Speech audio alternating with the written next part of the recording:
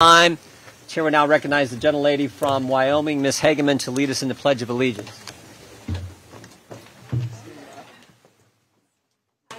allegiance to the flag of the United States of America and to the republic for which it stands, one nation, under God, indivisible, with liberty and justice for all.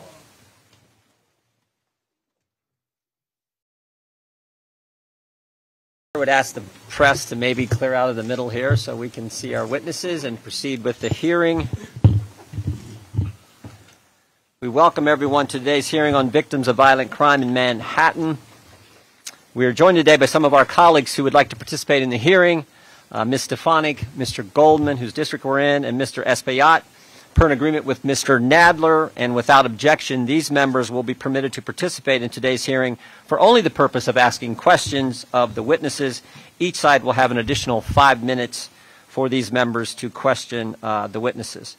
The chair now recognizes himself for an opening statement. Mr. statement. Chairman, I, I have a unanimous consent request. Gentleman from Florida is recognized. Mr. Chairman, I seek unanimous consent. I, I understand Mr. Alba may be utilizing the services of an interpreter today, and so, so that the interpretation time would occur off the clock so that we might be able to ask questions of Mr. Alba.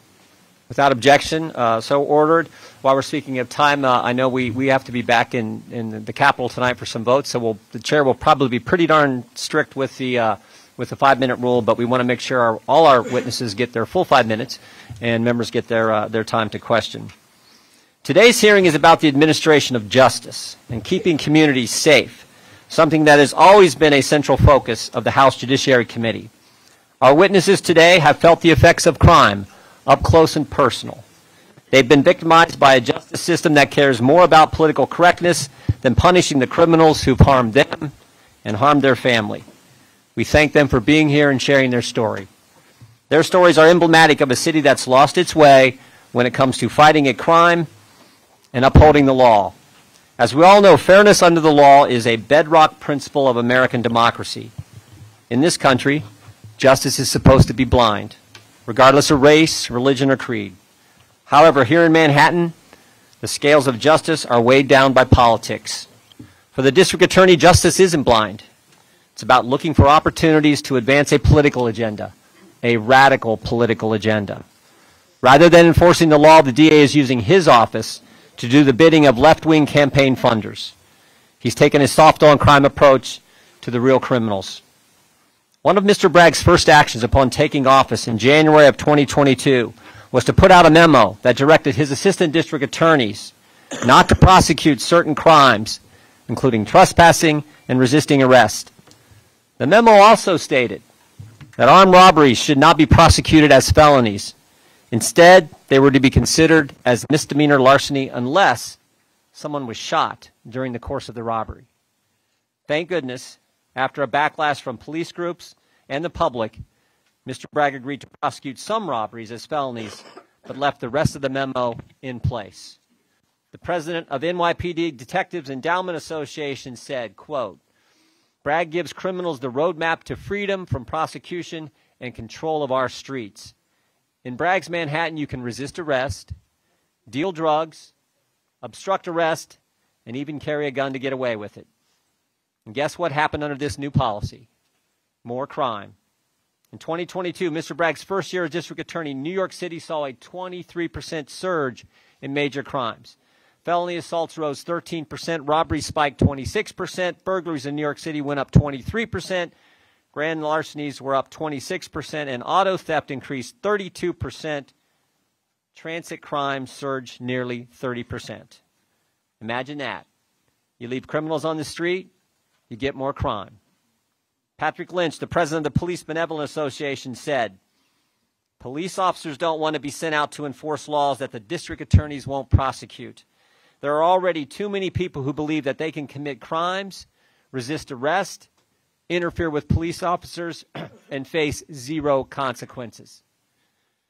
We should take a minute here to thank our brave men and women in law enforcement. We got a number of them right here in this building. Thank you for what you do.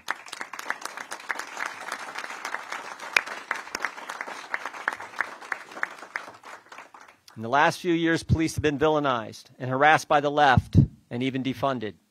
These men and women put their lives on the line every day, every single day, and they deserve our deepest gratitude.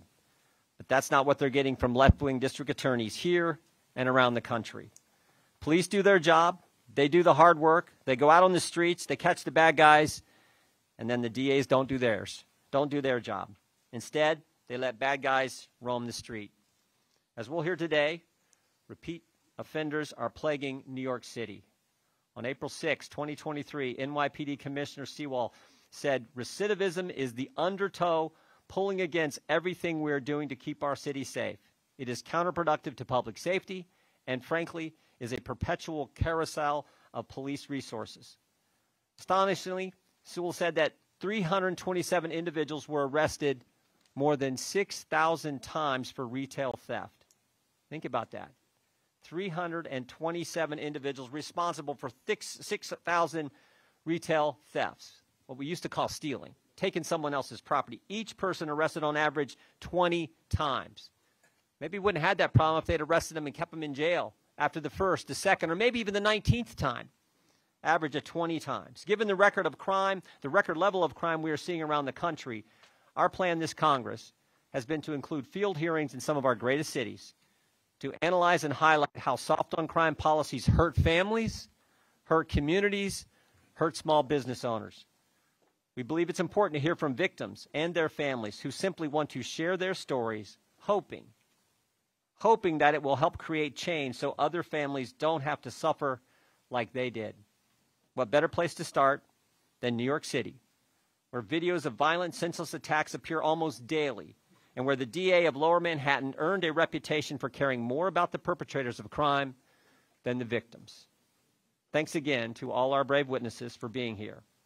And thanks to the NYPD, the Capitol Police, and the Federal Protective Services for all they do to keep people safe. And now, now recognize, uh, recognize the ranking member, Mr. Nadler, for an opening statement. Thank you, Mr. Chairman. Let me be very clear. We are here today in Lower Manhattan for one reason and one reason only. The chairman is doing the bidding of Donald Trump. Committee Republicans designed this hearing to intimidate and deter the duly elected district attorney of Manhattan from doing the work his constituents elected him to do. They have demanded access to the inner workings of an ongoing criminal case, information to which they know they are not entitled.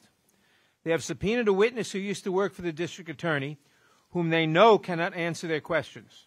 And they have earned a lawsuit that risks future congressional oversight as a result.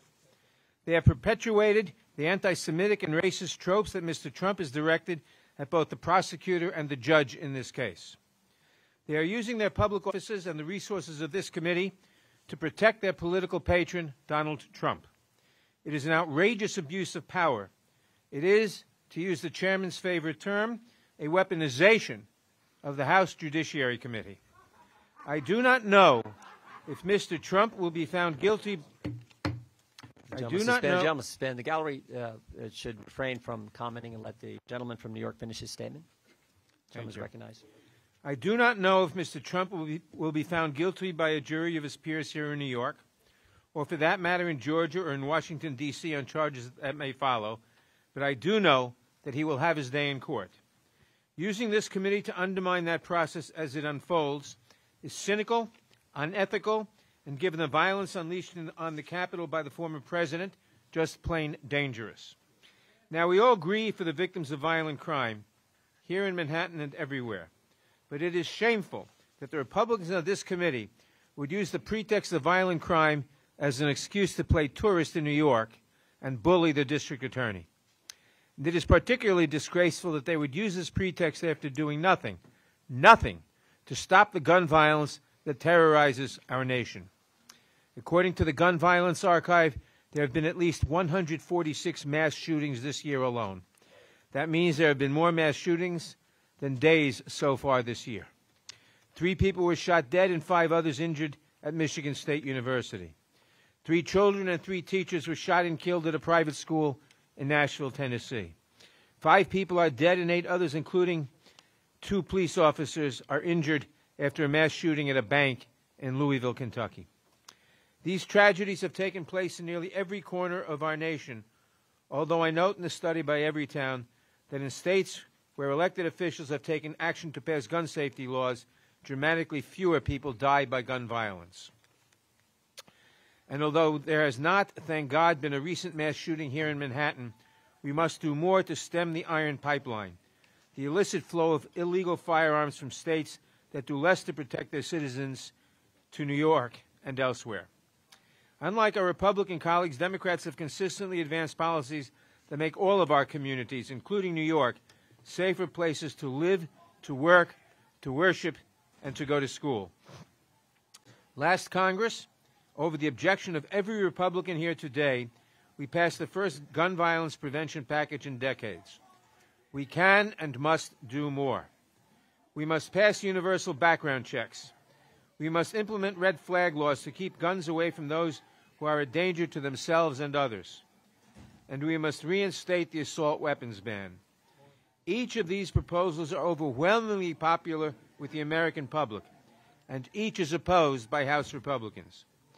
We also advanced the Victim Act to provide funding to law enforcement to improve murder clearance rates.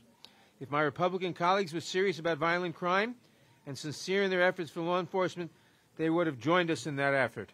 But 178 Republicans opposed that measure last Congress on the House floor. We supported legislation to improve policing through additional funding, better training, and accountability to strengthen public trust because we know that public safety requires law enforcement agencies and their community partners working together. Again, every Republican on the committee stood opposed. Here in New York, one of the largest and most complex cities in the world, local leaders have pursued violence intervention, diversion programs, targeted law enforcement, and youth engagement programs that have pushed crime and incarceration to the lowest levels in decades. Over the past year, under the leadership of Mayor Adams and District Attorney Bragg, crime in Manhattan has dropped in nearly every major category, including murders down 14%, shootings down 17%, burglaries down 21%, and robberies down 8%, all in one year. And compare that to Mr. Jordan's Ohio, where the homicide rate is 73% higher than in Manhattan.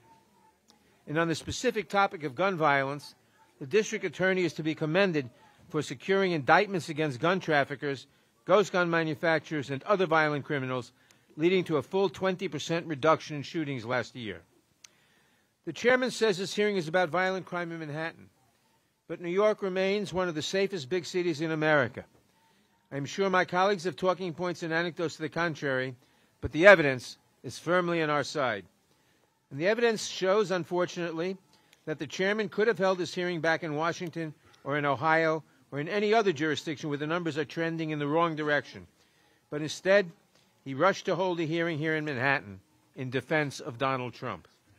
I understand that in the days leading up to this hearing, Republican members were instructed not to speak about Mr. Trump during these proceedings. Don't take the bait, they were warned, as if we cannot draw a straight line from the chairman's attacks on the district attorney in the wake of the indictment to his attacks on the district attorney here today. We know better. We all know better. The New Yorkers gathered outside of this building certainly know better. You can pretend that you aren't here on Donald Trump's behalf, but you cannot stop the New York criminal justice system from running its course, and you will not intimidate New Yorkers with your brief visit to this city. I thank the chairman, and I yield back. Thank the gentleman for his statement. And now, um, uh, without objection, all other opening statements will be included in the record. We will now introduce today's witnesses. Mr. Jose Alba. Mr. Alba was forced to defend himself while working at a bodega. He was attacked by a repeat criminal who was on parole for assaulting a police officer. During the attack, Mr. Alba was stabbed and defended himself with a knife.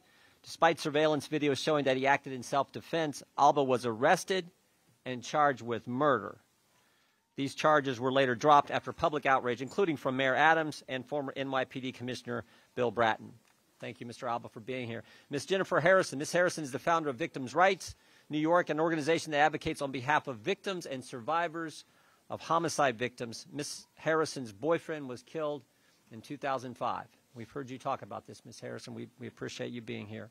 Two of the assistants, or excuse me, two of the assailants were allowed to walk free, while the third spent only a few years in jail.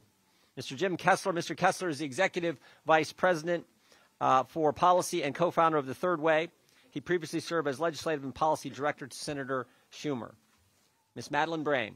Ms. Brame is the New York State Chairwoman of the Victims' Rights Reform Council. The Victims' Rights Reform Council was formed to provide a voice and advocate for victims of crime. Ms. Brame's son, Sergeant Hanson Correa, was murdered in 2018 by four assailants. Sergeant Correa's father was also stabbed during the attack. Ms. Brame, we're sorry for your loss. Thank you as well for being here.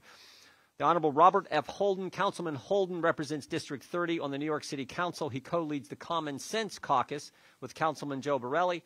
He previously was a member of the Community Board Five Queens for 30 years, served as first chair for seven years, and served as chairman of the board's Public Safety Committee for 13 years. Mr. Holden, thank you for being here and for your public service. Ms. Rebecca Fisher. Ms. Fisher is the executive director of New Yorkers Against Gun Violence. Her organization seeks to inform the public, particularly youth, about the dangers of gun violence and ways to prevent and reduce gun violence. Mr. Paul DiGiacomo is the president of New York Police Detectives Endowment Association. The association represents 20,000 active and retired New York City detectives. Mr. DiGiacomo served with the NYPD for 40 years. Thank you. And Mr. Barry Borgen. Mr. Borgen's son was a victim of a violent crime who was targeted because of his faith, his Jewish faith. While walking near a pro Israel rally, Mr. Borgen's son was attacked and beaten by at least four men. They said all kinds of terrible things, sprayed mace in his face. Mr. Borgen, we're sorry for that. What happened to your son? Thank you for being here today. We welcome our witnesses. Thank them for appearing today. You each be given five minutes. The clock there, when it gets to the yellow, that means it's kind of close. And like I said before, we'll try to be pretty strict on the time. But again, thank you all for um, thank you all for being here. Mr. Alba, you're up first.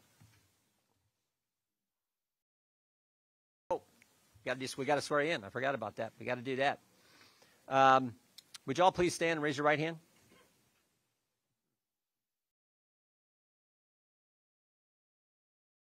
Raise your right hand. Do you swear affirm under penalty of perjury that the testimony you're about to give is true and correct to the best of your knowledge, information, and belief, so help you God? Let the record reflect the witnesses have all answered in the uh, affirmative. Uh, thank you. Please be seated.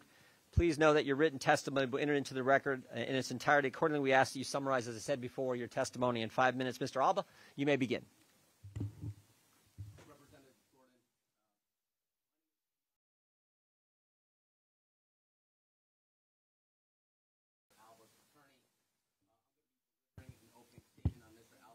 Thank you.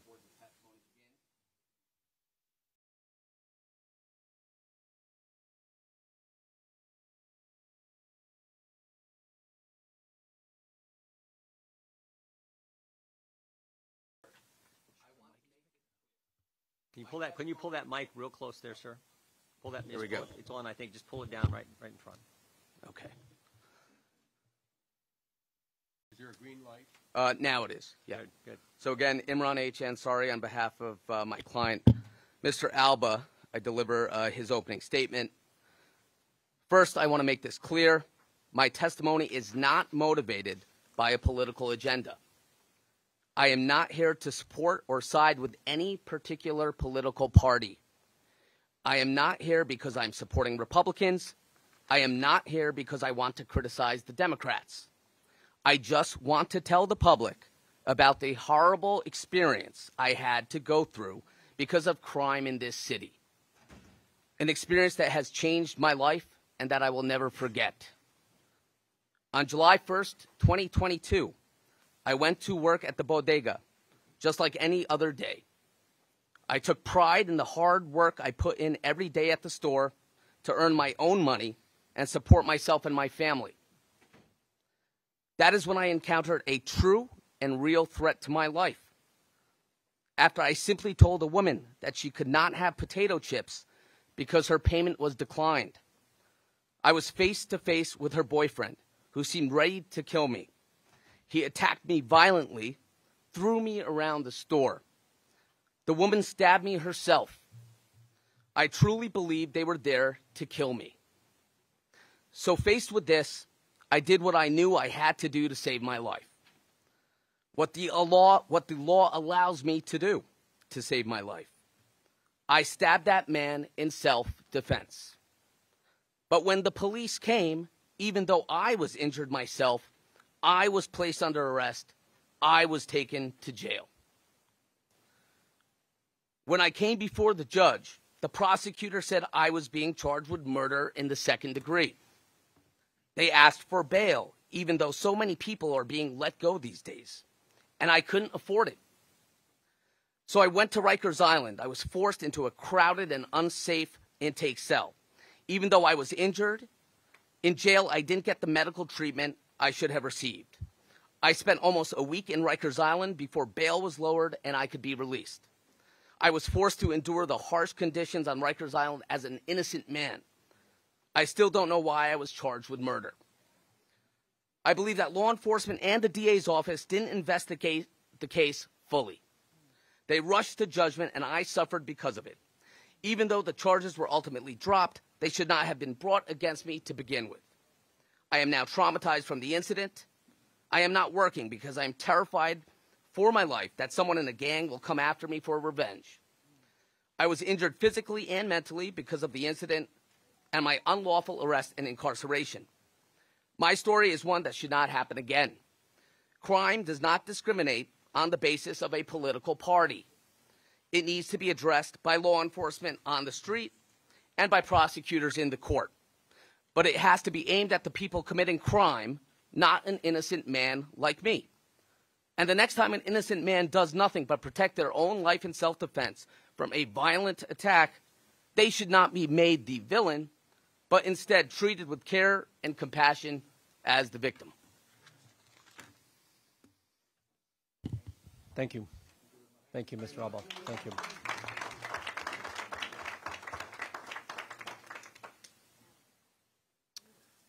Thank you so much. Ms. Harrison, you're recognized for your five minutes.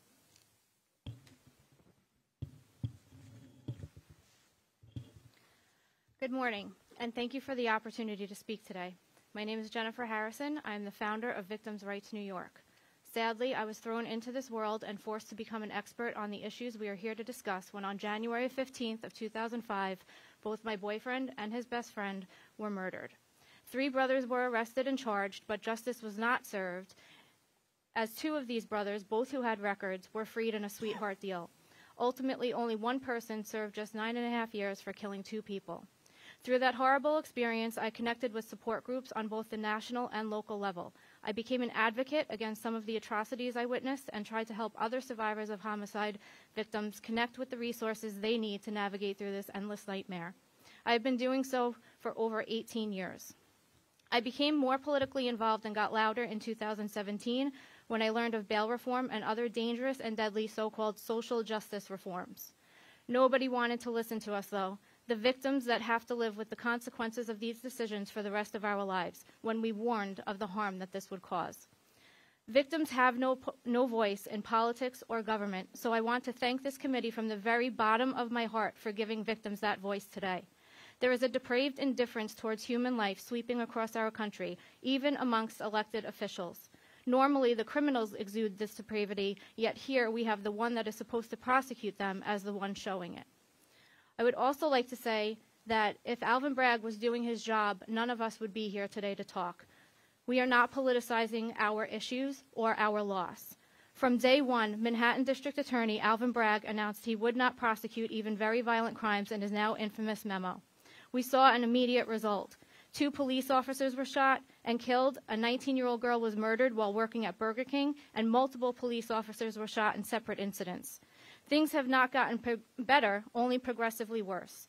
Bragg's office has downgraded 52% of felonies, and even when his office does decide to prosecute a case, they only have about a 50% conviction rate. No one is safer, as he promised, as a result of his delusion or diversions. During Bragg's first year in office in 2002, the crime index went up 25.57% borough-wide, violent crime up 11.73%, and in Manhattan South, one precinct alone, murders were up 40%. You will hear many horrible stories today. We read about them almost daily, like Madeline Brame and Jose Alba, whose testimonies will speak for themselves. I am here today on behalf of the many other victims that reach out to me and are afraid to speak out, who are completely distraught with the way they have been or are being treated by the career public defenders in Bragg's office.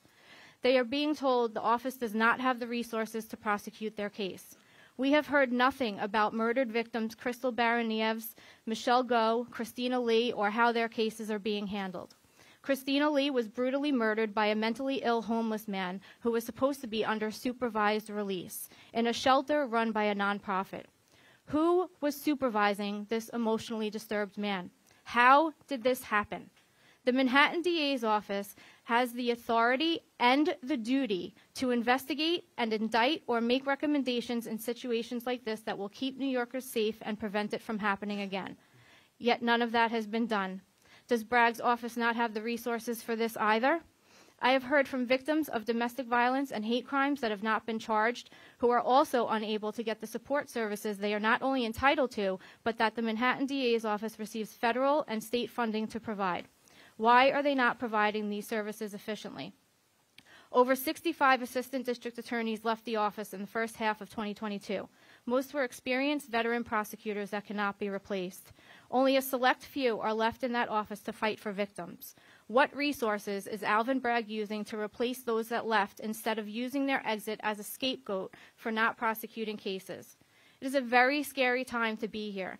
God forbid you or your family are victimized. Who do you have to fight for you? No one. Alvin Bragg has given excuse after excuse to not prosecute violent crimes, forsaking not only the distraught and forever changed victims, but the entire justice system. And we have no recourse when our rights are violated. We cannot file for prosecutorial misconduct. Only the criminals can, even when they violate our fundamental rights to life, liberty, and the pursuit of happiness. Alvin Bragg's dereliction of duty and malfeasance has caused tremendous harm. In our newfound progressive society, all of the compassion and empathy is placed with those intentionally inflicting harm on others and not with the innocent casualty, the victim. So again, I thank you for giving victims a voice today and for allowing us to shed some light on what is happening here in hopes that it will change everywhere. Thank you, Ms. Harrison.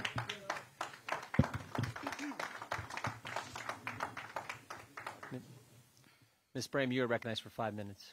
Thank you. Good morning. My name is Madeline Brame.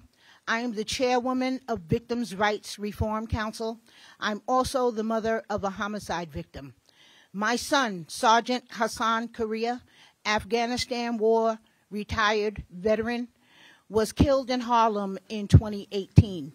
Hassan was kicked, punched, stomped, and stabbed nine times by four individuals he did not know, nor had he done them any harm. All four of these individuals were apprehended and all four charged with first degree gang assault and second degree murder. This case just resolved this year. So this case drug on through the Manhattan criminal court system for four and a half years when Alvin Bragg came into office, he was held, he was handed a strong trial ready murder case and gang assault case against all four of these individuals where this brutal, savage homicide was captured on video. He was handed a strong trial ready case, ready to go to trial.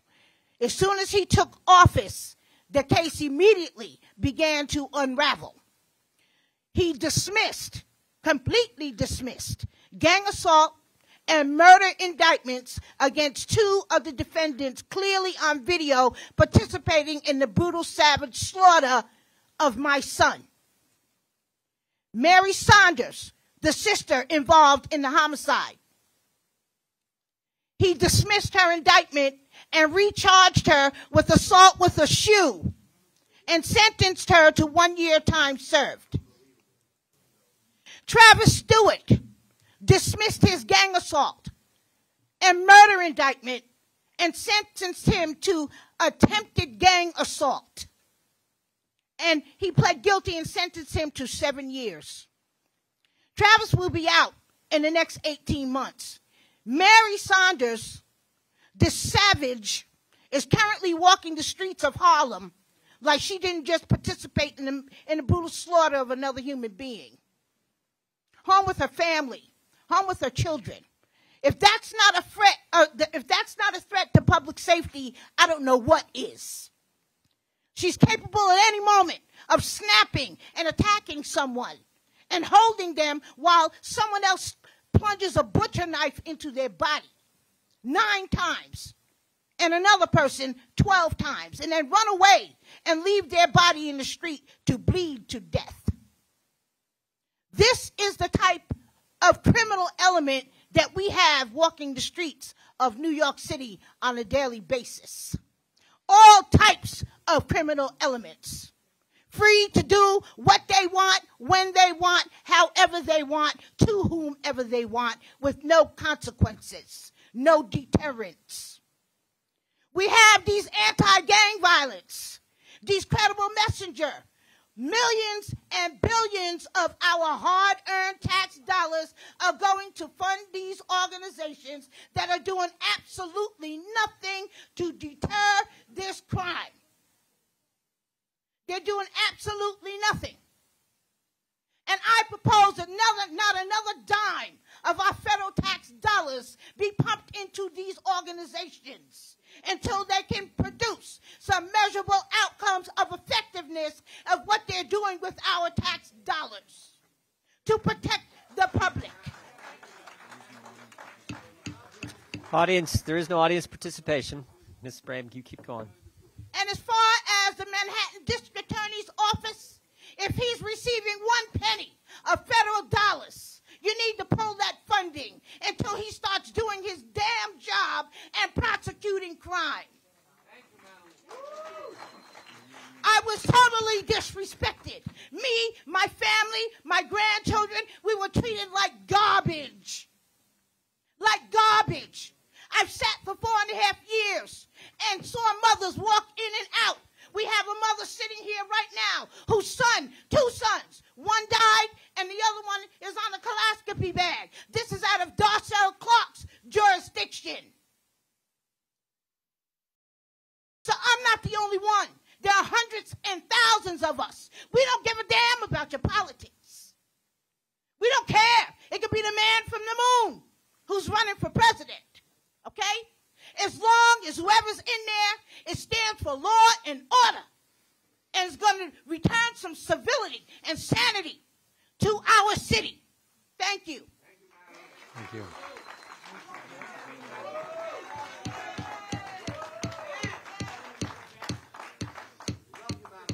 I've said it a couple times. The audience should, should refrain from, uh, from Cursing. applause. Or, Mr. sorry. Ms. Oh, though, thank you for that powerful testimony. Mr. Holden, you are now recognized for your five minutes. Thank you, Chair Jordan, and, and thank you, Madeline, for Pull your that courage. close. Pull that close, Councilman. Pull that real close. I am Robert Holden, a Democratic City Council member representing the 30th District in the Borough of Queens and a member of the Council's Public Safety Committee. I am here to address the lawlessness that has taken over this city in recent years as a result of the failed progressive policies implemented by Manhattan District Attorney Alvin Bragg. On his first day in office, Bragg issued a memo that would decriminalize a broad range of offenses and reduce charges for violent crimes. This was a signal for every criminal that it was open season on law abiding citizens in New York County.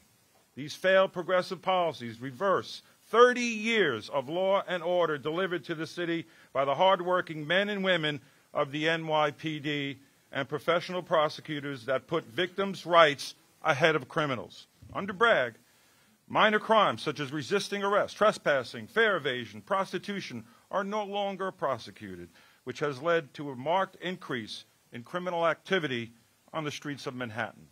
Serious offenses such as knife point robbery, commercial and residential burglaries, weapons possession, and low level drug dealing are being charged with lesser offenses or being plea bargained down, resulting in shorter sentences or no jail time at all. Bragg's first year in office was marked by a dramatic shift in the way his office approached criminal prosecutions. And we're feeling Bragg's soft on crime approach in the streets of New York. We have repeat offenders receiving lenient sentences and committing multiple crimes shortly after being released. This is happening every day. Mm-hmm. From the day he took office, it seems Alvin Bragg's top priority was to keep criminals out of jail and free to roam the streets.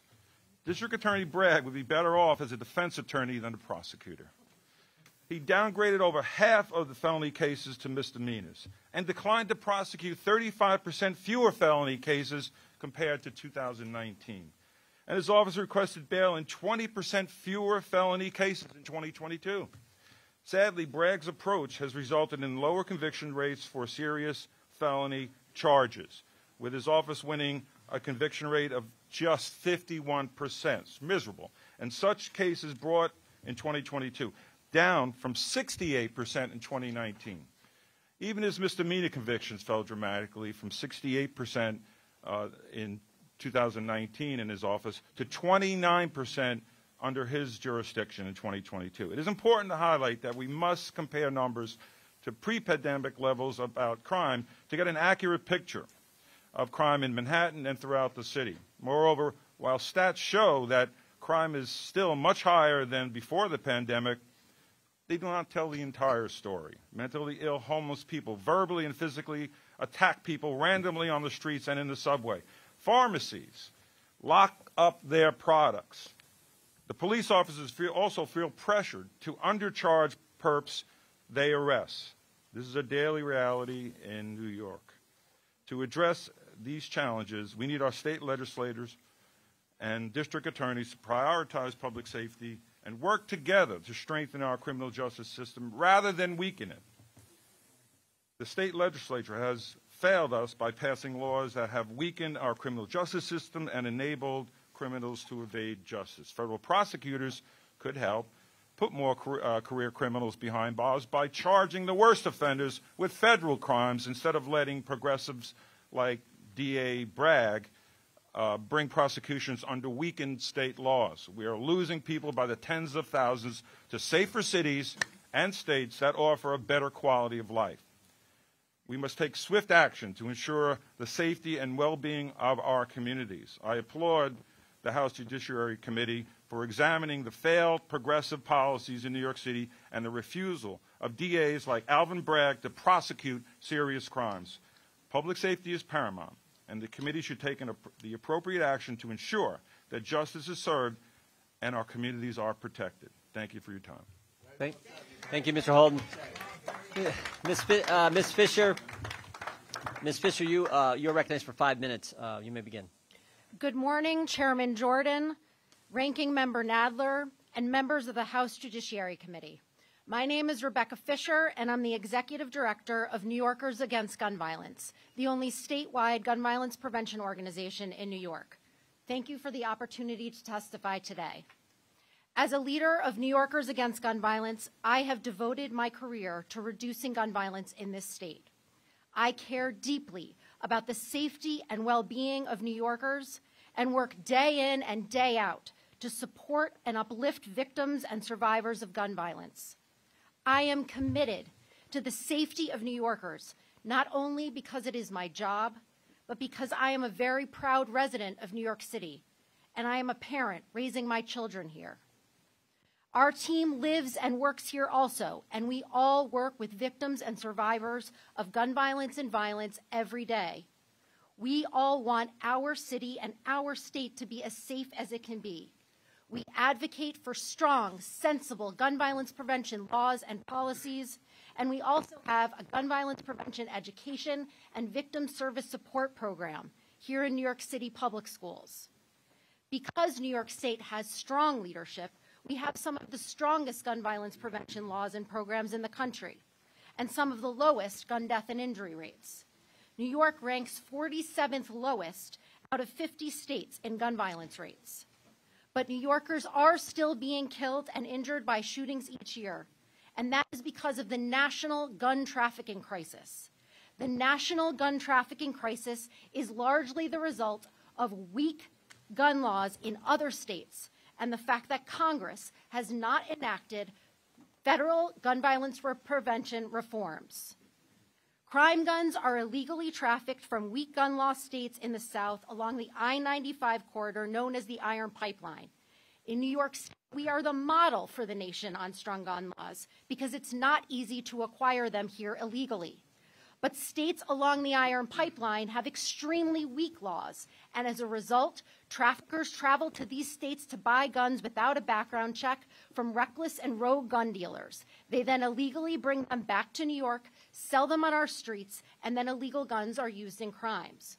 From 2017 to 2021, New York City recovered and traced over 19,000 crime guns, and over 70% of those crime guns were originally purchased out of state from iron pipeline states. The guns are flowing into our most under resourced neighborhoods, disproportionately impacting black and brown communities. Communities that need economic investment, affordable housing, better access to education and healthcare, and so much more. This is why we strongly support community led initiatives that are evidence based and trauma informed, and they work. And also have our own school education and victim support program.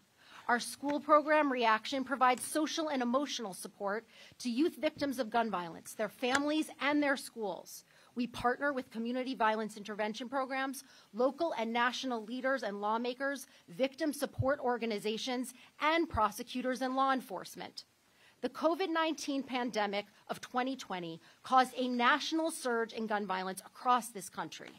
However, as more resources are put back into the communities suffering the most, public safety circumstances are improving, including in New York City and Manhattan. In the last 12 months, according to NYPD's own data, as of April, shootings and murder are down in all five boroughs, including Manhattan. Crimes unrelated to guns are also going down in Manhattan and across the city. Yet, there is so much more that can be done by Congress to keep this city safe because even one victim of gun violence is too many. Congress must close loopholes in the federal background check system, protect survivors of domestic violence, pass extreme risk protection order laws, pass safe storage laws, crack down on ghost guns, and hold rogue, reckless gun dealers accountable. We need more investment in community violence intervention programs, and we need to hold the highest drivers of crime accountable. New Yorkers and all Americans, from Buffalo, New York, to Nashville, to last night's victims of the Dadeville, Alabama shooting, and every place in between, deserve to go to school, to the park, to their office, to a concert, to a grocery store, to their houses of worship, or to celebrate this nation's independence without the real and present danger of gun violence. Our children and our children's children have the right to be safe, and we need Congress, we need federal leadership to stand up and protect us. Thank you for inviting me to testify today, and I look forward to your questions. Thank you, Ms. Uh, Fisher. Thank you, Ms. Fisher. Uh, uh, Mr. DiGiacomo, you, uh, you're recognized for five minutes. You may begin. Uh, good morning, and thank you for this opportunity to speak here today. I, I just want to say that, you know, District Attorney Bragg took an oath to uphold the law and not to downgrade crimes that have an effect on victims of New York City. The, the, the, the, the Detectives Endowment Association has been saying this for three years now, that a lot of the laws that have been enacted here in New York City and New York State are counterproductive to the safety of the people of New York City. The bail reform laws. There is a direct correlation from when the bail reform laws were enacted mm-hmm. to day one to the uptick in violent crimes across New York City. Shootings have increased. Gun violence has increased illegal guns coming into New York City has increased dramatically. But we talk about the seven majors, the felony crimes that are affecting people in New York City. But as important as those felony crimes that, that are uh, violating the people across this city are many low-level crimes that are not even being addressed that affect the victims for many, many years to come. Sexual related crimes on the subways and throughout the city streets are increasing. Assaults on police officers are increasing. I ask everyone in this room to think about your daughter, your wife, your grandmother, your sister, your aunt, riding on a subway train trying to get to work and being violated or groped just for that poor woman to try and prosecute this crime through the Manhattan DA's office, and that crime is reduced to a disorderly conduct, which is no more than a traffic ticket. And that is going on every day in the borough of Manhattan every single day. And it's sad because many of the people in the borough of Manhattan, the ones that vote for D.A. Bragg, they live here, but many people come to Manhattan every day to work. Hundreds and thousands of people come into this city, in- into Manhattan to work, and don't have the opportunity to vote for the district attorney. But their safety is in jeopardy because of the district attorney. Now, you had police officer Mora and police officer Rivera were executed. Two young men were executed in the borough of Manhattan. And I strongly believe it was because of the memos that were put out by the district attorney's offices that they were not going to enforce assaults on police officers, resisting arrests on police officers. And it sent a message to the criminal element that there are no consequences when you assault a police officer. Now, my concern is the safety of my detectives and the people who, who which we serve.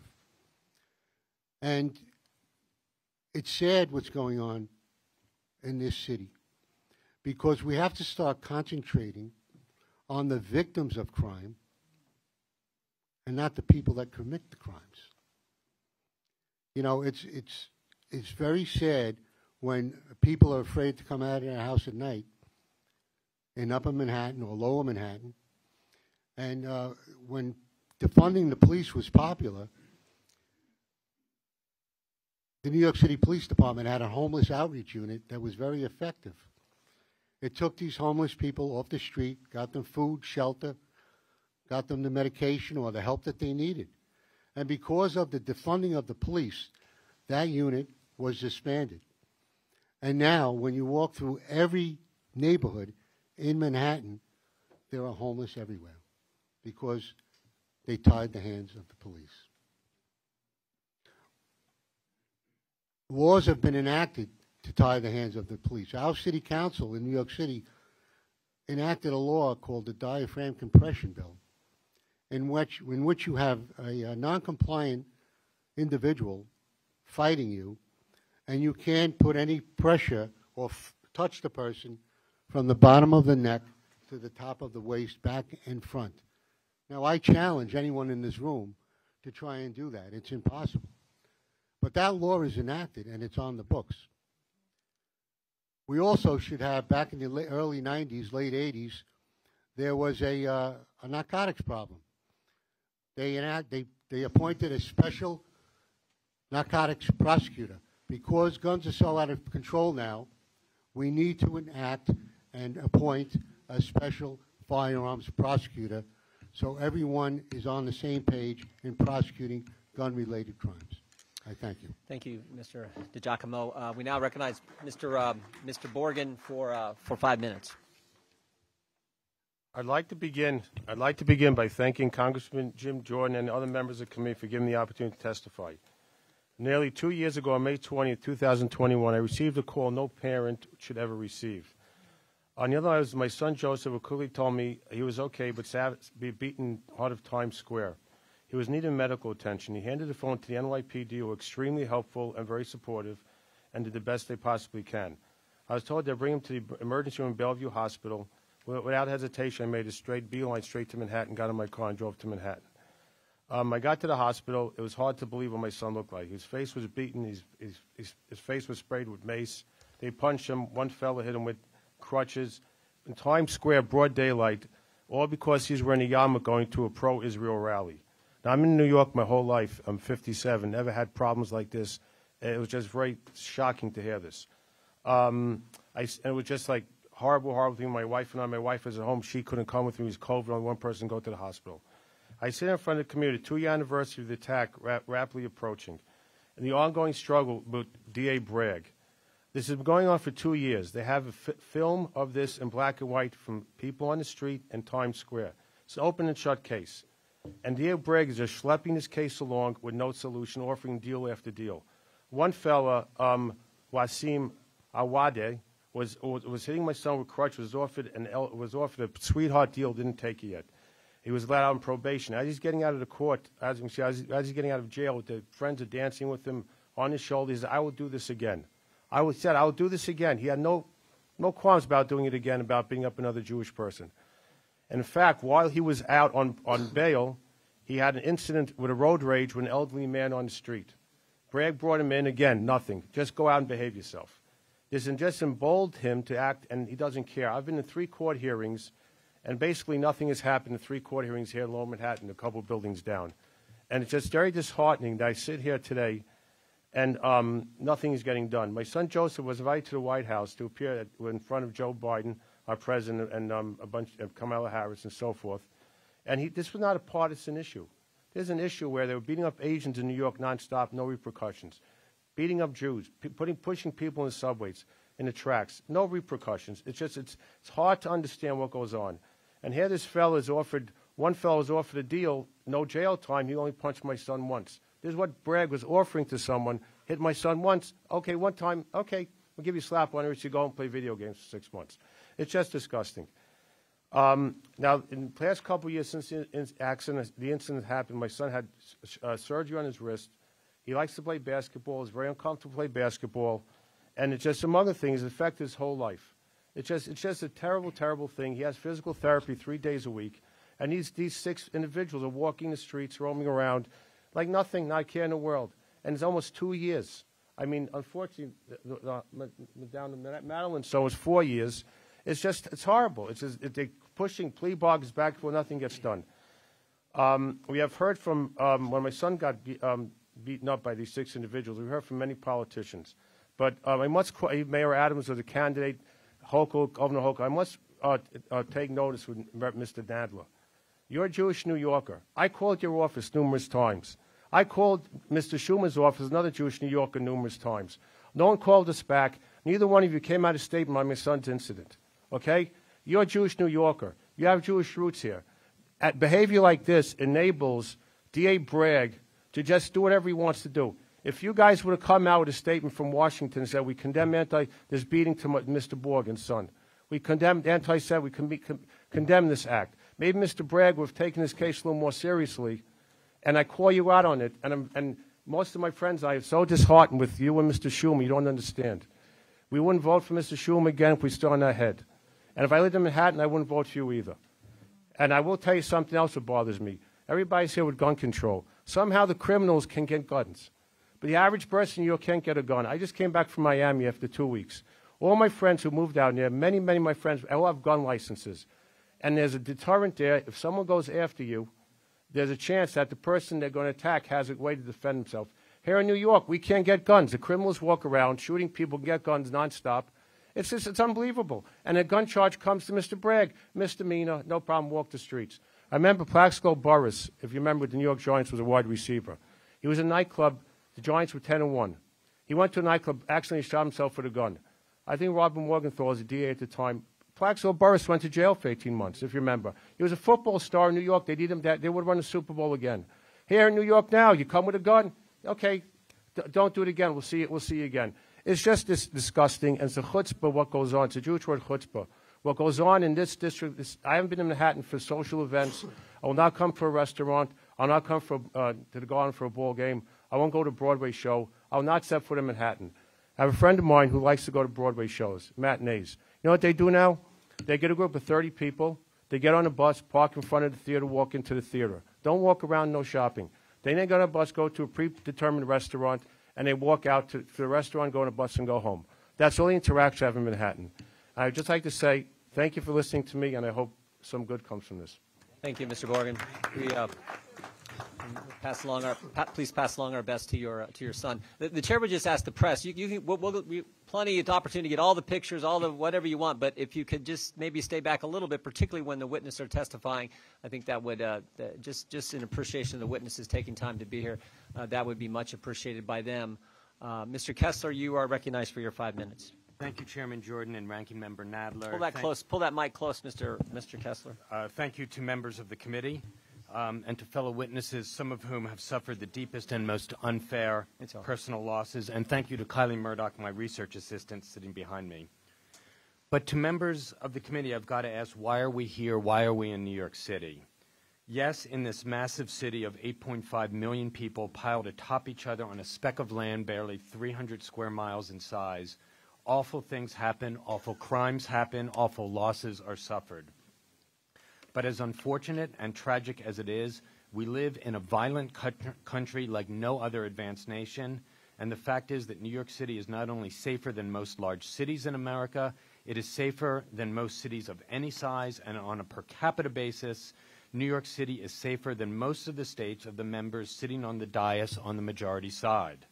In 2020, for example, New York City's murder rate was 18% below the national average for the entire United States. Mr. Chairman, Ohio's murder rate was 59% higher than New York City's. Louisiana's murder rate was 251% higher than New York City's.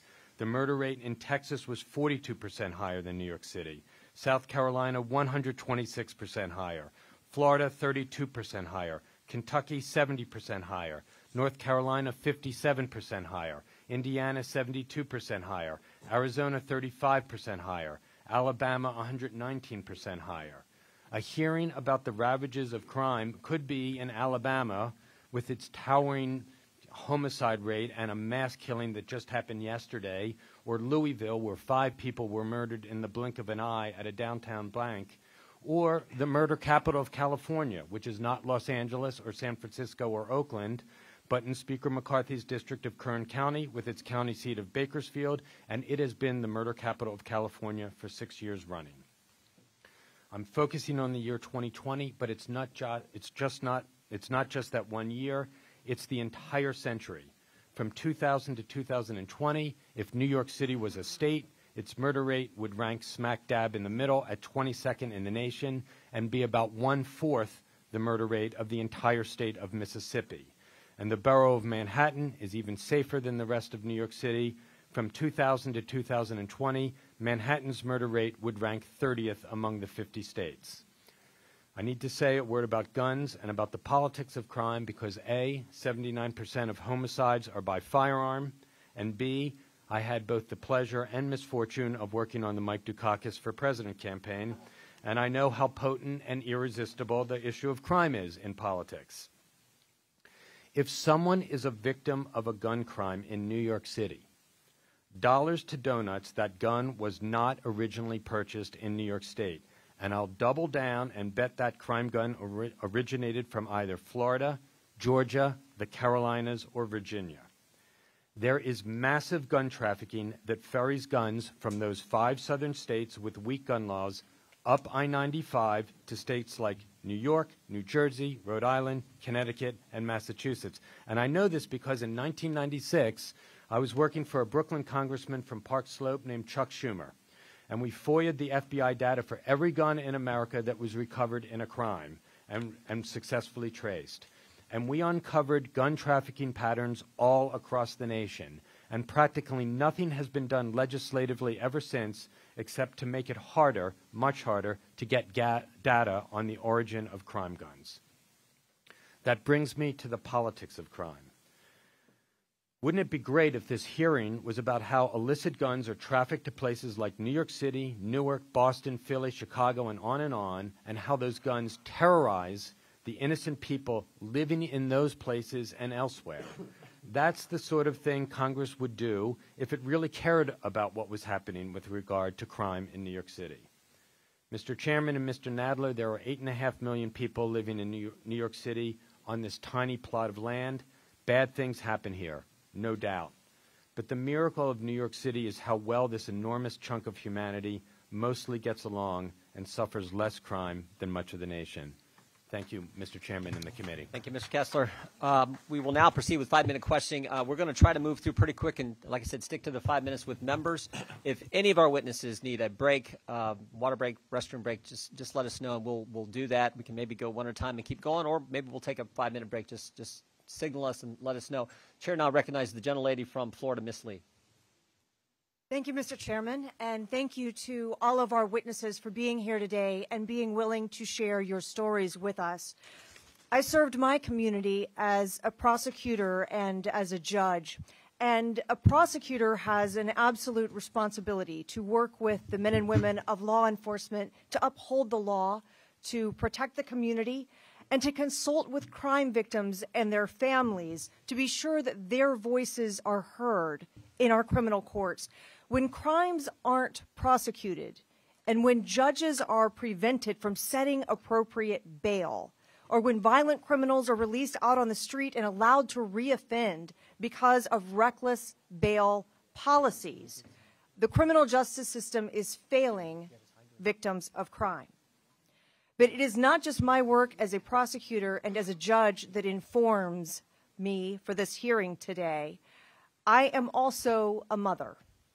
And we need to begin this hearing today by remembering that the victims of these soft on crime policies, the victims of these reckless bail reform policies, aren't just numbers.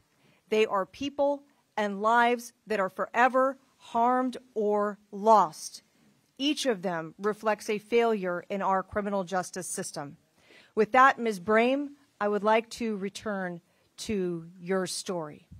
Would you please begin by sharing with us a little bit more about your son?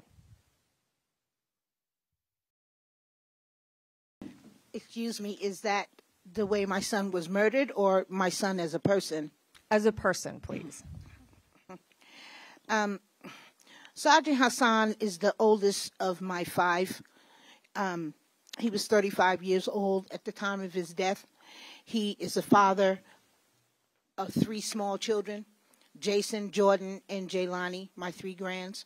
And also, um, Hassan was a husband. Um, he was an amazing young man. He was a personal physical trainer at Crunch Gym at the time of his murder. He was also a full time student at Manhattan College. Hassan was a responsible, licensed, and registered gun owner. All right? He was a good guy with a gun. Do you believe that the criminals who murdered your son received justice? That the criminals who murdered him? Mm-hmm. Uh, absolutely not. You know, even the stabber, they offered him a plea deal. Instead of the 25 to life, they gave he copped out to 20 years. Okay? Um, the brother is the only the other brother is the only one who actually went to trial and he blew trial. He lost trial and he also got 20 to life.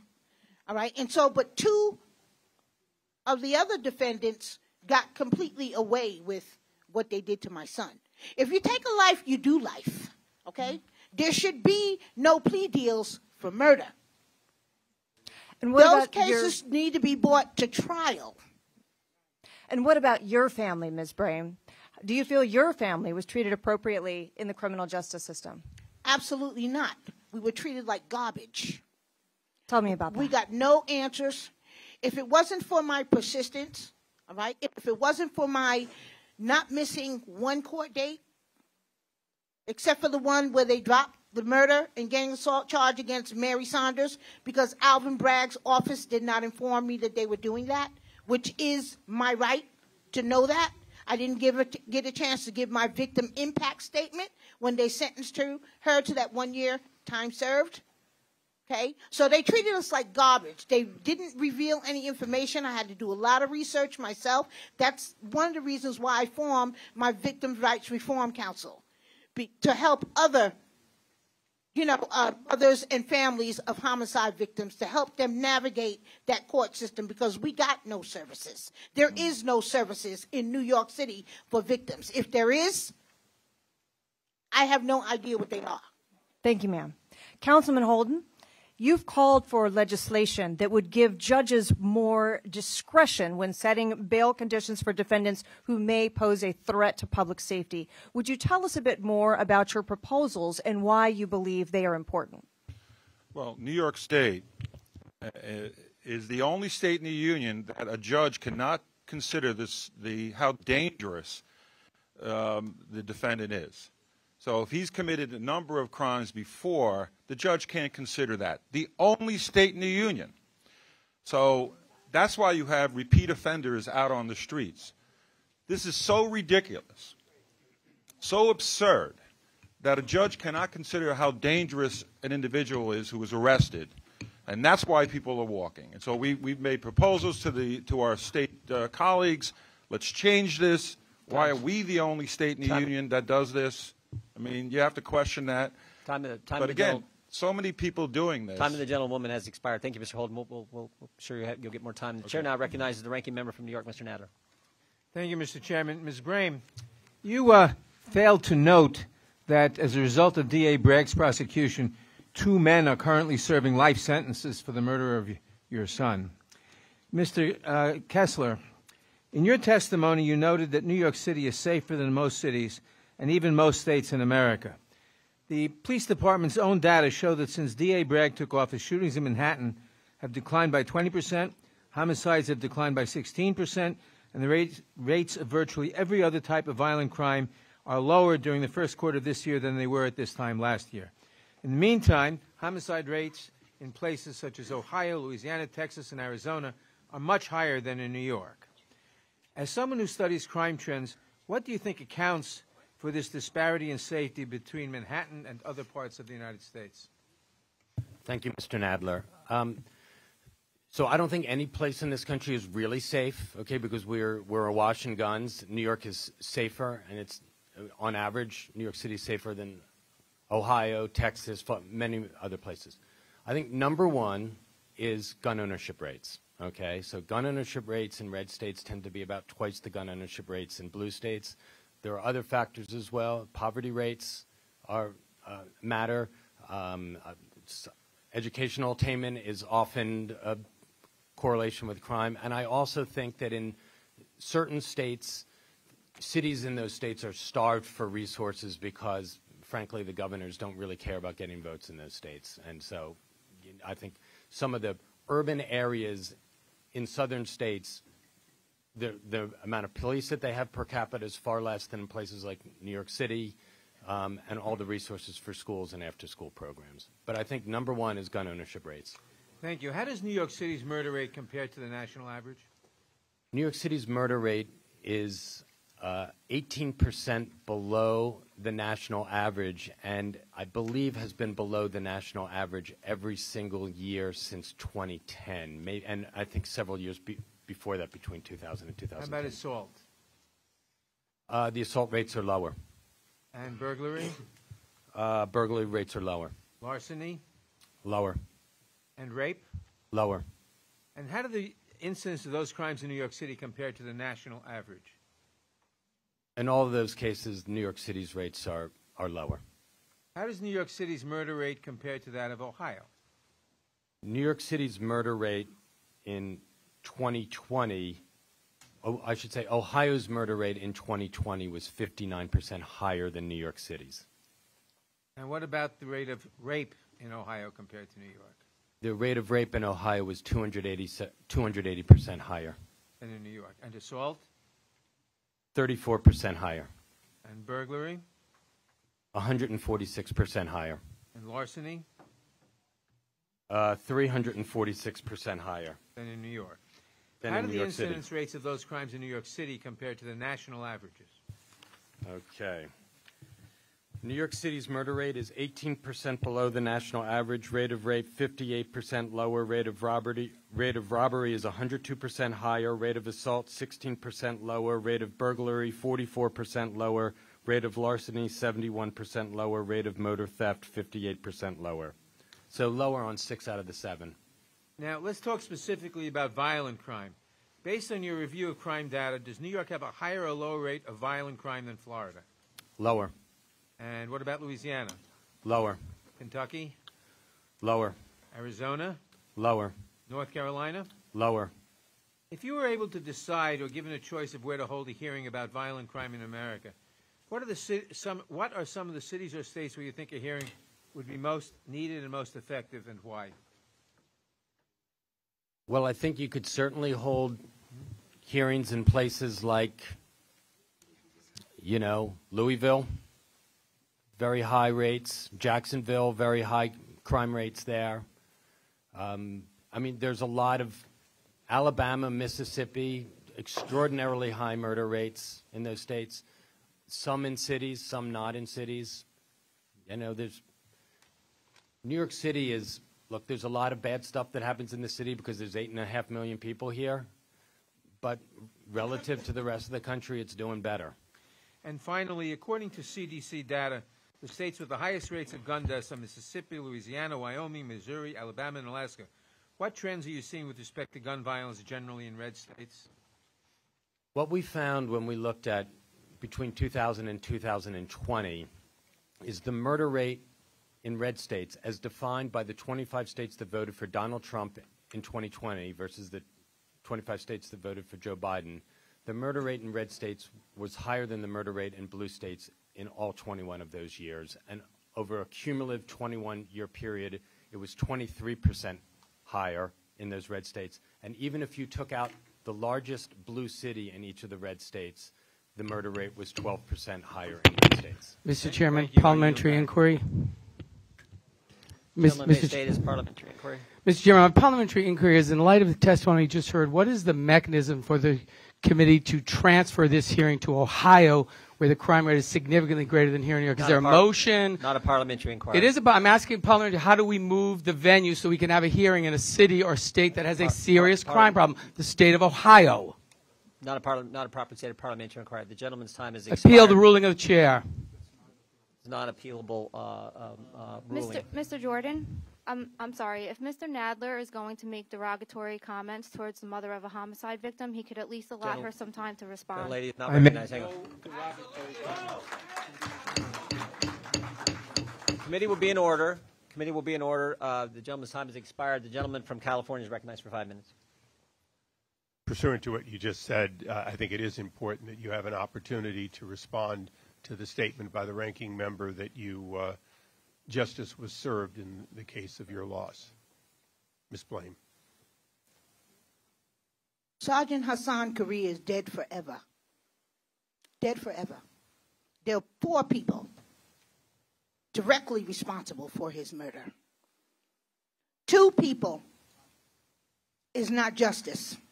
And until there is justice for the murder of my son, there will be no peace. None.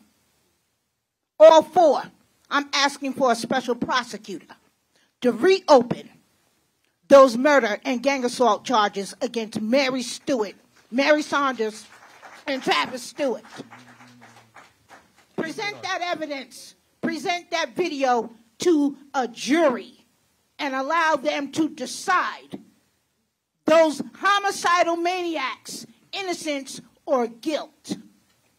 My son is dead forever. They deserve to be in prison forever. Thank you. Thank, thank you. Uh, Ms. Harrison, uh, there's been a lot of discussion at the end of the dais uh, about gun violence, gun violence, gun violence.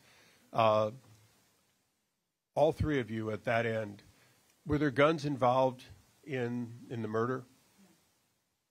No, there were not. Madeline's son was stabbed, and my boyfriend and his best friend were both stabbed to death.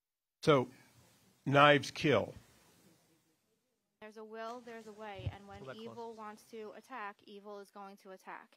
And I would also like to say that, you know, New York might have strict gun laws, but we also have conflicting gun laws, which I haven't heard from uh, Ms. Fisher uh, regarding raise the age. Uh, immediately after the Buffalo incident, Kathy Hochul implemented a raise the age that that placed a ban on purchasing weapons, certain weapons from minors. But we also have a, an original raise the age law that conflicts that completely because it eliminates the criminal prosecution of anyone, any minor holding an illegal weapon. And in this state, you have a universal assault weapons ban and have for a long time. Isn't that true? I'm not sure about the assault weapons ban. I'm sorry. Okay, uh, and Mr. Alba, I, I think your testimony was very powerful. You, you too were attacked by other than a gun, isn't that correct? And if you'd pause the clock.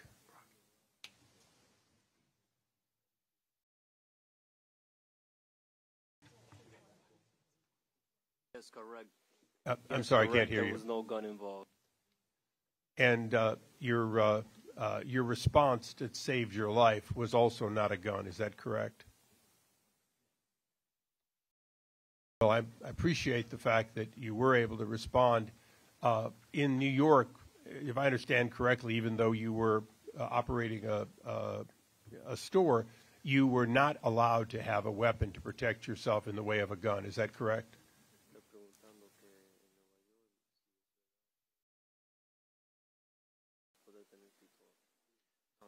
And I'd like to, yeah, yeah. go ahead. Can, can you please repeat the question? Yes, in New York, you uh, you defended yourself with a knife because, as a store operator, you were not allowed to have a gun. Is that correct?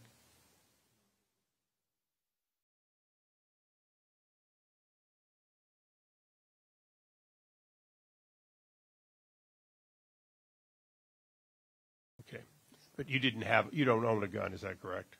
Yeah, he doesn't own a gun. He doesn't really know much. Okay, thank you. And then uh, uh, I think, Mr. Holden, you probably could answer this. Uh, the, uh, according to the figures we were given earlier, uh, at least 6,000 of the 19,000 weapons were uh, New York-based weapons. is it true that, that guns go missing and get stolen and get straw purchased here in New York in spite of the most stringent laws in the, in the country? Exactly. You're, you're not going to get every gun off the street. The iron pipeline is a problem. We know that. But a lot of guns come from New York City. A lot of guns are made in New York City, put together in New York City.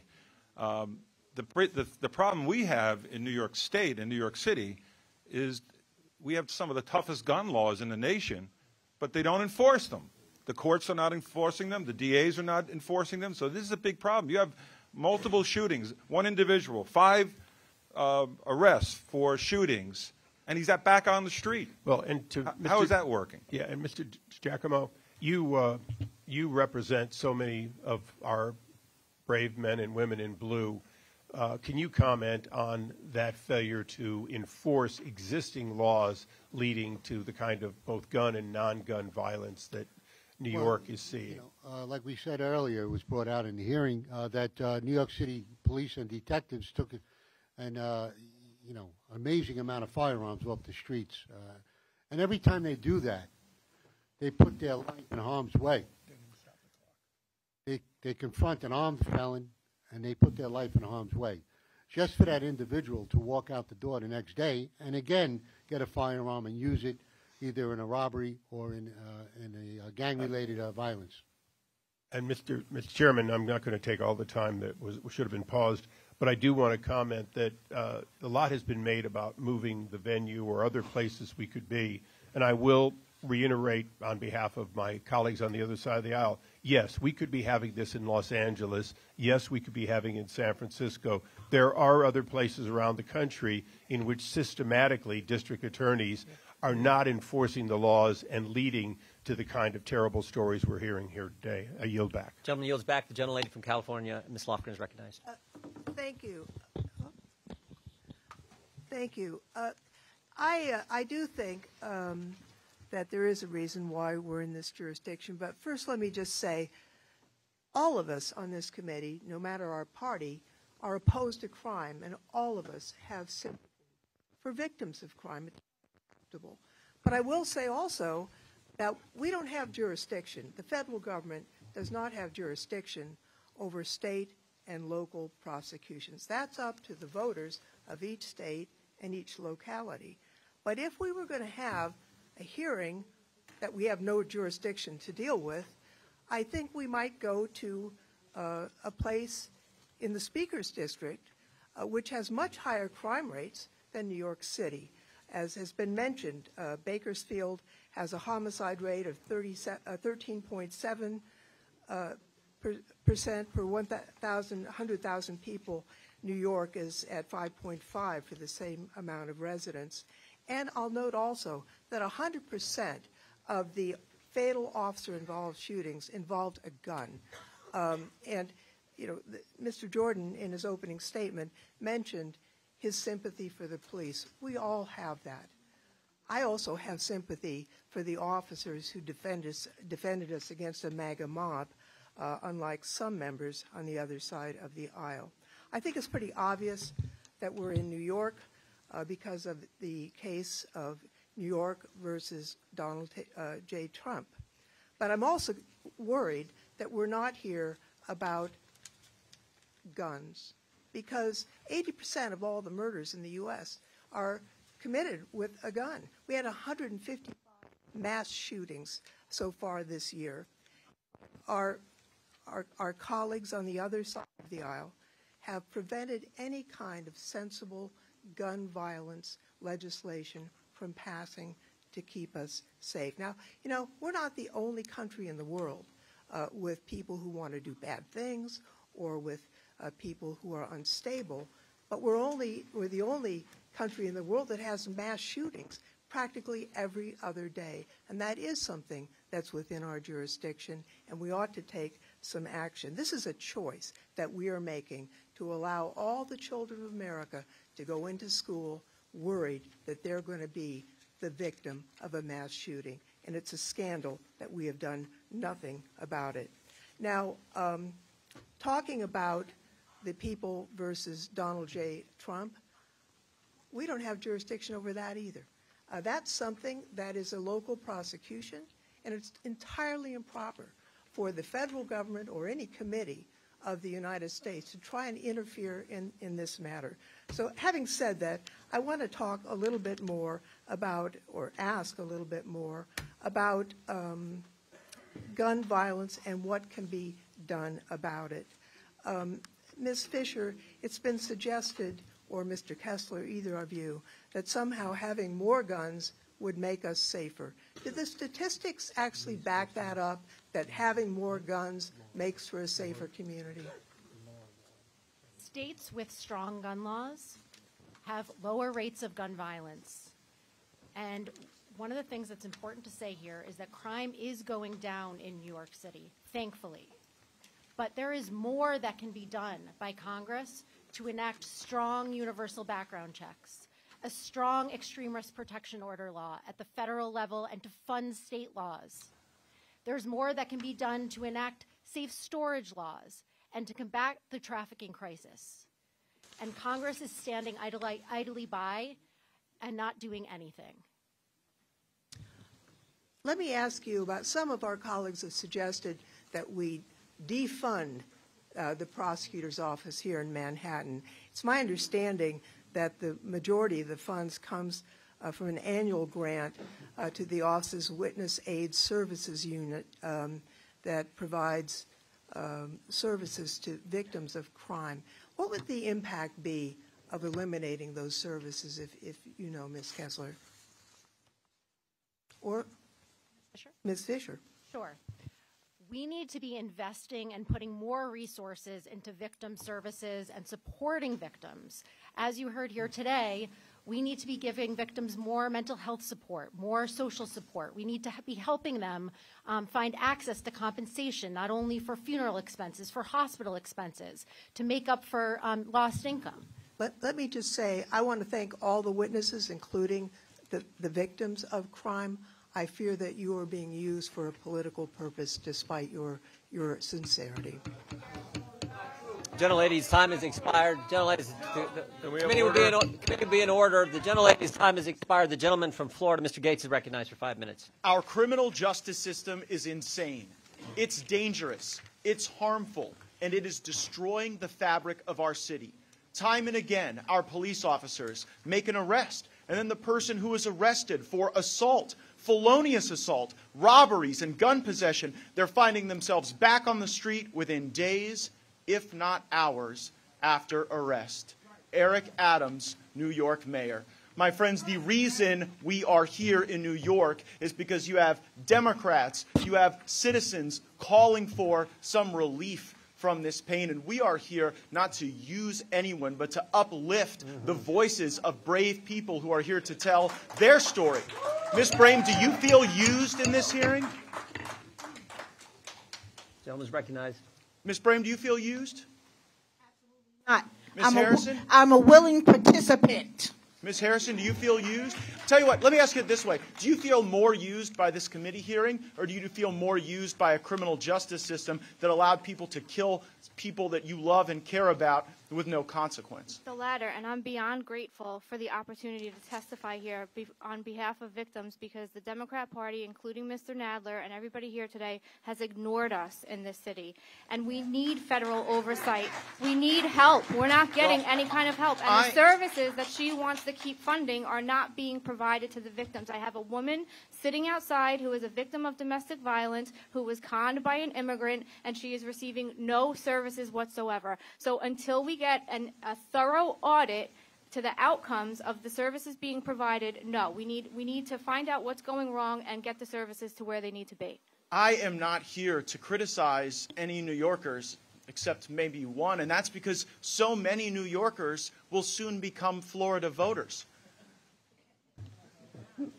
This is an iconic city. It's actually our nation's most iconic mm-hmm. city. And it's not because of the beautiful architecture, and it's not because of the geography. It is because the sense of hustle that is so inherent to the people who come to New York to achieve their dreams. And increasingly, that hustle is being replaced with fear. Uh, uh, Mr. Holt, Councilman Holden, you and I are from different parties. If we talked about a thousand things, we'd probably disagree about a vast majority of them. But here's my simple question for you Is fear a rising feature of life in New York, or is fear a declining feature of life in New York? It, it is um, increasingly worrisome what we're going through in New York City. Fear is an everyday event in New York City. Taking the subway. My wife is Asian American. She will not get on the New York City subway. My daughter will not get on a New York City subway for fear because many Asian Americans have been attacked. But Mr. Kessler says there's just a lot of people here in Manhattan. You just have to take it. You just have to understand that this is going to be a violent place. Which I found, I found that insulting. Uh, Well, Mr. DiGiacomo, you're here as the voice of, of law enforcement in, in many ways. And since the days of Cain and Abel, there has constantly been a violent criminal element as some feature of American society. And the lives we all get to live are lashed to whether or not we put that violent criminal element in charge or whether or not we constrain it for the sake of people who want freedom. And so, my question for you is when the day one memo of Alvin Bragg changes the way resisting arrest is treated. So people can resist arrest against law enforcement and not uh, actually face a consequence for that. What does that do to the enterprise of policing? Well, it makes the uh, the officers and the detectives on the street their job that much harder. Uh, everything becomes confrontational or physical, and they put themselves, the police officers and detectives, are in harm's way. Well, Now, we, we I- don't want to do that, but I have only, only a moment left, and I have to address this matter of, of crime rates that my colleagues keep talking about. And to the extent that there is an impact on crime rates in major cities, I would suggest that that is exactly what you get with the Sorosization of the United States justice system. And in places like New Orleans, Louisiana, in places like Tampa, Florida, in Jacksonville, Florida, in Tucson, Arizona, increasingly George Soros is putting in upwards of $40 million to elect 75 uh, DAs to be able to engage in these downgrades. And by the way, not only are they downgrading the violent things, they can't even win the cases they try. Mr. Holden, you pointed out the fact that Alvin Bragg is actually terrible at losing in court. And since I don't have time, I would ask you for the record since he keeps losing all of his cases, we might opine as to why, and we might seek a better utilization of the federal resources that we provide. Thank you, Mr. Chairman. I yield back. Gentleman yields back. The chair now recognizes the gentlelady from Texas, Ms. Jackson Lee. Thank you very much, Mr. Chair. Let me um, indicate I abhor crime. I abhor victimization, the victims that suffer. I want to prevent crime. I want to pay tribute to all of the law enforcement in this room and outside and those in Houston, Texas, from where I come from, of which I have a deep and abiding affection and relationship with. As a Democrat, I will not sit here, as my predecessor said, Barbara Jordan, and see the diminution of the Constitution, the destruction of what we believe in and our values. I want to stand here and be supportive of everyone who is before us, but I want to do it in a way that is befitting the patriotism of this nation, the very soldiers that are on front lines wearing uniforms are people of color and otherwise. I abhor anti Semitism, if you will. I abhor people being violated through domestic violence, and it was Democrats who fought extensively for the Violence Against Women Act, which has put a lot of money in the state of New York and other states. Let us work together. Let us find facts that really address this question.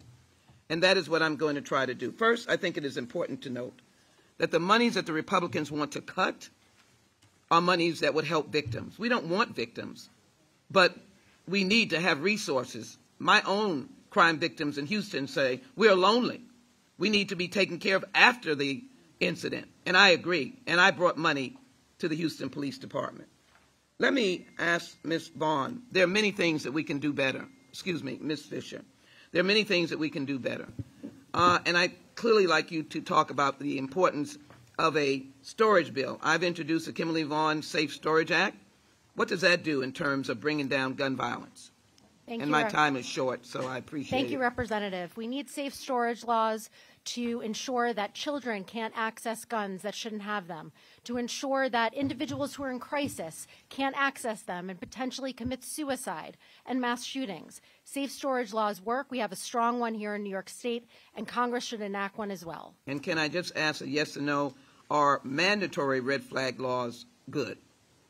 Yes. Are should we rush to Washington and implement a ban the assault weapons? Yes. And can we do better in passing stronger gun safety legislation? We know we've had one bill, but can we do better? We absolutely can do better, and we need comprehensive reform, and we need it urgently for all Americans. Uh, Mr. Kessler, can you quickly respond to the question of violence? Have you, can you, under oath as you've taken, affirm that violence or gun violence in a, a myriad of ways is going down in this state? I just want to hear you say it again. Yeah, it is um, absolutely true, and it's um, it's also 18% below the the national average in New York City. And New York State has a far lower murder rate than the uh, country as a whole. Quickly, but thank you very much, Ms. Uh, Fisher. What percentage of guns are found in New York come from other places? Over 70% of guns that are used in crimes in New York City and across New York State come from out of state, the iron pipeline from weak gun law states, including Florida and the Carolinas and Georgia. Let me ask uh, uh, the Councilmember Holden, thank you for your service. You said you're a lifelong New Yorker, That's correct. uh, and um, you therefore lived in New York in the 70s, 80s, 90s, and so Yes. on. Yep. Um, did you um, say in an article recently, I've never seen the lawlessness we're seeing now? And so, uh, do you realize and recognize this pamphlet, Fear City, in the 1970s? Uh, and so, apparently, we've had some ups and downs. This is Fear City, uh, a survival guide for visitors in New York City of New York by NYPD, 1975. I ask unanimous consent to put this in the record. Without objection. And so, um, we've had our moments. We do better if we work together rather than we cast about what is bad and what isn't. Let's work together. Let's get the funds. Let's get the appropriate justice for these victims. Let me quickly go to this point. We are here wrongly because you're here rightly. You are here rightly. But we're here wrongly because District Attorney Bragg, because of Trump, has been called, he called him, a Soros-backed animal, a dog whistle. And then, of course, other Republicans have followed likely. By the way, Republicans have threatened to defund the ATF, alcohol, tobacco, and firearm, that does a lot on trafficking. This office, because of these threats, white powder has come. He's had threatening and racially charged calls into the district attorney. I indicated to you my belief and love in democracy. I want justice for you. But this is an absurd and poor reflection of who we are as Americans, who I am as a Houstonian. And I believe in bringing people together. We need to bring people together and work on the solutions. I ask unanimous consent to place in the record. Three are charged with selling ghost guns, Without including objection. assault weapons. Without I'm objection. asking unanimous consent. Yeah, without objection. And the welcome to Fear City, unanimous consent. Without objection. Uh, with that, I yield back. I thank you, and I thank the witnesses out of the bottom of my heart. Gentlelady yields back. Chair, Chair, Chair now recognizes himself for five minutes. Mr. Holden, you were born in New York City? Yes. You were raised in New York City, went to grade school and high school here in the city? Yep. Went to college in New York City? You got, I, think, I think I looked, you got an associate degree, an undergrad degree, postgrad degree, all from universities here in New York City. Is that right? Yes, I did, Chair. You're a professor at a university here in New York City? Right. 44 years. All your professional career has been, sent, uh, been spent here in New York City, is that right? Yes. And you received a Lifetime Achievement Award for your volunteer work from the Queen Civic Group. Is that right? For your work here in the city. Yes, You love this town, don't you? I love it. I mean, I think I think Mr. Gaetz is right. I think America loves this town. Right. Whether you're a Yankees fan, a Mets fan, a Giants fan, a Jets fan, we. The Statue of Liberty, Ellis Island, Broadway, Wall Street. Americans love this city. Maybe most, I think, Americans appreciate the people of this town and the example they showed the country after that tragic day of 9/11. Do you agree with all that, Mr. Holden? I agree with that 100%. But right now, the policies being implemented by this district attorney are going to ruin this great city. Do you agree with that? Yes, I do. Scary, isn't it? Scary what you see. It's scary what Miss Harrison's had to endure, what Mr. Alba's had to endure, what Miss Brame's had to endure, and what Mr. Borgen has had to endure. And it's driven by that day one memo. That day one memo, which sent a message to this town, to the bad guys in this town you can do bad things, and you're not going to get prosecuted. Do you agree with all that, Mr. Holden? Yes, I do. Yeah, it's scary. Soft on crime policies are going to ruin this great city, and that's why we're here. It's happened in other cities, as Mr. Gaetz pointed out. That's why we're going. We're, this is not the only hearing. We're, we're going to have other hearings. We'll go to wherever wherever we need to go. But this is something that has to happen. Has to stop. Justice isn't supposed to be political. Now, Mr. Holden, you're a Democrat, right? Yes, I am. But it shouldn't matter. Republican or Democrat, I think, as a lot of people said, it should not matter, should it? What's the answer, Mr. Holden? What would you Well, recommend? My allegiance is to my constituents, I, and I live Well here for said. 71 years. I've lived in New York City. I've seen bad times, high crime, 2,000 murders a year in the 80s. I've not seen the lawlessness that I'm seeing today in New York City in my lifetime. That means we're afraid to go anywhere. Let me There's just be clear. So I want to just so in 71 years, your life here in this great city, it's never been as bad as it is today. And I, I've had so many friends leaving this town because they, they just see the quality of life dropping. They go out on the street, there's people driving down the wrong way uh, with electric scooters, there's people robbing stores. You know that all the pharmacies in New York City have to be under lock and key. They, you have to go in a case. It's so bad, these, these small crimes, that Mr. Bragg has said he's not going to prosecute. You don't send that message out there, you and that's why we disagree. We're the same party, but we totally disagree on that. I am, again, my allegiance is not to the party, it's to my constituents and where I live. And, and again, I, I plan to live here, you know, until I die, but I don't want to see it go down the drain. Yeah. You're standing up for the folks you get to represent in Queens as part of the city council. Mr. Borgen, Ms. Fisher earlier said bad guys go into other states and buy guns illegally, and the Democrats' response is take away guns from law-abiding citizens. Is that going to work, Mr. Borgen? Absolutely not. I just want to say one thing. You know, I, I sit here and listen. You're on one side, you're on one side. When Ronald Reagan was president, him, and- him and Tip O'Neill had regular meetings, got together and worked together in Congress. That's right. I, I don't understand why I have to sit here, whether Republican or Democrat. I'm a Republican, by the way. I, I now vote in Florida, and I'm a registered voter in Florida. I have a Florida driver's license.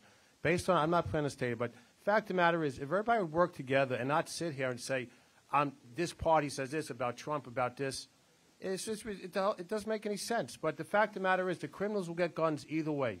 You can do whatever you want. The criminals are going to get guns. They always, they always have gotten guns. It's not going to change. It's not going to change. So you can sit here till, till, till your face blue in the face. You can say Congress are going to outlaw gun sales across America. They're going to get guns. The criminals will get guns, and there's nothing you can do about it. Just, that's life. Always- And Mr. Kessler sits here and says we have to sit and take it. I never heard someone say to me, "You have to take crime." I live in Long Island. Crime has now come to my area, on the, uh, out in the five towns, in a very nice su- suburban area. We have had robberies now in stores, and now the crime is coming toward me because I guess New York City's tapped out. They can't rob the pharmacies anymore. But it's just, it's a, they're going to get guns. Nothing you can do about it. Absolutely nothing. Bad guys aren't necessarily stupid, they're just bad. They're, They're going to figure bad. out a way to do bad there's- things. there- And the key is to put bad guys behind bars so they can't harm others. And when you send that message, things get better. There's segments of society that are always going to be criminals. It's been from day one. Nothing you can do about it. But if Mr. If, if Mr. Bragg would lock people up, it would save a lot of headaches in New York City and save lives. Thank you, Mr. Borgen. Gentlemen, the, the, the, the, chair now recognizes the order. gentleman from Georgia, Mr. Johnson, for five minutes. Thank you, Mr. Chairman. Uh, Mr. Chairman, this is a sham hearing. It's not about crime in New York. It's an effort to impede and ultimately suppress the prosecution of Donald Trump. And if you don't believe it, then all you need to do is connect the dots. First, Manhattan District Attorney Bragg announced his criminal charges against ex President Trump. Then, House Judiciary Republicans abused their power by subpoenaing testimony and records from D.A. Bragg about the ongoing prosecution. And next, they bring this sham hearing to Manhattan, supposedly about crime. But if my colleagues across the aisle were really concerned and really cared about reducing violent crime, they'd work with Democrats to pass common sense gun laws.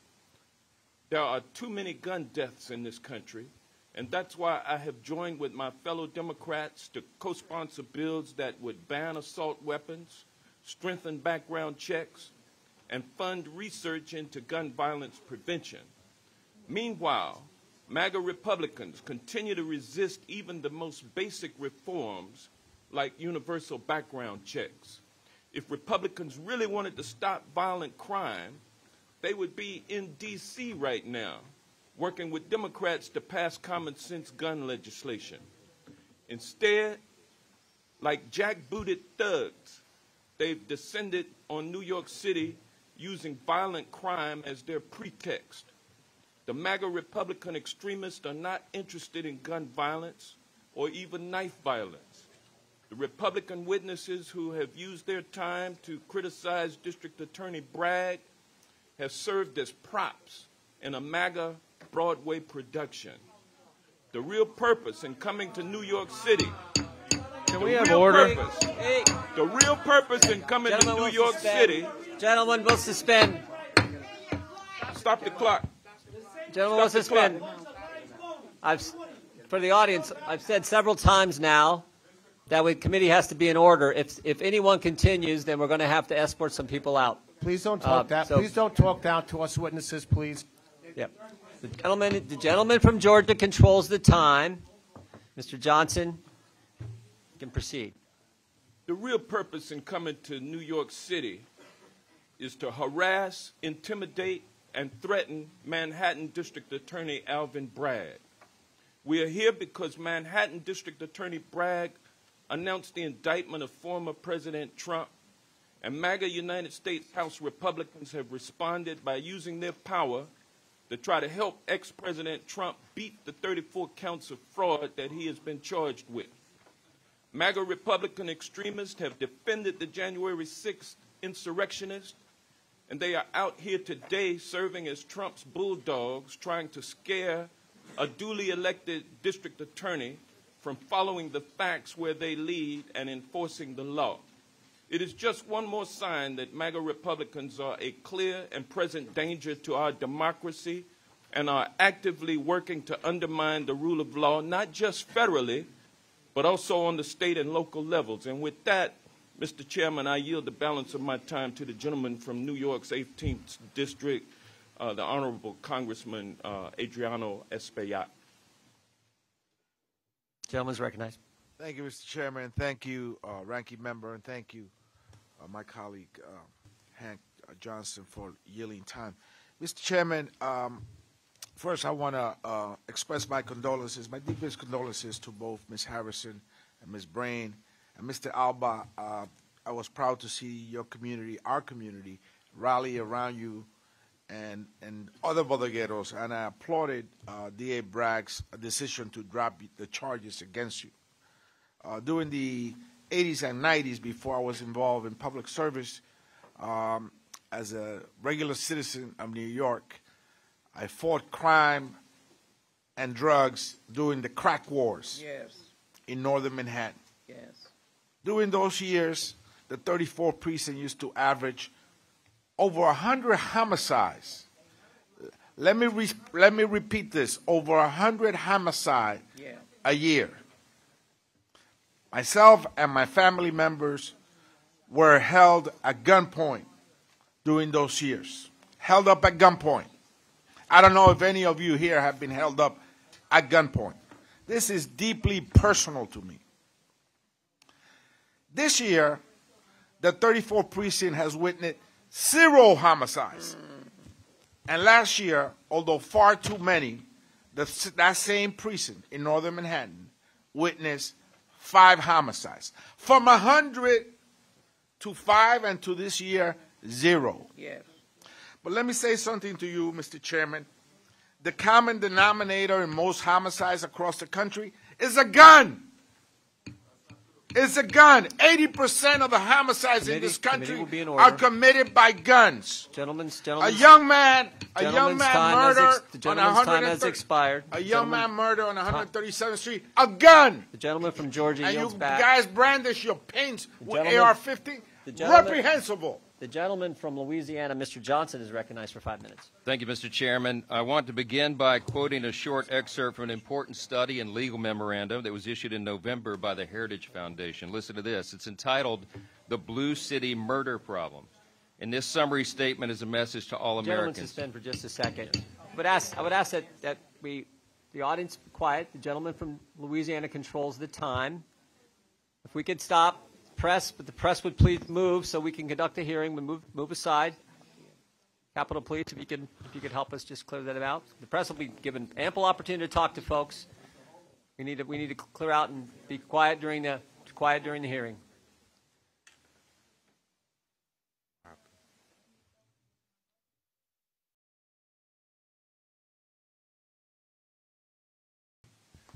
Committee will be in order. Gentleman from Louisiana is recognized for five minutes.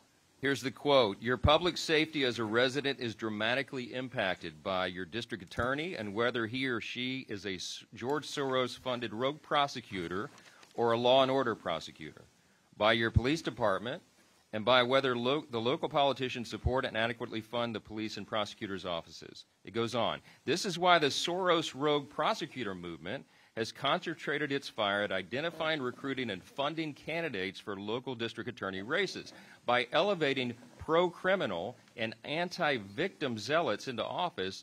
The rogue prosecutor movement destabilizes the safety of our communities, mm-hmm. treats criminals as victims and police as the criminals, and ignores real victims.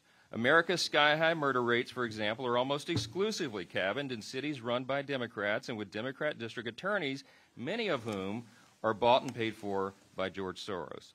Why are we beginning our crime wave field hearings in New York City? Because this is one of the most egregious examples in America. Alvin Bragg is the poster child for exactly what was just described. Uh, Ms. Ms. Brame, I want to thank you for your uh, compelling testimony today and uh, sharing the shocking and tragic story of your son, uh, Sergeant Hassan Correa's gang assault and vicious murder by four criminals he did not know. In your written uh, statement submitted today, you wrote this. You said, quote, D.A. Bragg has demonstrated over and over again that he has no regard or concern for human life or victims of crime by instituting his ADAs to not prosecute violent recidivists and ultimately release them back to the streets to victimize and terrorize more innocent New Yorkers, unquote. Uh, you heard Mr. Nadler and Mr. Kessler and others share their manipulated statistics this morning, suggesting that New York City is, quote, one of the safest big cities in America. But uh, you and other, uh, other New Yorkers don't agree with that, I know. Mr. Holden just said uh, our people are afraid to go anywhere because this is the worst lawlessness in the city's history. How do you respond to these claims that this is just a magical, safe city right now? Well, you know, um, I think that the average New Yorker doesn't care nothing about no statistics, okay? Especially in the black and brown communities. We care about the mothers who have to visit the morgue to identify their dead child's body. We care about the mothers who have to lean into the coffin and watch them lower that top down on that child and they know they'll never see them again. We care about being able to let our child go out to the park and play without getting shot in the stroller. We care about not getting raped in elevators. We don't care nothing about your statistics. You cannot convince us to not believe our lying eyes with your numbers. All right? Because we see it with our very eyes, day in and day out, especially in the poor black and brown communities, where none of you in this room would even step foot in. Ms. Brame, you're, you're so right. And they're changing the subject. They're doing their best to change the subject here and obscure mm-hmm. the facts because the facts are difficult for them to face. The objective fact is that Manhattan has instituted pro-crime, anti-victim policies that have resulted in an increase in violent crime and created this dangerous situation in the community. And in one, America's once great cities that was the symbol of freedom and opportunity and liberty. Mm-hmm. According to the NYPD data, New York City saw a 23% surge in major crimes in one year mm-hmm. since Alvin Bragg took over. That is the fact. We have a violent crime epidemic here, and everybody in America knows it because we see the videos played mm-hmm. out on our television, mm-hmm. local news, every single night of what's going on here in the city. I just want to say this, and I, I'm almost out of time, but I, I've shared in this committee before the long list of statements from leading Democrats in Congress and the leading Democrats on this very committee who specifically and aggressively called for the defunding of, of the police. And as a result, in 2020 in New York City, officials cut $1 billion from the police department's 2021 budget.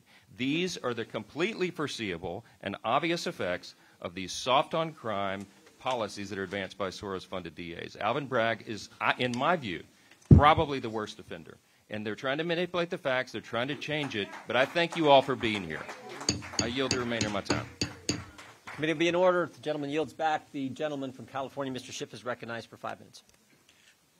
Almost three weeks ago, almost three weeks ago, is the microphone on? Yeah, just pull it close. Almost three weeks ago, Donald J. Trump was indicted by a grand jury in Manhattan on dozens of counts of fraud in connection with a hush money payment scheme in which his personal lawyer, Michael Cohen, previously went to jail. Since the former president's indictment, the Manhattan District Attorney has been the subject of countless death threats and racist diatribes. Others have made ugly appeals to anti Semitism in an effort to attack the proceedings. And this committee, this committee has used every means at its disposal to disrupt, interrupt, and interfere with the prosecution, demanding documents it has no right to obtain and no jurisdiction to demand, subpoenaing a former district attorney, deputy district attorney, and threatening to subpoena the DA, DA himself, and now holding this hearing in Manhattan in a vain attempt to intimidate or embarrass the prosecutorial authority. Now, the majority denies that this is the purpose of today's hearing.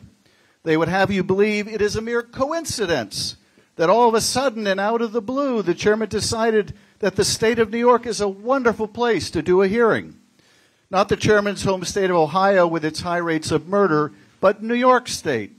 And of all the cities in New York, they would pick New York City. And of all the boroughs in New York, they pick Manhattan. Apparently, Manhattan is just lovely this time of year. What a remarkable coincidence we are meant to believe. Of all the gin joints and all the towns in all the world, we just happened to walk into this one. How absurd. Of course, this is not a coincidence at all. Instead, it is the GOP leadership in Congress doing what it has done best for the last six years, and that is to act as the criminal defense counsel for Donald J. Trump. Well, let me tell you this. Let me tell you this. Capitol Police, gentlemen will suspend. Capitol Police. Cap- Capitol Police will remove the gentleman let- from the audience. let me tell you this. Let me Gentlemen- tell you this. Gentlemen, gentlemen, Let me tell you this. Let me Stop, tell you stop, this. stop. Donald J. Trump Gentlemen will suspend. Till we got order.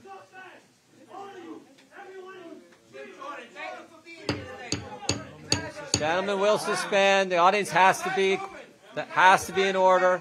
Capitol, Capitol Police, Capitol Police, sir.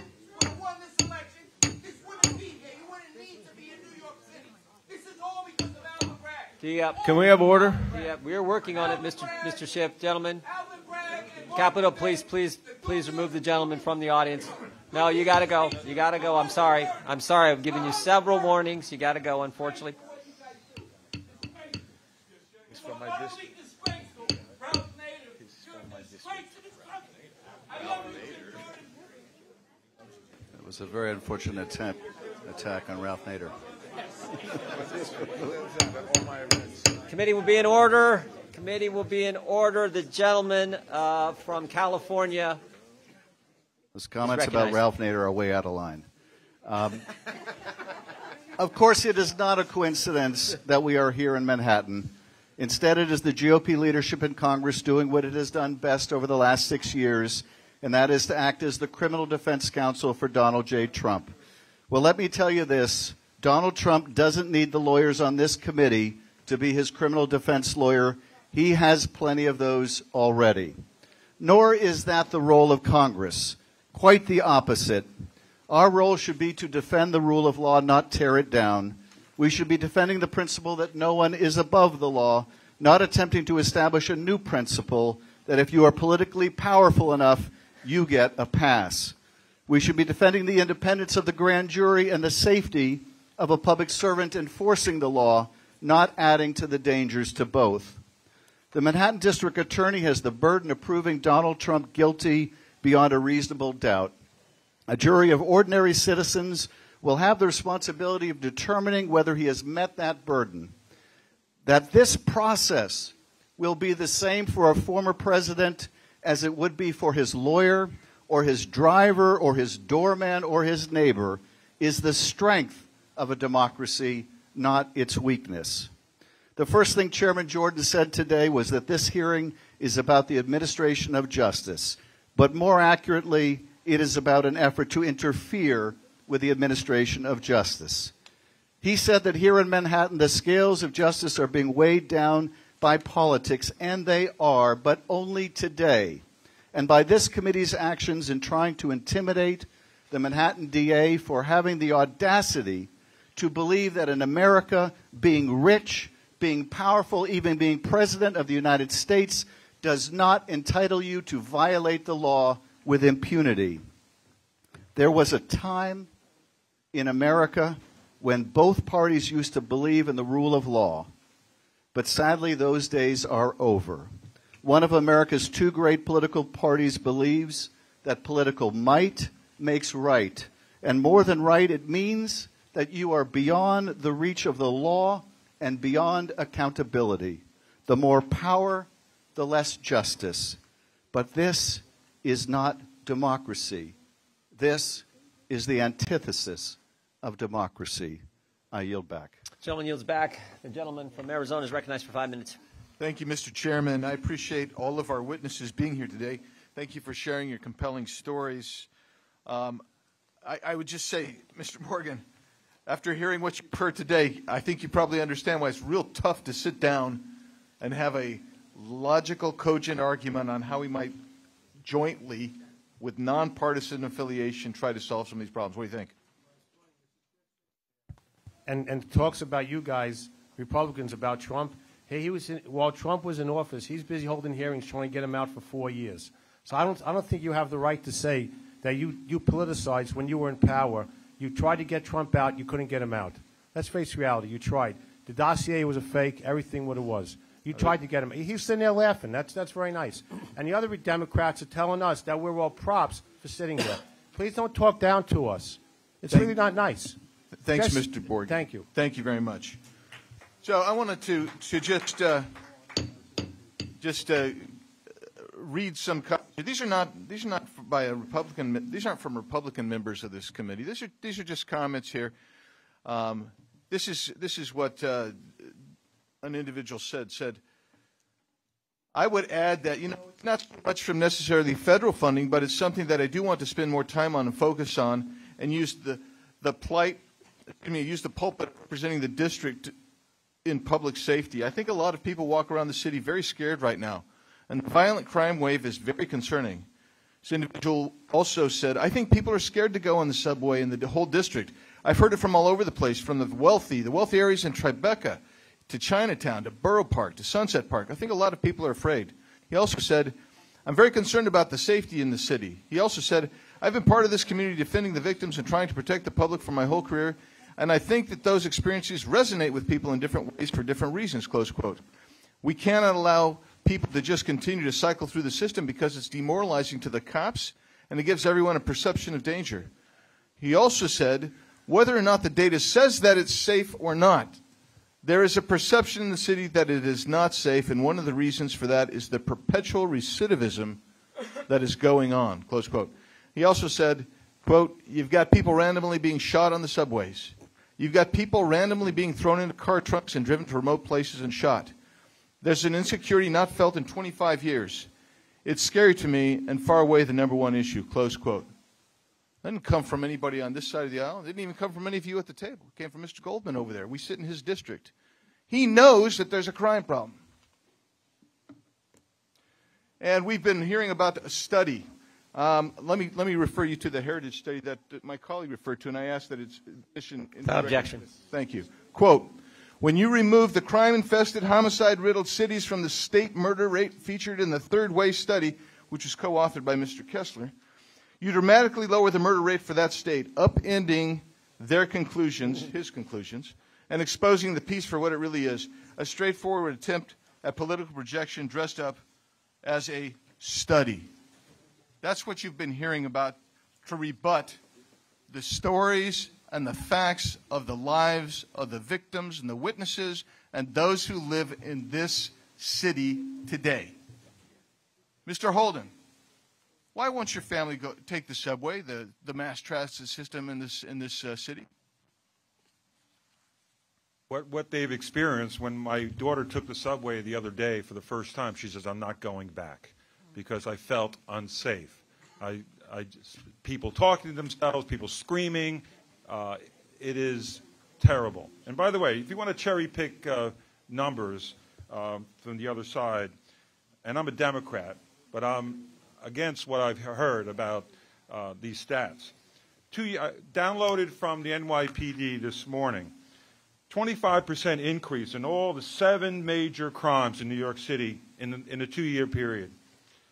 26% in the 13-year period for Manhattan North. Manhattan South, 59% increase in a two-year period in the seven major crimes, 17% uh, in the 13-year period. For all of New York City, and this again is from NYPD, so cherry pick your own numbers, but this is overall.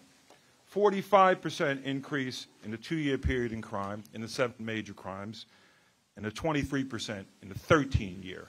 So this is what we're facing, and this is what we go to work.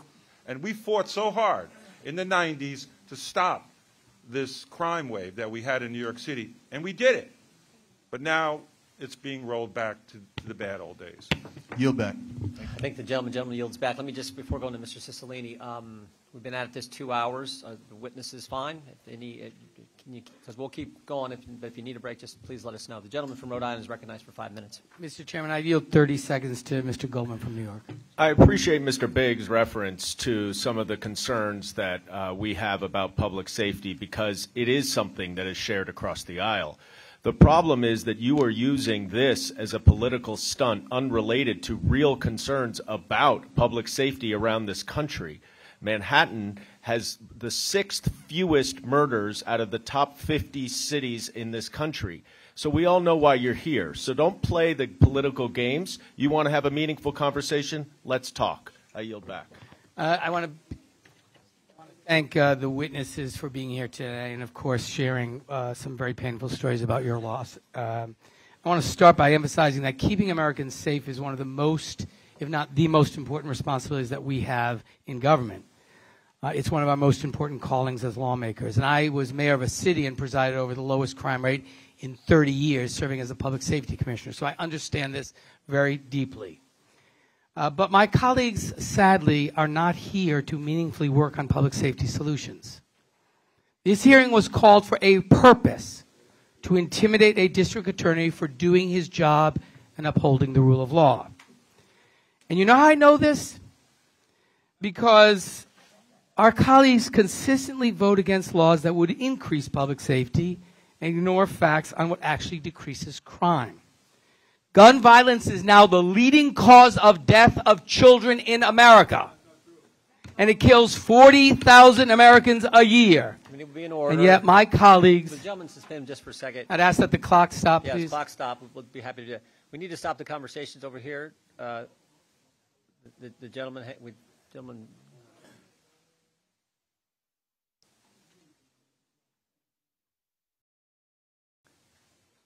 gentleman deserves to be heard. The, the committee uh, guests will please refrain from talking and chatting so that Mr. Cicilline can make his presentation and ask his questions.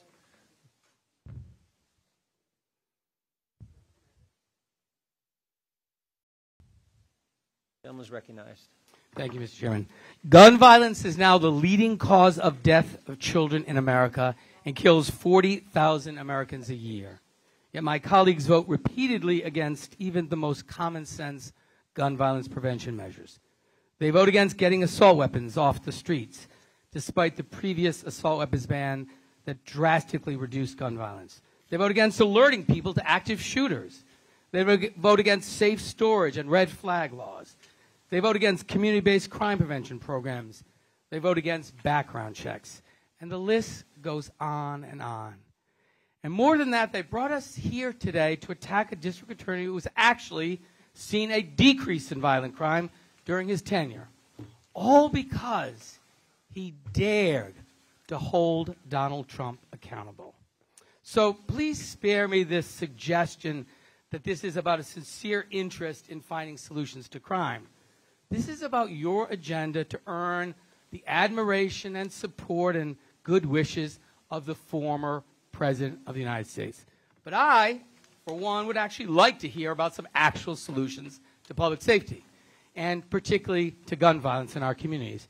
And that brings me to my first question. Ms. Fisher, how uh, do our gun laws, or lack thereof, contribute to America's gun violence epidemic? And is the rate of gun violence in this country and the rate of gun death comparable in any other developed country in the world? Thank you, Representative. Uh, the gun violence rate in the United States is 26 times higher than every other high income country. So we are comparatively a much more dangerous place to live. And though violent crime, and I strongly uh, push forward that gun violence is violent crime and should be considered as a part of this hearing, Violent crime is going down in New York City according to law enforcement's own data. However, we could be doing so much more to ensure that New Yorkers are protected and all Americans are protected by enacting comprehensive universal background checks, by having a licensing system and requiring a permit to purchase. We could also be banning the assault weapons assault weapons that are most commonly used in mass shootings that are killing our children every day. And one of the things that I think that Congress has a responsibility to look at, although we don't have jurisdiction over state criminal prosecutions, obviously, or local prosecutions, what uh, is the evidence with respect to the focus on exclusively arrest and incarceration, but how do we prevent crimes? What are the good strategies? Because, frankly, by the time someone's a victim of a crime, we've already failed.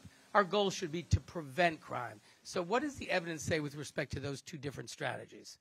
We need to be investing in prevention, largely because there's so many guns that are being trafficked from out of state. We need to be investing in our communities. And that's with resources towards community violence intervention strategies and prevention programs, including in schools, more trauma support for victims, more resources, better housing, all of those issues in terms of the inequities that are impacting especially impoverished black and brown communities in this country and in this city need to be addressed as a public health crisis, and we need to be investing in prevention. Thank you. With that, I yield back, Mr. Chairman. Gentleman yields back. Gentleman, Ms. Tiffany is recognized for five minutes. Thank you, Mr. Chairman. Uh, Mr. DiGiacomo, um, would you rather have sympathy for the police, or would you rather have respect from elected leaders? Well, respect and sympathy. Uh, it's a very difficult time. Time in uh, my 40 years now this is probably the most difficult time in policing that I've ever seen. But uh, yeah, you know, respect is important, of course. Do soft on crime policies lead to less gun violence? I believe so, yes. So you believe going soft on crime is going to cause there to be less gun violence in your city? No, not less soft on crime is going to cause more gun violence. Okay, I'll state it this way then. Does do soft on crime policies lead to more gun violence? Yes.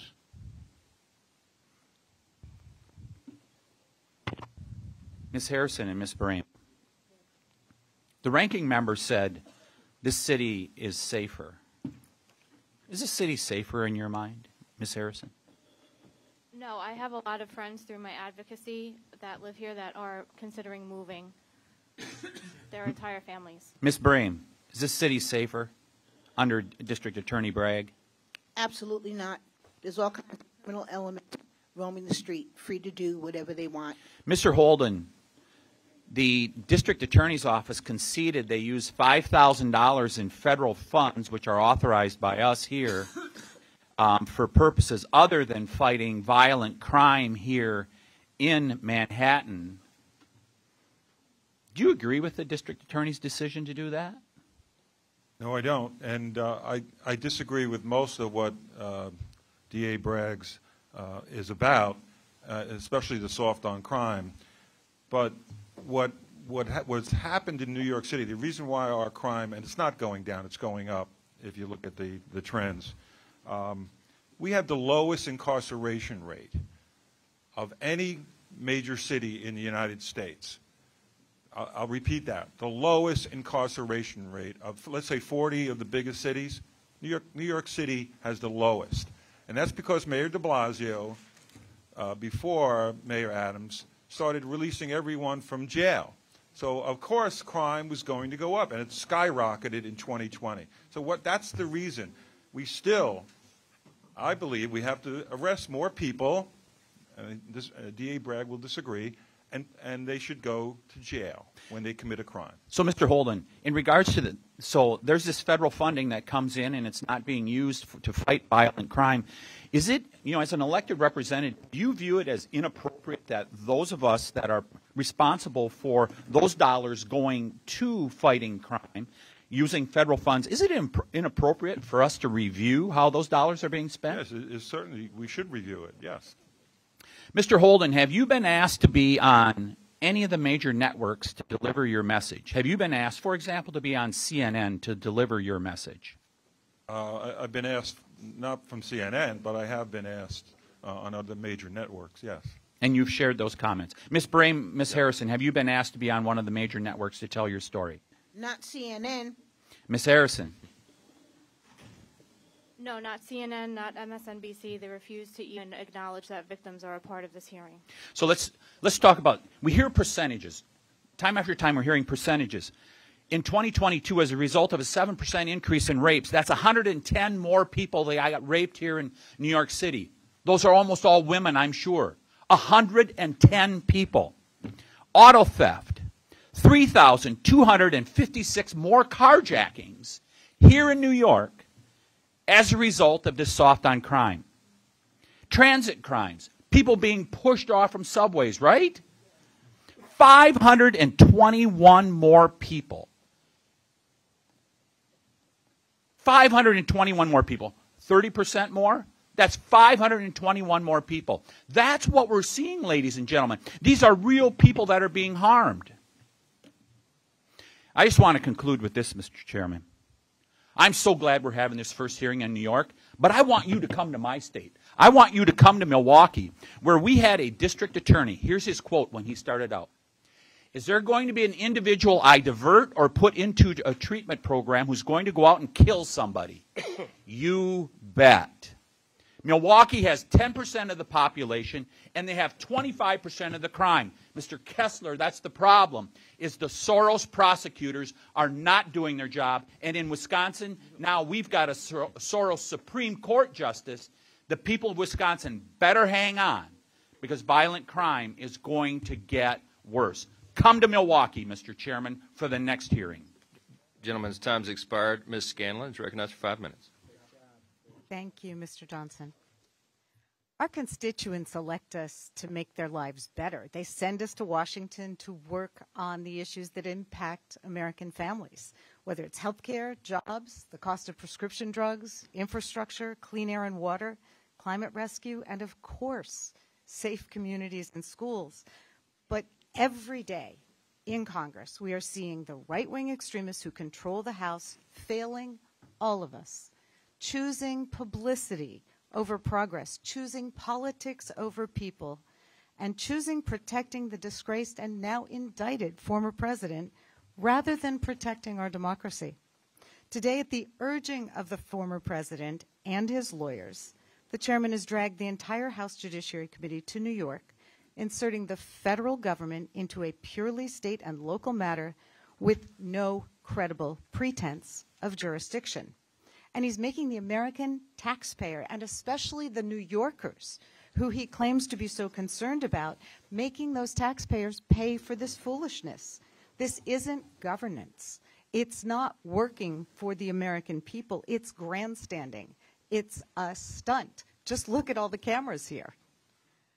And every second of it is preventing us from being able to do the real work that the people who elected us expect us to do in Congress. To our witnesses here today who've shared their pain and trauma in being victims of crime and violence, I am so sorry for the impact that has had on you and your families. Anyone listening to you has to be moved by what you've experienced. And I applaud your courage in trying to take that pain and move to change things going forward. But I fear that you have been re victimized by this hearing because this hearing is not going to provide that change. It's not a serious effort to make our communities safer. Our Republican colleagues aren't in New York City to prevent crime, they're here to protect someone who's been charged with committing crimes. And how do we know that? Look at the time, place, and manner of this hearing. We know that the timing isn't a coincidence because as soon as it became obvious that the Manhattan District Attorney was getting ready to charge Mr. Trump with crimes, Mr. Trump's lawyers sent a letter to the chairman telling him to use the full powers of Congress to go after the Manhattan DA. We know that the place is important because the choice of place for this hearing isn't a coincidence. It's about protecting Mr. Trump because it's being held in the city where Mr. Trump was indicted and arrested just two weeks ago. If this hearing were focused on fighting crime, as several people have mentioned, there are other jurisdictions that have much higher rates of crime. And if this and as to the manner of this hearing, we know that it's about protecting Mr. Trump because it's being led by the disgraced former president's closest allies, the ones who benefit the most if he can beat the criminal charges here in New York or if they can intimidate the Manhattan DA or the other prosecutors across the country who are investigating other alleged crimes. Crime prevention is a serious topic and it deserves serious discussion. But that's not what this hearing is about. Instead, we're seeing a circus, a performance by partisan politicians who've hitched their wagons to the Trump train. So I and my colleagues refuse to sit idly by while families across this country, from Alabama to Louisville to Nashville to Uvalde to Buffalo to Boulder, while they're mourning the loss of their loved ones gun violence. We stand ready to pass legislation to address the serious issues facing all Americans if our Republican colleagues will let us. Now, Ms. Fisher, you and several others have mentioned the iron pipeline, the route through which many of the crime guns in states like New York and Pennsylvania are acquired. Just last year, the ATF intercepted 400 illegal guns from southern states that were being sent to my community in Philadelphia. Can you speak to the impact of lax gun laws uh, in states that um, lack more um, specific gun laws, the impact that it has on gun violence is in cities like New York and Pennsylvania, Philadelphia? Absolutely. Thank you, Representative. Um, because uh, traffickers are able to easily and illegally obtain guns um, in states with weak gun laws like Florida or Georgia or the Carolinas. Um, they are able to easily purchase lots of guns and traffic them into neighborhoods that have been disproportionately impacted by structural and systemic inequities for decades. Um, and we're talking about um, vulnerable communities that are already lacking in access to resources. Um, and because of that, those guns are being used um, in crimes, and also because gun carrying is more likely when people feel afraid and, Gentle- um, gentleladies- and, and they're feeling more powerful. Gentlelady's time has expired. Mr. Chairman, I would just seek unanimous consent to enter into the record a report entitled Uncovering the Truth About Pennsylvania Crime Guns. Without objection.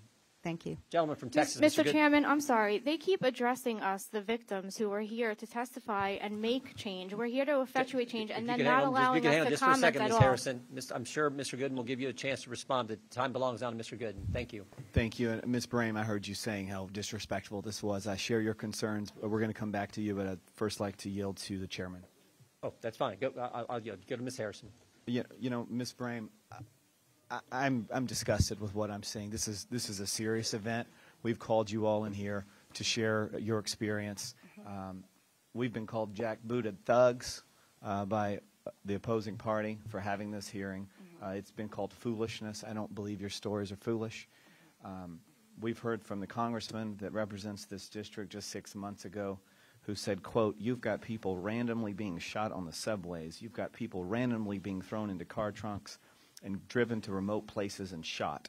There's an insecurity not felt here in 25 years, end quote.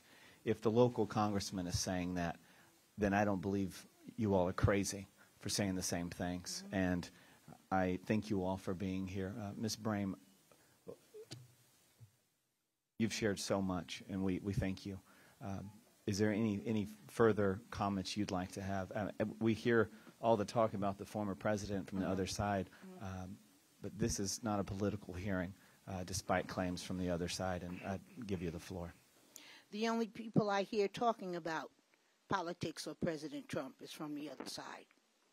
I don't hear no one, I don't hear any of these victims, I don't hear anyone else talking about President Trump except from the people from the other side. From the other side of where? The other side of the moon, the other side of the world, the other side. Whatever that is. Let me tell you something. Victims can care less about anyone's political ideology or party. Neither do criminals. They don't go up to a person and ask them if they're a Democrat or a Republican before they bust them in the head, okay? Or before they push them in front of a train. Or before they, they stab them to death. These are real life people that we're dealing with. We pay you guys. Our tax dollars pay you. You work for us. We do not work for you. Committee will be in order. Committee will be in order. Now, Belongs to the gentleman from Texas. Ms. Brame, I, I want to thank you again. And while the other side wants you to stop talking, I hope you'll continue uh, well after today. Absolutely. And thank, Absolutely. thank you. I'll uh, yield the balance of my time to the chairman. Well, I was just going to say, Ms. Harrison, are you grandstanding? No, and it, it seems like, you know, as Madeline mentioned, the, the other side is here on taxpayer dollars. The least that they could do is listen to our side of it, ask us questions. They've brought witnesses in to counter our horrific stories for their agenda. All they want to do is talk about gun legislation. Well, you can have all the gun legislation on the books, but if it's not enforced, which is what Alvin Bragg is doing, then it's not going to matter and people are going to die. And that's why we're here. And I appreciate your oversight because we do need help. And if they continue to ignore it, people are going to continue to die. Is this committee victimizing you, Ms. Brame, as Democrats said? Absolutely not. This committee is has given me a platform, has given me a seat at the table to be able to tell my story and raise awareness for victims all over not just New York City, but all over this country, especially from Philadelphia. Ms. Fisher, if, if, if the guns are the problem, why didn't the Democrats fix it? The Democrats have worked hard to pass Well, they had comprehensive. control. They controlled all the House, all the Senate. The guy, they still have the White House. Why didn't they fix it last Congress? We If the- if the need answer is- if- comprehensive gun violence prevention legislation to be passed, and this Congress has the ability and the capacity to do that. I was in the Congress last uh, last session. Mr. So do Nadler was the chair. They now. tried. pa- They, they could have passed. They didn't pass We it. need Congress to go back to Would the gentleman Washington and pass strong Mr. gun violence prevention yield? legislation. No, I'm going to go to Mr. DiGiacomo. Mr. DiGiacomo, uh, are, are are you grandstanding?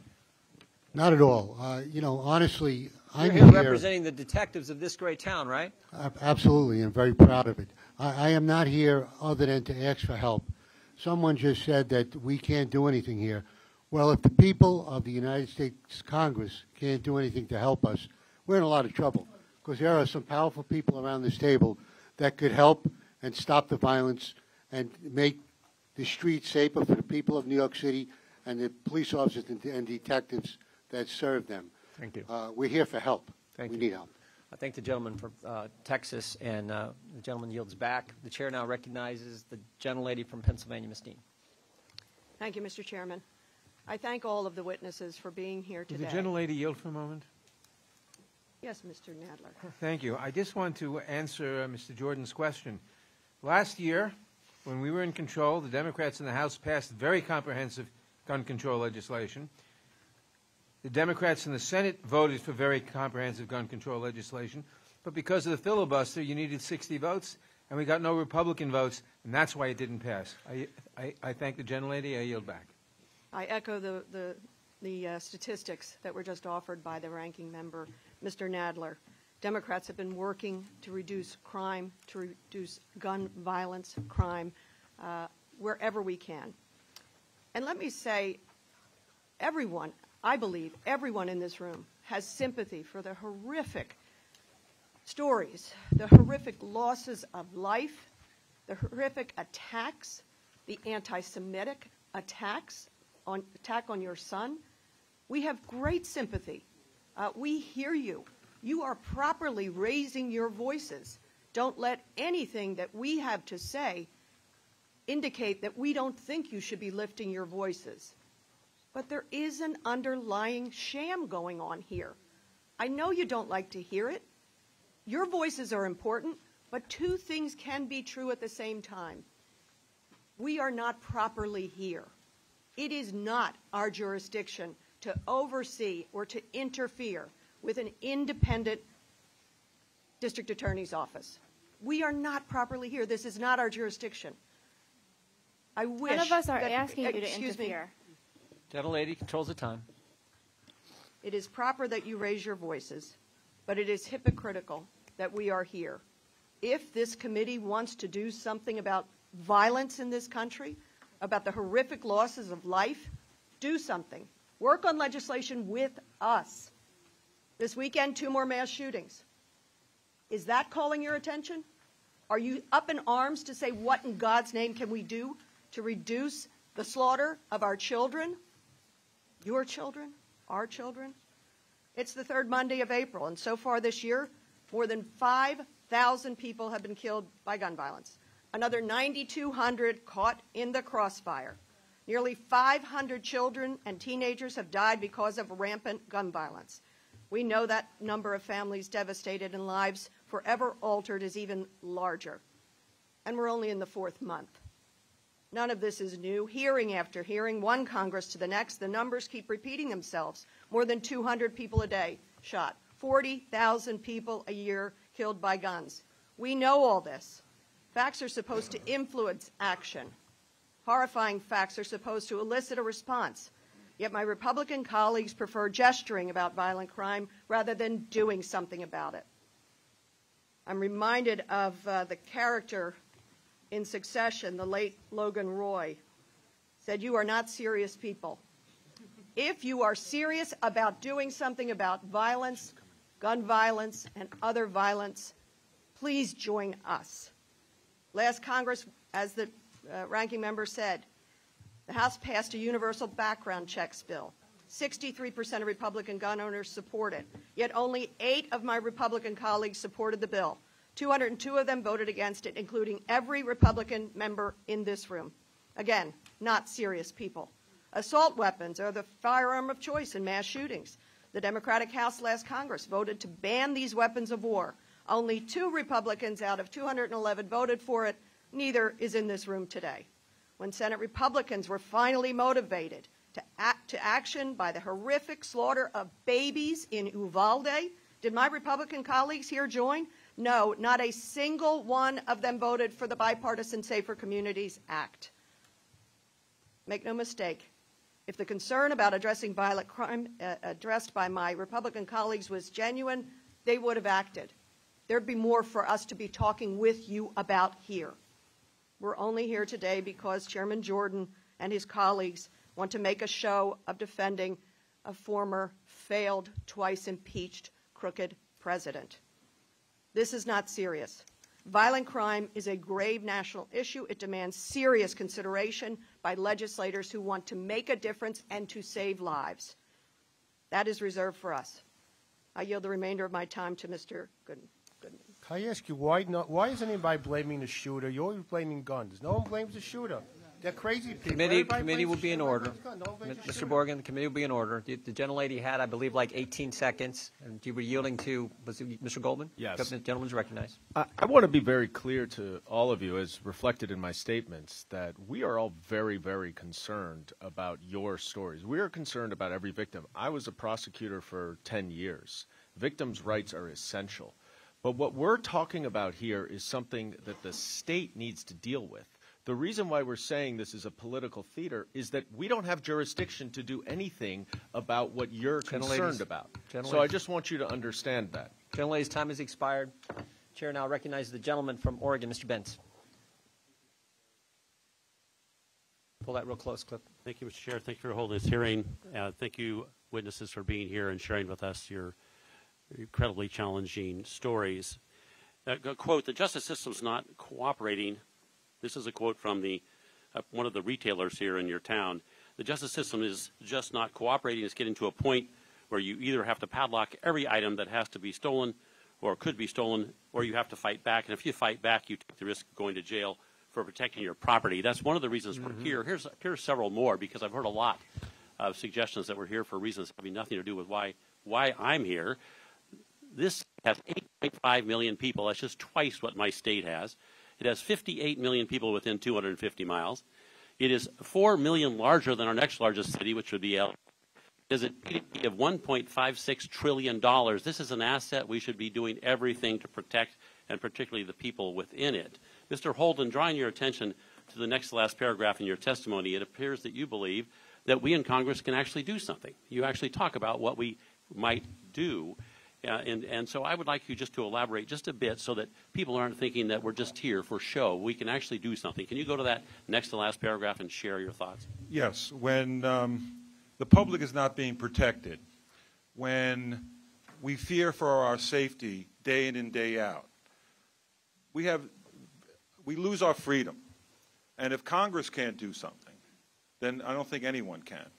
We, you can you can do this with funding. You can do this with um, certainly federal attorneys jumping in, prosecutors. There's a lot of things I think Congress can do. I'm here because, and as a Democrat, I don't agree with a lot of my party's stances on things, but uh, and I'm more uh, of an independent person. But I've in, I've been on six years in the city council, and they've never held a hearing on victims' rights. They hold they hold hearings on criminal rights and how they're not being treated properly. And I get that; that's important to have. But what about victims' rights? I, six years on the city council, on the public safety committee, not one hearing. Mr. On, I'm going to interrupt if I may. I want, I'm going to stick with you, though, because you- you also say in your letter, and this is a response to Ranking Member Nadler's questions about percentages and crime reduction, but you note in your testimony about cherry picking of statistics. So I want you to talk about that for just a second.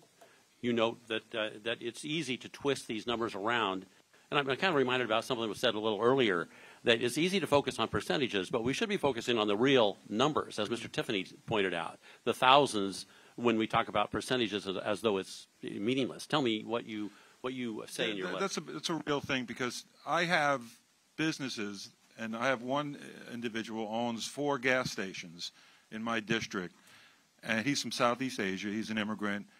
He uh, is living the American dream until recently, until 2019, is when the bail reform package went through the state.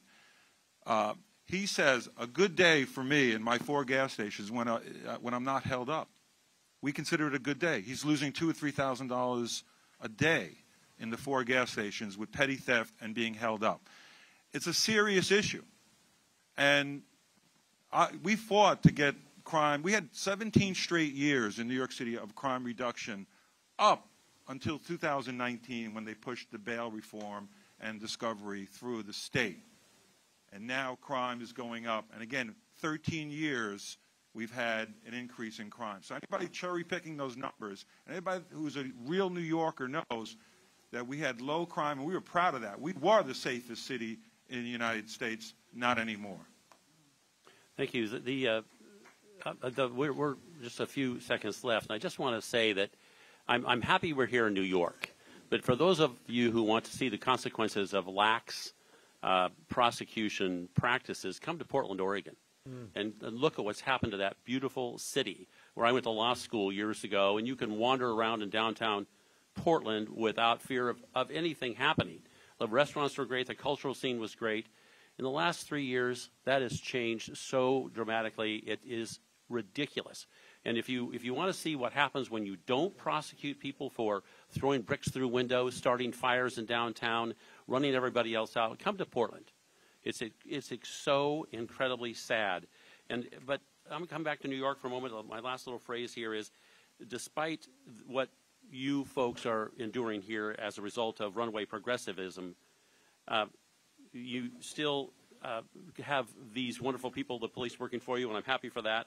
But I tell you, as I sit here and listen to Democrat politicians use rampant crime and violence to justify more restrictions on possession of firearms, I must say, please, let's uh, let's uh, let's turn our attention to the good things we can do in Congress. And and with that, I uh, I thank you all and yield back. Gentleman yields back. Thank the gentleman. Gentleman from Maryland, Mr. Ivey, is recognized for five minutes.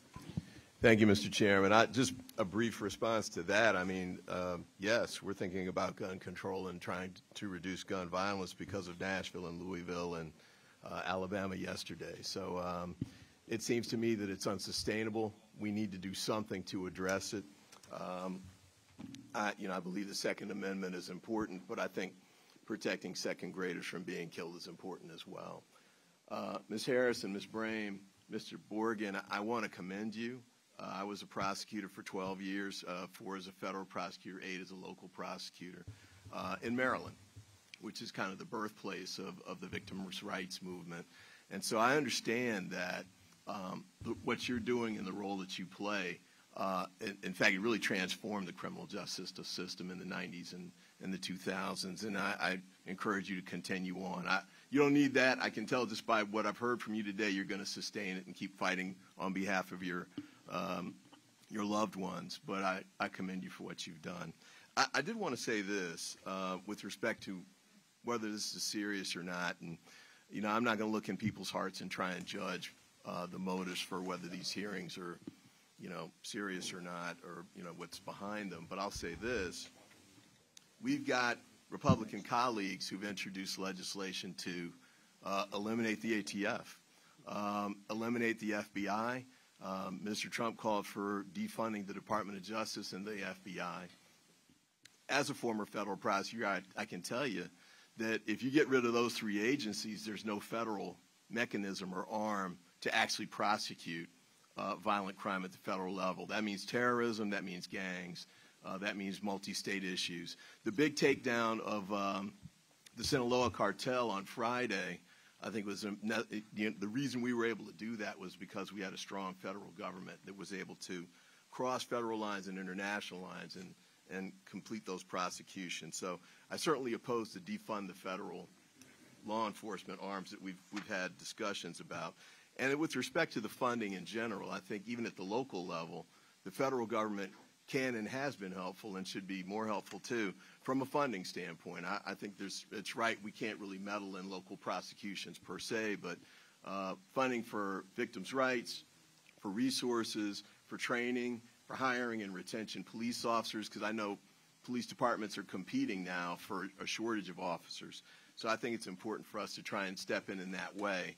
But I would encourage uh, my colleagues on the other side to speak about the specific types of proposals they would put forward uh, at the federal level to address the local crime issues that you're talking about here today, because I haven't heard any so far.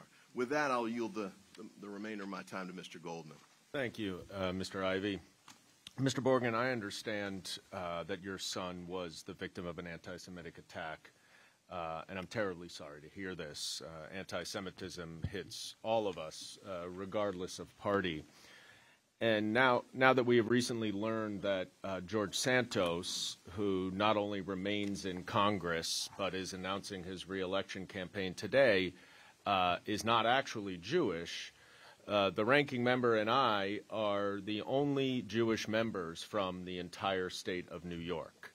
And we are deeply concerned about anti Semitism in New York, which has increased more than 400% in the past eight years. Now, today we've already heard two members of the majority reference what one called the Sorosization of criminal justice, the criminal justice system, which is, of course, a reference to George Soros, a Holocaust survivor who lived the American dream. Many more have said the same. My constituents are very concerned that these smears related to Mr. Soros uh, supported prosecutors are anti Semitic. Do you believe they're anti Semitic? Well, here's my answer to that. I don't know Soros is, is Jewish. He can't be anti-Semitic. I, I can't believe that, especially. No, what people say when they use Soros. Sor- Soros' politics, he's just a liberal lefty politician. I don't think it has nothing to do with what his beliefs are. He, want, he, what he wants to create, whatever he wants to create, it's his business. All right. I, I appreciate that. I, I I think of but Mark- I, I don't have a lot of time, and I'm no, I sorry. think Mark Levine, who just got elected from Lower Manhattan, got a, a, a petition signed with 29 signatures protesting this conference. I don't know if All you're right. aware of it. Can I can I just reclaim my time because I only have 20 seconds, and I want to mention that when I was walking in here today, there was a man outside with a sign, and I would just like to hold this sign up. You saw it, right? There's a Star of David with two dollar signs and Soros. Would you say that's anti-Semitic? That's 100% anti-Semitic, and it's disgusting. Right. It's disgusting. I yield back my time. Gentleman yields back. The chair now recognizes the gentleman from uh, Virginia, Mr. Cline. Thank you, Mr. Chairman. I want to echo the comments from Mr. Holden. Uh, your allegiance is to your constituents. Each one of us is here because of our constituents. Our allegiance is to our constituents as well. My constituents live in the Shenandoah Valley of Virginia.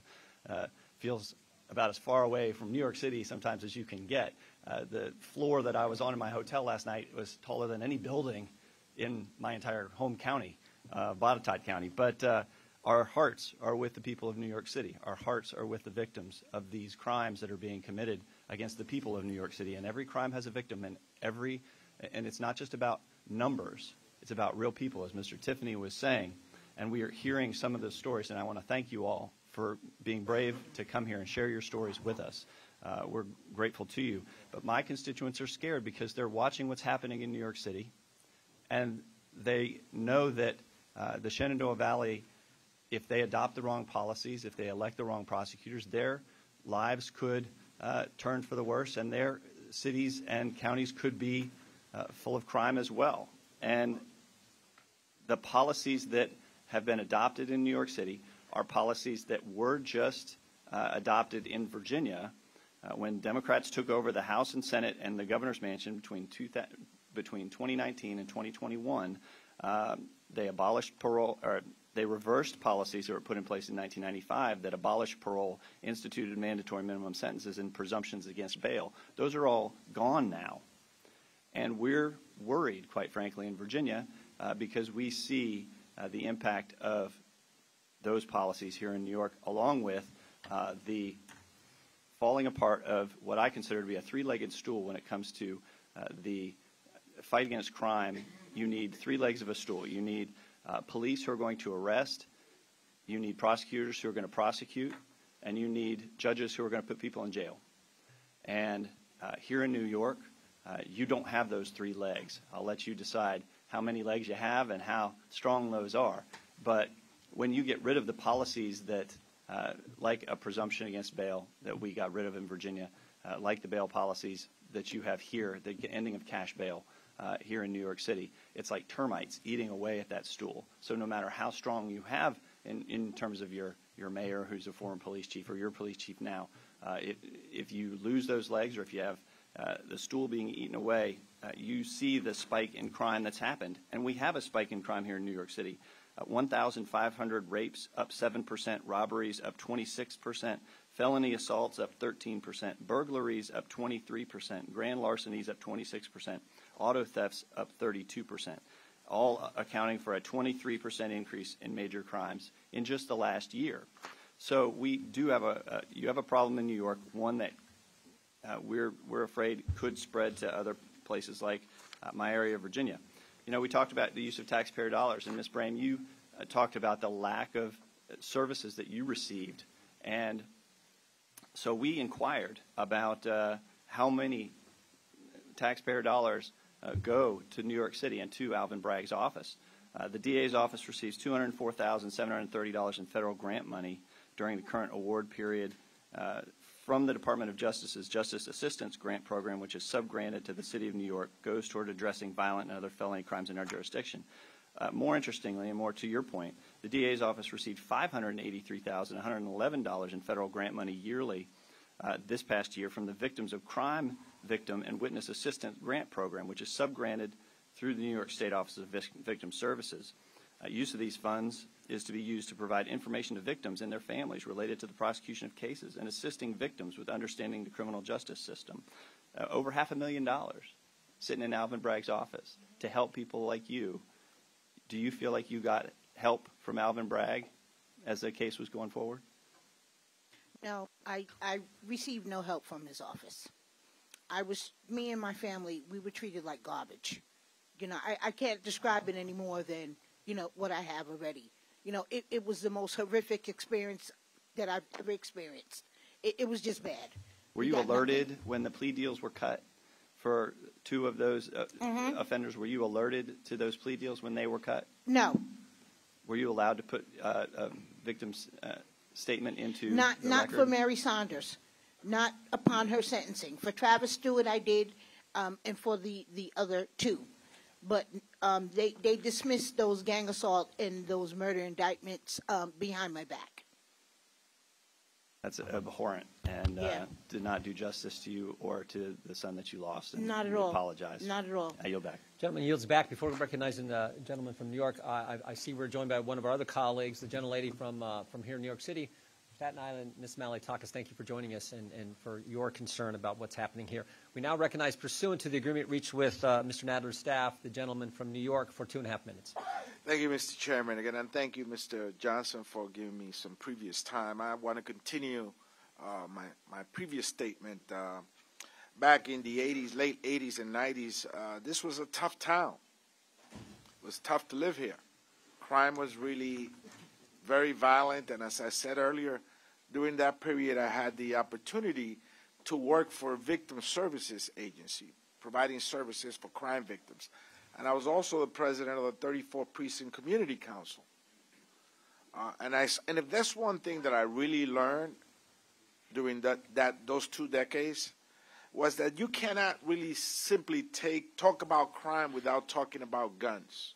You just can't do it because 80% of the homicides are committed by guns. Now, we're not minimizing the other 20%, they're also equally important. But 80% are committed by guns. This past Easter Sunday, a young man gets shot and killed on 137th Street, not too far where Mr. Alba used to work. Why? A gun.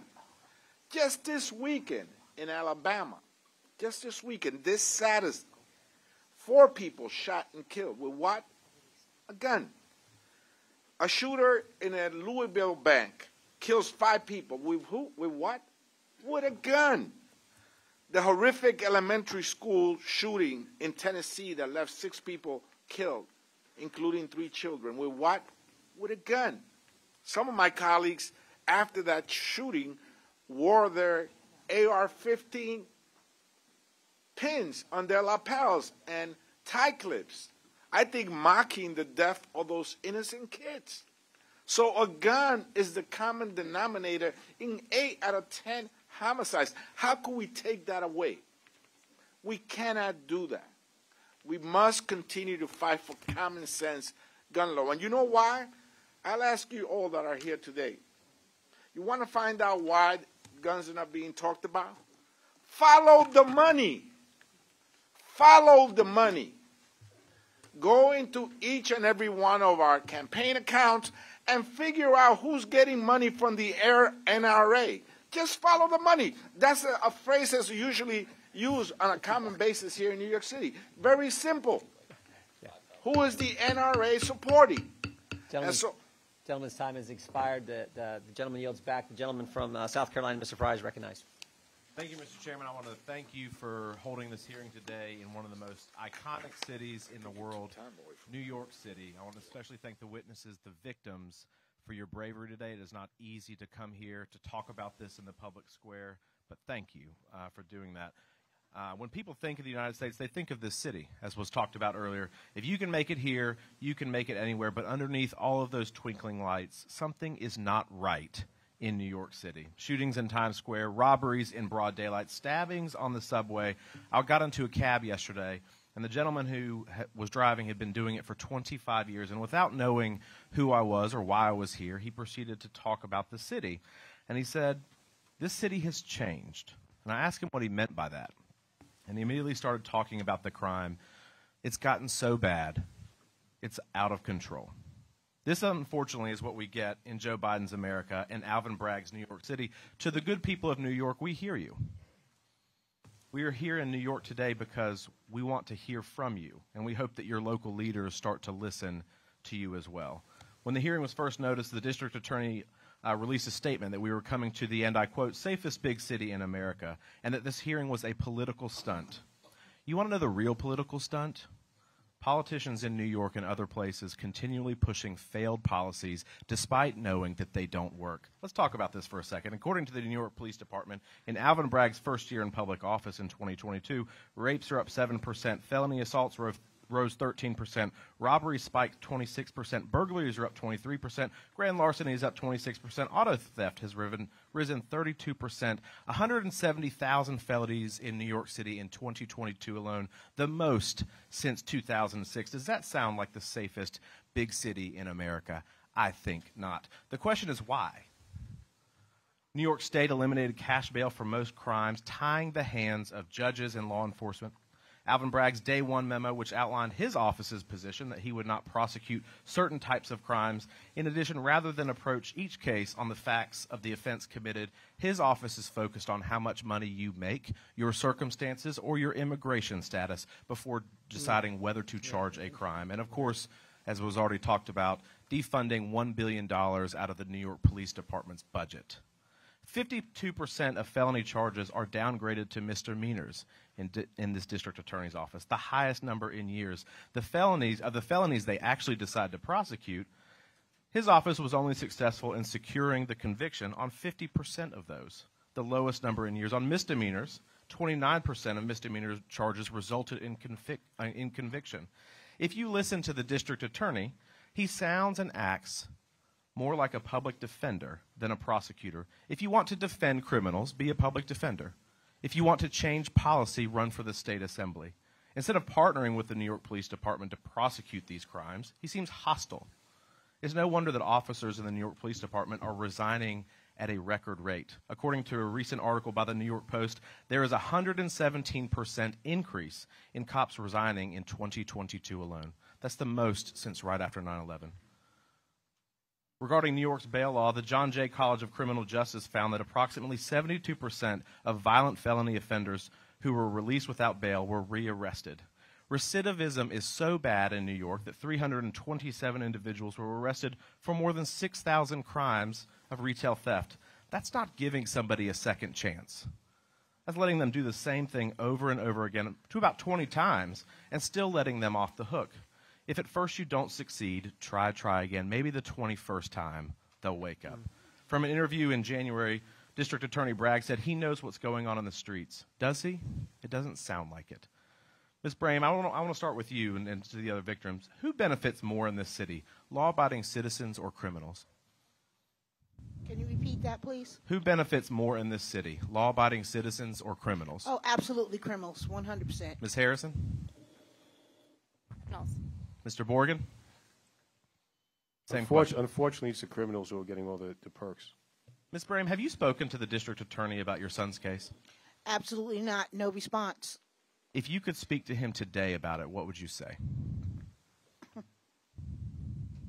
I would um, demand that he reopen that uh, gang assault and that murder case against Mary Saunders and Travis Stewart. If no one is above the law, prove it. Prove it by prosecuting them. Bring that case to trial. Thank you for your time today, Mr. Chairman. I'll yield back. Gentleman yields back. The gentleman from New York is recognized for two and a half minutes. Thank you, Mr. Chairman. Uh, Ms. Brame, you said um, earlier that you are only hearing about Donald Trump from one side and not the other. But I want to tell you that that's very, very intentional because they know that they are using taxpayer money to defend a private citizen in his own criminal investigation and that that is an abuse of their power.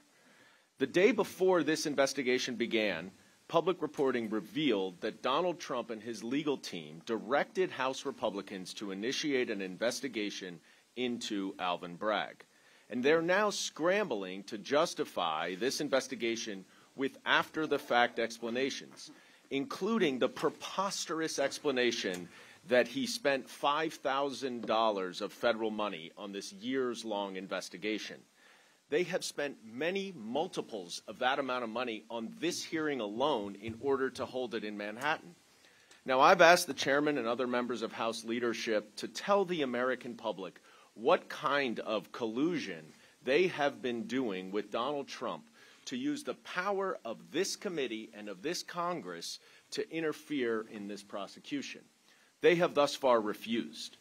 But we will learn about that collusion because the Manhattan District Attorney has a lawsuit against the chairman, and they will be able to compel disclosure of the communication and coordination as part of that lawsuit. But that's why we are here, and that's what we want to emphasize to you. And we're not insulting you. Your, your experiences are devastating.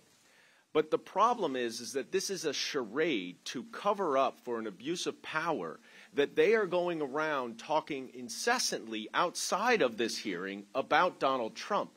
And the purpose of this hearing is to cover up for what they know to be an inappropriate investigation. Now, I look forward, many of you are Can I in New respond York to you, City. please? No, not right now, because I only have 20 seconds. I'm sorry. But I, I do Don't to insult talk. my intelligence. That you're not. Hang on, hang on. The gentleman's time. I'm not Okay, insulting you're, your you're trying to insult me Time. like I'm not aware of Ms. what's going Ms. on Brame, here. Thank you. Okay? The time I'm belongs to the fully aware of what's going on here. gentleman. They will suspend. Gentleman gets another 15 seconds. Thank you. That's Time why I walked away from the plantation of the Democratic Party. Committee will be in order. Committee Ms. will be Brame, in what I was what I was about to say is that as a representative of this city, I look forward to working with you, with Ms. Harrison, Mr. Holden, Mr. Borgen, all of you who are involved and engaged in our criminal justice system. Because, as I said, and my colleagues have referenced, gentleman's time we do expired. have a problem not only time- in New York City but around the country. Gentleman's so time has hopefully expired. we can Gentleman work together back. to make, reach real solutions, not Gentlelady- charades gentlelady like from, this. Uh, And I yield back. from New York, Ms. Stefanik, is recognized for five minutes. As a native New Yorker, born and bred, uh, I think it's important to note that many of the Democrats on this committee have smeared brave victims and fellow New Yorkers here today, calling them props, a circus, a performance, MAGA Broadway pops, and an underlying sham. What have Republicans focused on? We've focused on giving victims a voice. We've focused on crimes. We've focused on your story as a father, visiting your son at the hospital, seeing his face beaten in with an anti Semitic hate crime. We're focused, Ms. Brame, on your story as a mother, grieving the loss, rightfully grieving the loss, and advocating on behalf of your son and his legacy. Ms. Harrison, we heard your story about losing your loved one. And Mr. Alba, we heard your story just the personal challenges you've faced dealing with the consequences of the vicious crime committed perpetrated against you. And in addition to House Democrats belittling the victims here today, Democrats have politicized this hearing, mentioning Donald Trump 38 times. That number for Republicans is zero. We are focused on victims and making sure that we support law and order in this country. There is a catastrophic crime crisis across America, specifically in our great cities and great cities like New York. New Yorkers know it, Americans know it. And while Democrats on this committee may claim that New York is not the epicenter, look no further than the last November election where we flipped four congressional seats, delivering the House majority. What was the number one issue? It was crime. Because voters are smart. The people are smart. Mr. DiGiacomo, as a member, as a longtime member of law enforcement, I wanted to get your testimony today. How long have you served in law enforcement? Uh, approximately 40 years. And in those 40 years, would you say the crime crisis today is worse than you've ever seen it? That's correct. Crime is up. Is it fair to say that it is a result of failed bail reform policies in Albany and Alvin Bragg's day one memo? 100%. And here are some important numbers. In 2022, District Attorney Bragg's first year as DA, New York City saw a 23% surge in major crimes. Is that true? That's correct. From 2019 to 2022, murders are up 93%. That's correct. From 2019 to 2022, robberies are up 43%. Correct. Felony assaults are up 32%. Correct. And it's fair to say that law enforcement strongly opposed Bragg's day one memo and failed bail reform policies in Albany. 100%. Mr. DiGiacomo, in fact, you have said, quote, Bragg gives criminals the roadmap to freedom from prosecution and control of our streets. In Bragg's Manhattan, you can arrest, deal drugs, obstruct arrest, and even carry a gun to get away with it. Can you please expound about why law enforcement opposes Alvin Bragg's day one policy and opposes failed bail reform? Well, because again, uh, every time a detective or a police officer uh, puts himself in or herself in harm's way, arresting a felon or anyone for any crime, uh, they're released immediately with no consequences.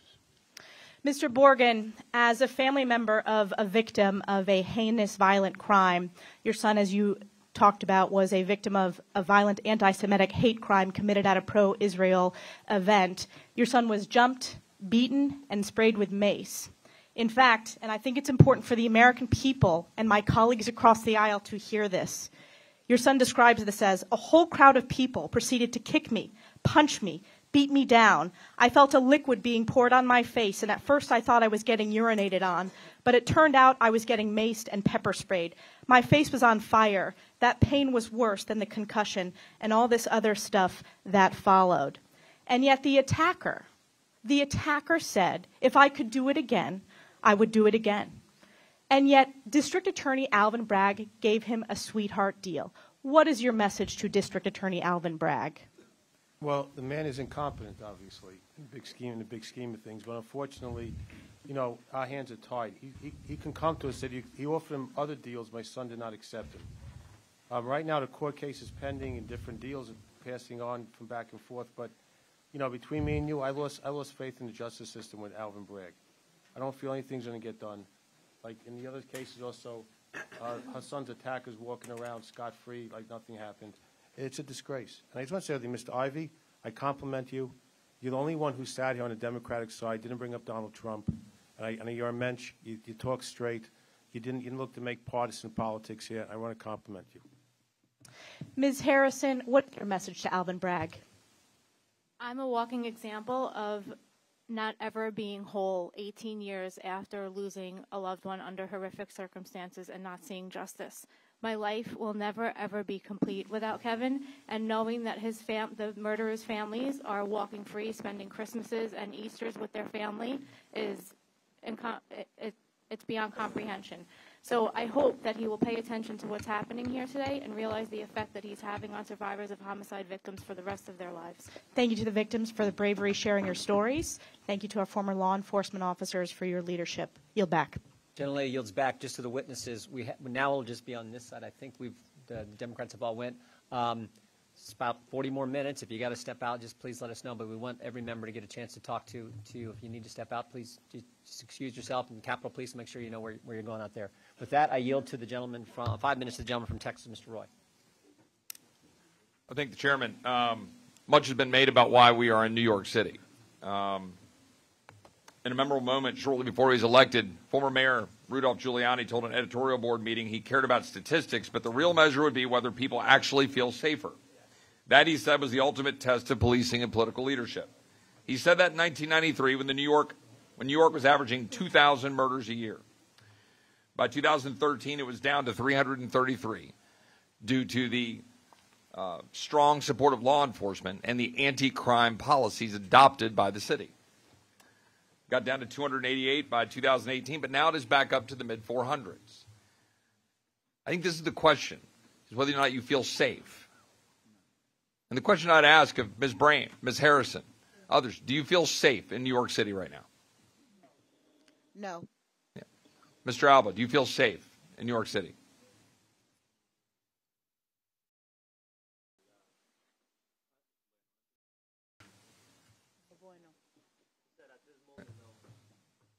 Right.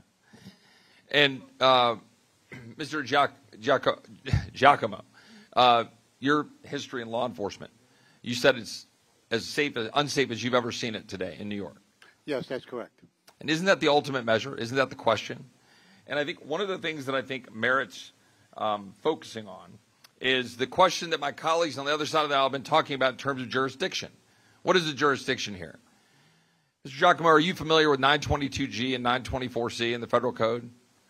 No, I'm not. I'm sorry. 922G being felons in possession, 924C being the ability to be able to go after somebody and give it a heightened sentencing for their use of firearms and crimes. And my question here, we might suspend. Committee will suspend.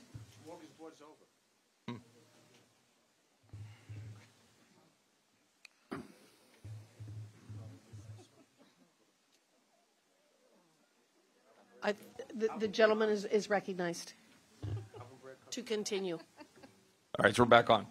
Uh, 922G and 924C. These are federal crimes, right?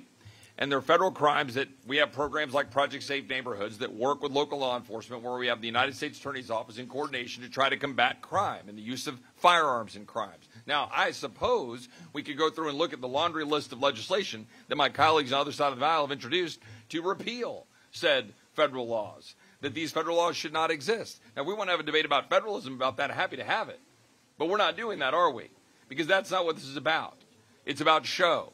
The fact is, we do have federal laws on the books to go after criminal uh, misuse of firearms, but they're not being enforced. And they're also not being enforced at the local level. Those are the facts. And the facts are we're letting criminals out of jail. If you look at the data, the data is clear. Of uh, the average criminal has 11 prior arrests, five criminal convictions. 77% have Can we five need the plus crowd to be quiet, please? Thank you. Five plus prior arrests. 74% have prior violent arrests. 30% have prior arrests for guns and weapon offenses. Even though these individuals have lengthy criminal records, records 52% served a year or less. 60% are rearrested within two years of release. The fact is, we have a recidivism problem, and we have now gone down the road of decarceration. Hundreds of thousands of criminals have been released. Just since 2020, the incarcerated population is down about 300,000. When it was 2.1 million, which, by the way, was pretty far down from the levels when we had the safest numbers and the safest streets in the city. But this isn't about some libertarian worldview of letting out a few potheads who are allegedly rotting in jail. 88% of prisoners are incarcerated in the state systems for murder, rape, robbery, and assault. It's responsible for most of those sentences. A mere 14% are in custody primarily for nar- narcotics offenses, and the vast majority of these are felony trafficking crimes and misdemeanor possession. My question is for you, Mr. Giacomo, is do you think that we have a problem uh, with uh, uh, uh, the gun issue, or do you think we have a problem with letting criminals out on the streets? Well, we, uh, the criminals are being let out at an alarming rate. And I just want to make it clear here that the, the guns, I'm speaking for New York City, the guns that are being used here in New York City are illegal guns. Yeah. Uh, they're, they're illegal guns that, are- that are uh, brought here into New York City and being used uh, to victimize the people. And are they being prosecuted heavily by the DA here? No, they're not. Right. And isn't that the problem? That is a major problem. And are they being prosecuted in coordination with the United States Attorney's Office using 922G, 922G and 924C to prosecute? Not that I'm aware of, no. Right. And isn't that fundamentally the problem? Correct. Um, question I have, my colleagues on the side of the aisle mentioned former President Trump a number of times. I would just ask, was it former President Trump, Ms. Brame, that killed your son? No. Ms. Harrison, was it former President Trump that killed your loved ones? No. Was it former President Trump that stabbed Mr. Alba?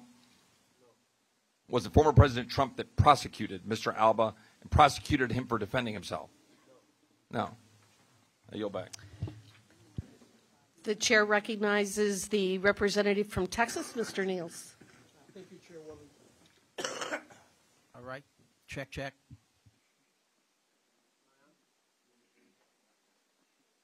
All right, as a uh, former law enforcement officer for 30 years, sheriff of a large county in the great state of Texas, what I've seen happening in our country is disturbing and should be a concern to all of us. Crime is at an all-time high. The American people can't trust, can't trust their government.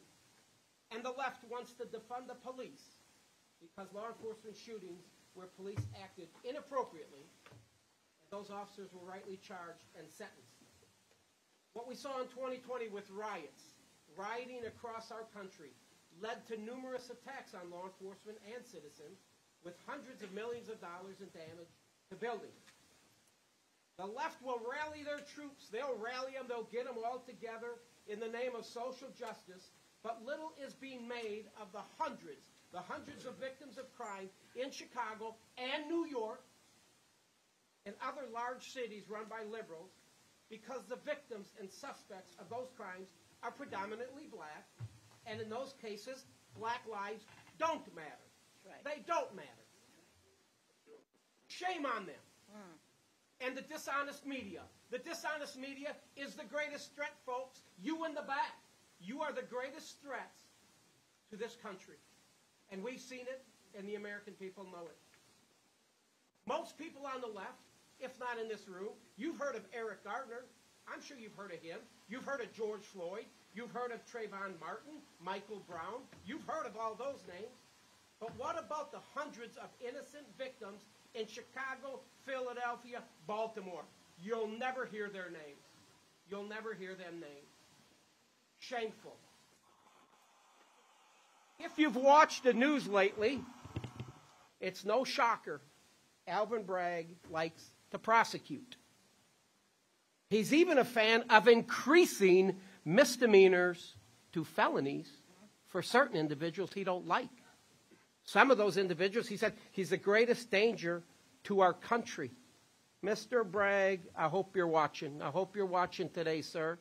You're a disgrace. You're a danger to this country, and I will do everything I can in my power to hold you accountable.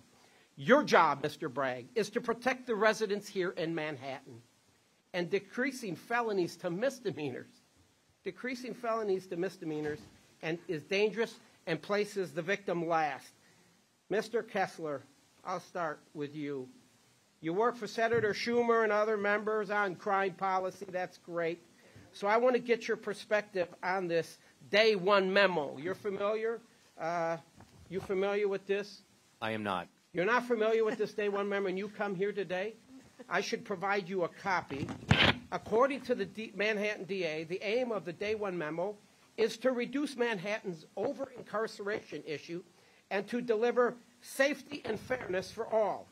And so I ask you, you're, you're not familiar with the memo.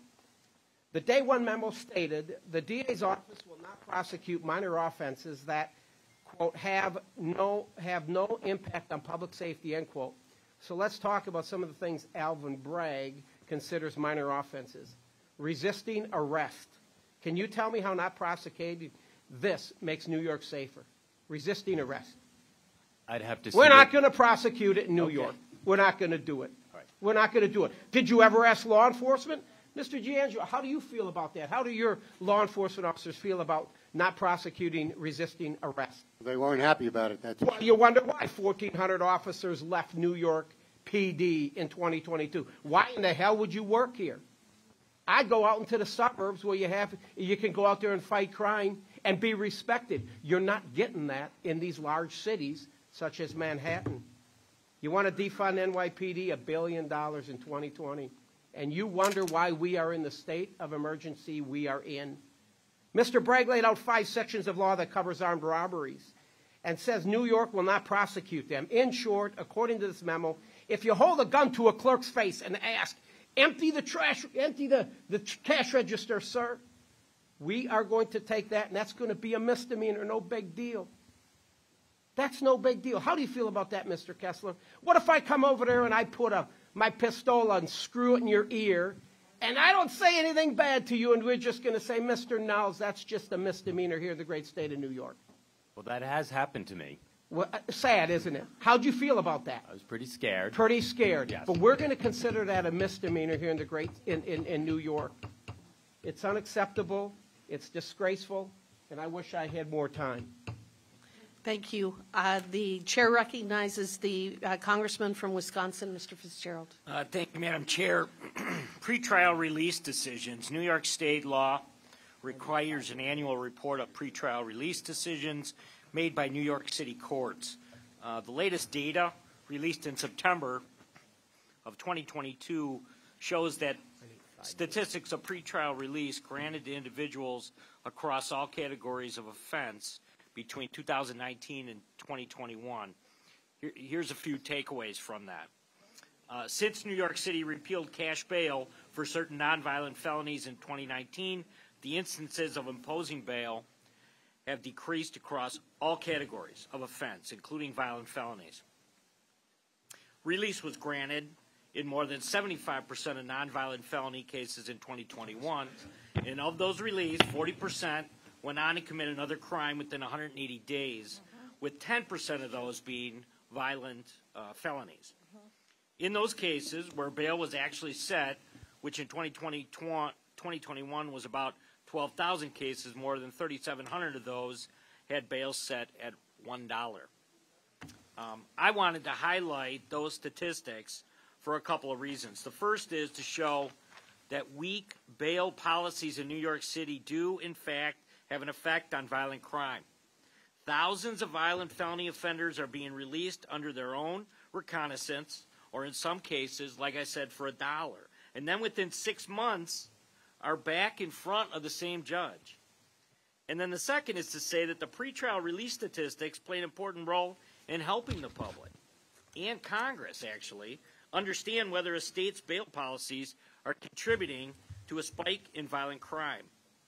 So I'd ask this, and I'd ask Congress, that we should take up a bill, bill that we've worked on in past Congresses, and the Pretrial Release Reporting Act, so we can see how other state bail policies are contributing to really an uh, epidemic that's nationwide right now. So, uh, Ms. Harrison, I was I was going to ask you, can you just comment, kind of in general, on pretrial statistics and and the issues related to that, not just in New York but nationwide?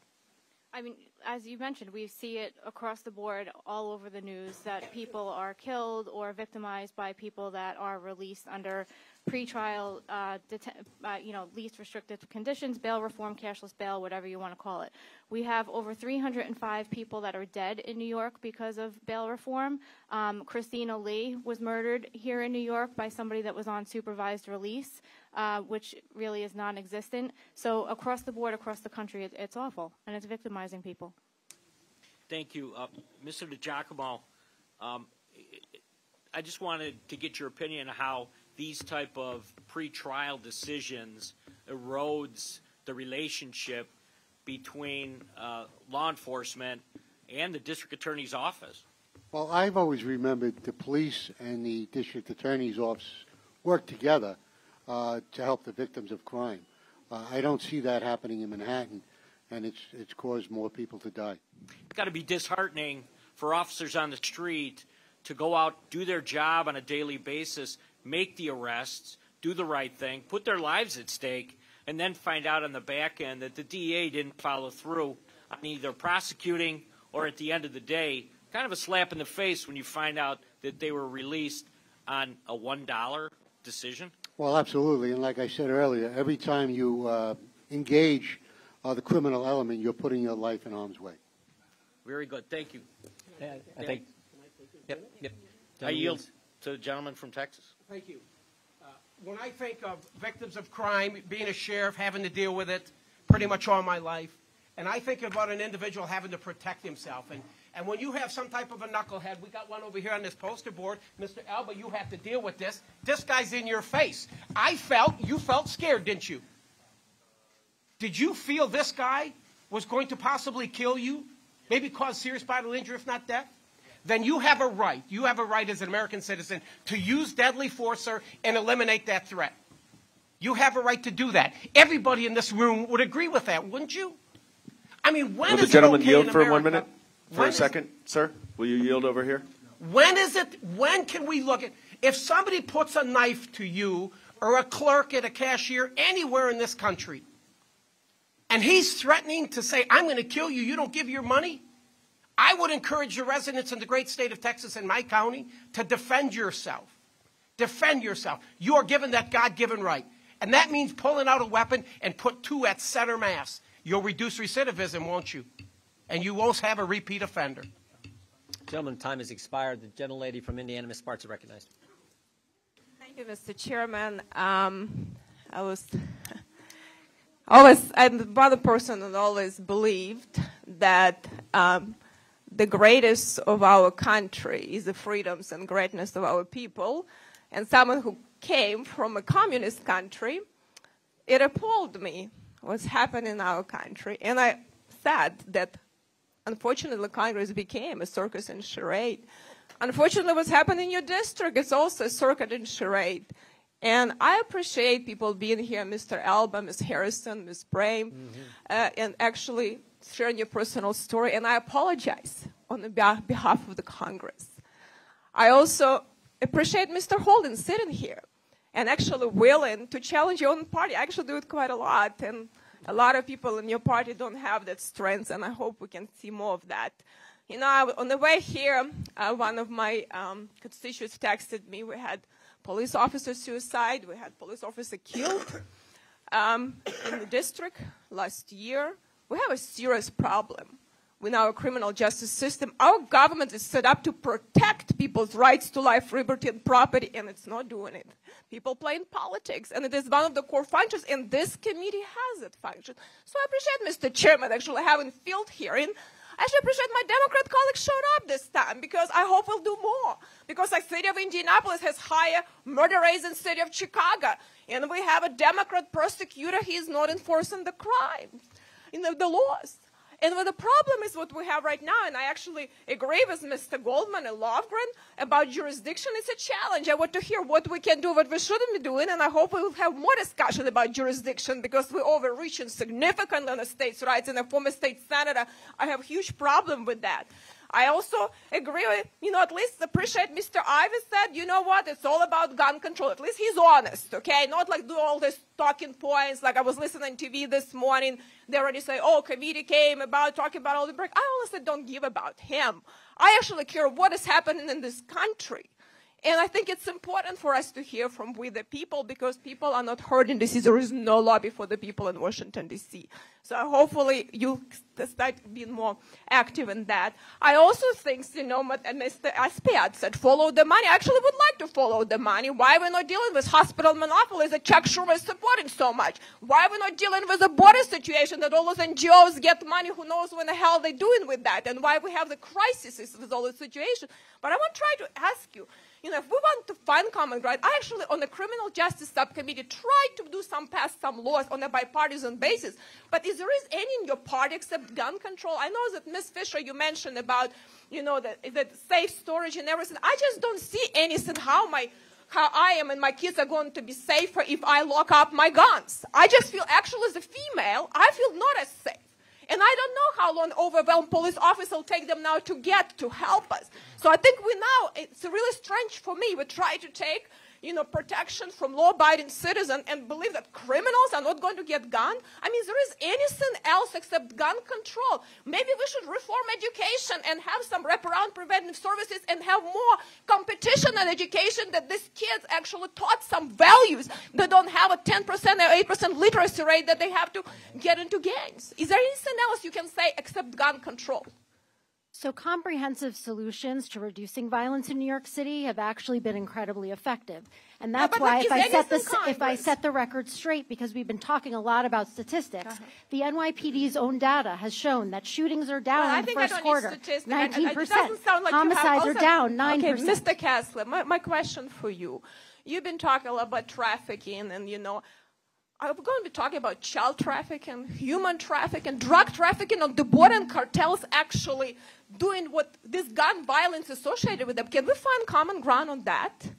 Let me try to. I mean, is cartel not a problem? Can you tell me the trafficking of guns done by Mexican cartels that now is subsidized with taxpayers' money? Is it not a problem? Can we find a common ground on that?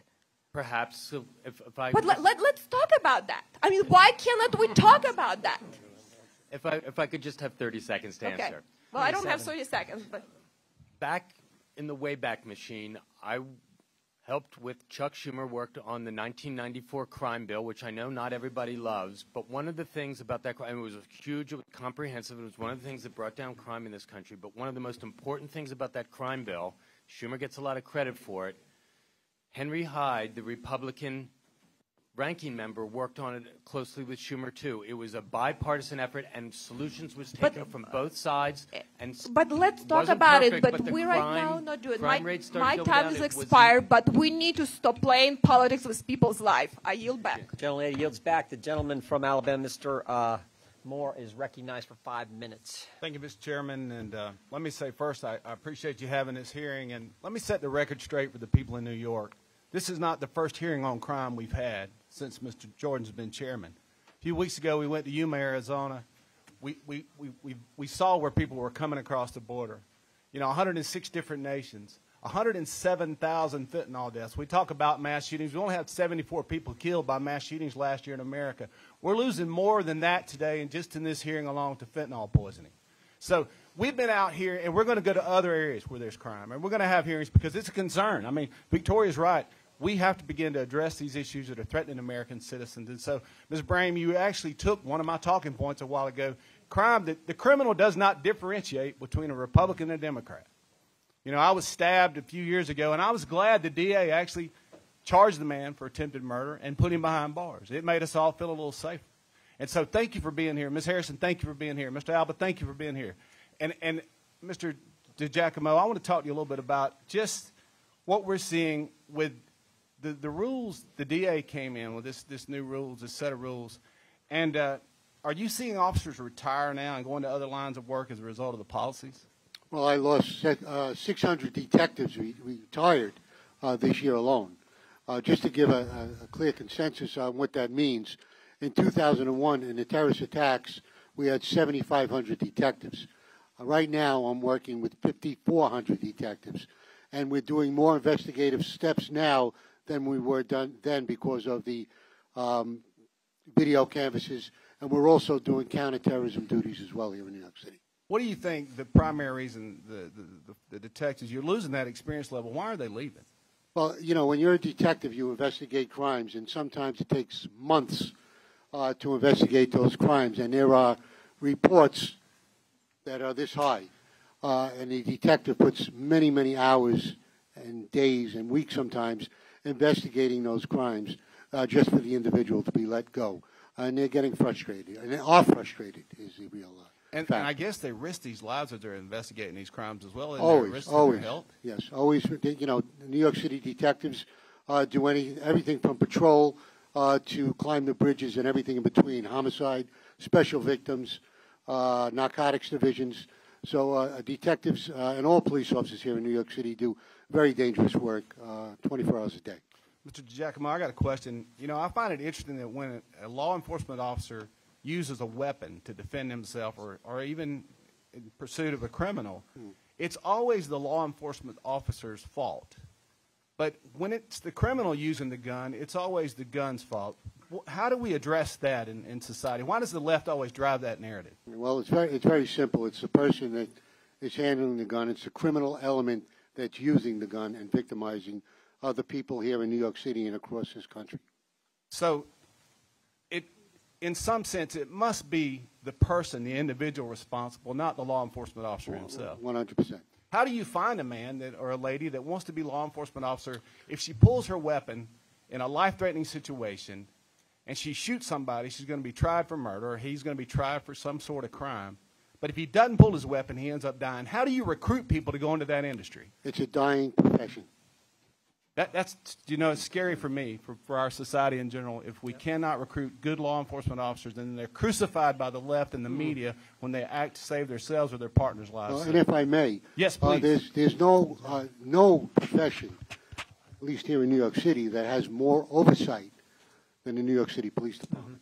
There are about ten levels of oversight, uh, and no one else has that level of oversight uh, like the New York City Police Department. And you know, it's, it's typically in society, and, and this is for you know all folks in blue cities or any other cities. You know, often they want to disarm law-abiding citizens, and they say, "Well, call the police. If you if, if you have an intruder, call the police." And then at the same time, they're defunding the police. What kind of situation, Ms. Harrison, does that put society in when you, you can't defend yourself?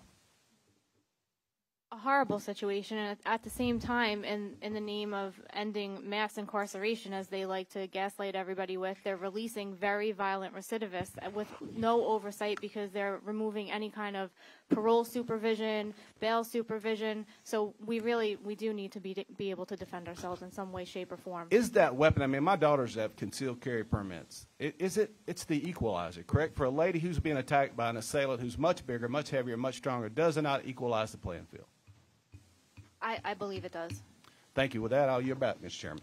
Thank the gentleman. Uh, Witnesses, we just got a few more, but these are very important members, uh, great, great people, and we're going to go now with the gentlelady from Wyoming, Ms. Hageman. Thank you. Thank you for everyone for being here. Um, I represent the state of Wyoming. There are 560,000 people in my state. I grew up outside of a town of 350 people. I currently live in our largest city of 60,000 people. I want you to know, Mr. Alba, Ms. Harrison, Ms. Brame, Mr. Borgen, we pay a lot of attention to what goes on here. Mm-hmm. We know about you. When I read about your situation, Mr. Alba, and what happened to you the next day after it happened, I prayed for you. I prayed for your family. As I read the testimony that you have provided to us today, it makes my heart break to know that you, as family members, have gone through something so devastating. But to make it even worse, our criminal justice system has treated you uh, so poorly since that you have gone through these things. I will tell you, it has been interesting to listen to you talk about your loved ones, talk about the fear that you faced with this situation, Mr. Alba, the loss that you're still suffering from 18 years later after losing your loved one. How much love you have for your son, how much love you have for your son and your family and your community. And I do want you to know that we're not here for grandstanding. We're not here for anything other than the fact that we're recognizing that across the country there is a sickness pervading our communities that is destroying who and what we are. And it's not just about guns. I watched you, Ms. Fisher, as you secretly smiled at some of the, uh, the, the Congress members on the other side, as people on our side talked about the, the gun issue. I, I, I understand you believe that it is an inanimate object that somehow can, can create the, or cause the, the, the, the mass shootings, that it's not the individual. One of the things that has struck me today is that as we talk about these mass shootings, nobody has talked about the drugs that these people were on. Nobody has talked about the psychology of this. We just had a woman in uh, shoot and kill three young children and three teachers, and yet no one has talked about what kind of drugs she may have been taking, what kind of psychosis she was suffering from.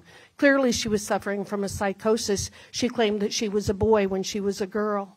We have to be looking at those kinds of things. It's not the guns. It's what we're teaching in school. It's the rot in our culture. It is the fact that we are losing our society because we're unwilling to recognize that there is evil, and when there's evil, we need to address it. When someone does something to your family members that is illegal, we need to take them off the streets. We don't need to try to figure out uh, what, what may have happened in their background. If they've done something, if they've stabbed a beautiful young man as they did your son, they need to be taken off the street and they need to be punished. We need to protect our law abiding citizens and we need to protect our communities. We also need to protect our, our police officers. Um, Mr. Uh, DiGiacomo, the thing that has struck me as I listen to the testimony is the fear that I have, and you were just speaking with it a moment ago uh, with my colleague, Mr. Moore, about the impact that this is having on our on our law enforcement officers. And you said something that was extremely jarring, which is it's a dying it, it's a dying profession, and what that means is we're heading toward anarchy and lawlessness. When I was driving in last night from the airport, what struck me as I drove down the streets of this city that I love, I've spent a lot of time in New York City. Coming from Wyoming, I love this city. But what I started seeing out the window was almost an escape from New York feel. We don't want our big cities to die. We don't want to lose the culture that we have here. We in Wyoming love New York. We love Portland. We love Austin, Texas. We love these places. They're part of our culture and the fabric of our society. But we have to address the fact that there are people who are willing to kill and stab and hurt other people. And it is the responsibility of our law enforcement and our prosecutors to make sure that they can't hurt anyone else. With that, I want to tell you there have been many times today that you've been called victims, and I don't see you as victims. I see you as very, very brave, brave mm. people Well for Billy being willing to come in here today and tell your story and make sure that everybody in this country knows your names and knows the names of your family members. With that, I yield back. Well said. Gentleman from Texas, Mr. Hunt is recognized. I cannot thank you all enough for being here. Thank you for sharing your lives with us. Thank you for sharing your stories. I greatly appreciate it. And being from Texas, it's an honor to be in your presence. Uh, in in the 90s, the late mid to late 90s, uh, New York City was considered one of the safest cities in America. Uh, when I was at West Point from 2000 through 2004, I took that train down here many, many, many a day. Had a pretty good time in this city, and I felt relatively safe when I did just that. But while Alvin, while Alvin Bragg is a Manhattan district attorney, his policies are not isolated to this borough. His pro-criminal policies are just an example of what Soros-funded district attorneys are implementing across our great nation. Their ideology is responsible for the death, rape, and robbery of innocent people across America, and it is disproportionately impacting poor black and brown people. In Democrat-run cities across America, criminals are given deference and victims are left to fend for themselves, as you have articulated today. Why do these Soros-funded district attorneys put criminals first and victims last? It's what they believe. It's who they are. Our cities are crumbling around us. Criminals are running rampant, and that's because district attorneys in San Francisco, Los Angeles, Chicago, and even my home city of Houston are advocating for pro criminal pol- policies. And Alvin Bragg fits this profile, in my humble opinion. Let's talk about Alvin Bragg. He's a woke, progressive district attorney with no different than any, than any other progressive DA in our country right now. He was elected as a Manhattan DA in 2021.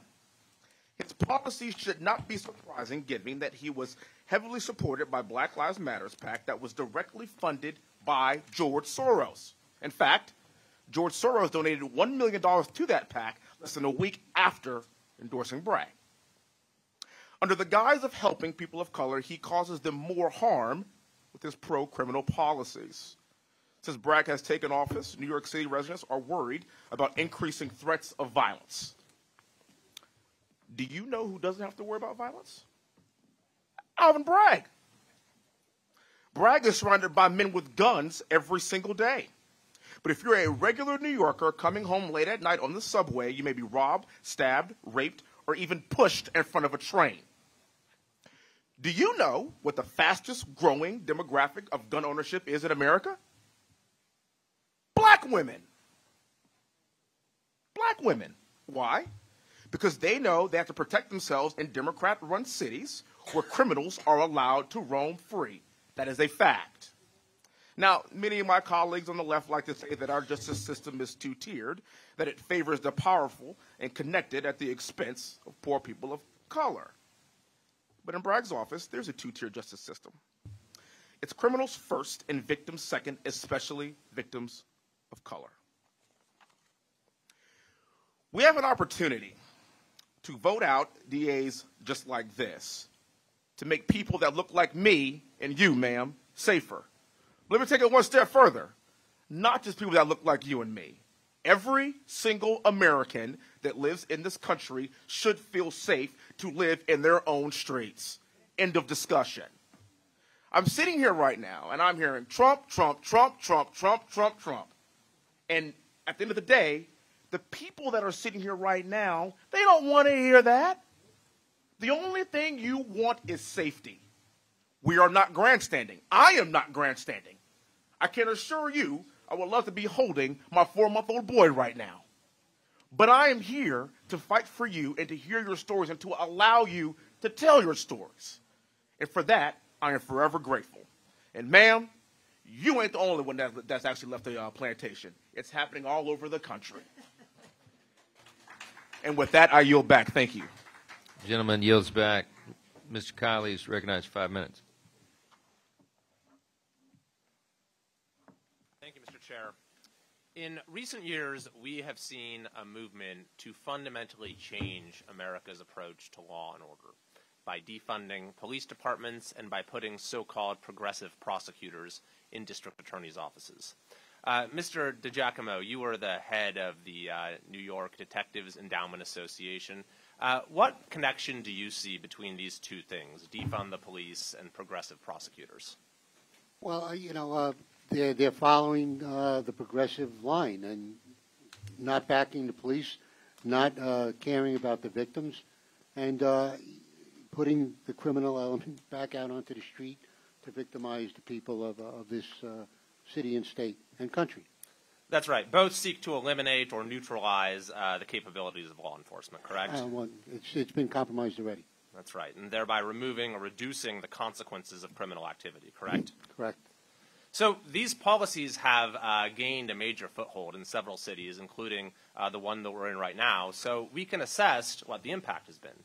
And one way to assess that impact, of course, is looking at the effect on crime rates. Uh, now, Mr. Holden, you're an elected uh, city council member uh, in New York, a member of the Democratic uh, Party, and uh, you testified today about failed progressive policies. So just to be clear, when you say these are failed progressive policies, uh, is that because they've caused crime to go up or to go down? Uh, again, uh, I'm a critic of, of, my party's stance on, on crime. It, everything's gone up. All their policies have led to an increase in crime.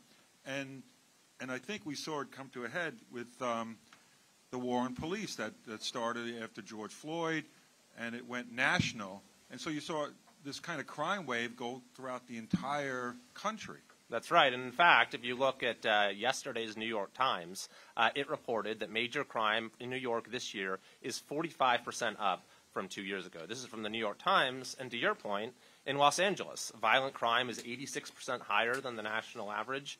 In San Francisco, overall crime is 111% higher than the national average. So you can also then look to assess the impact uh, of these policies how, about how people are responding to them.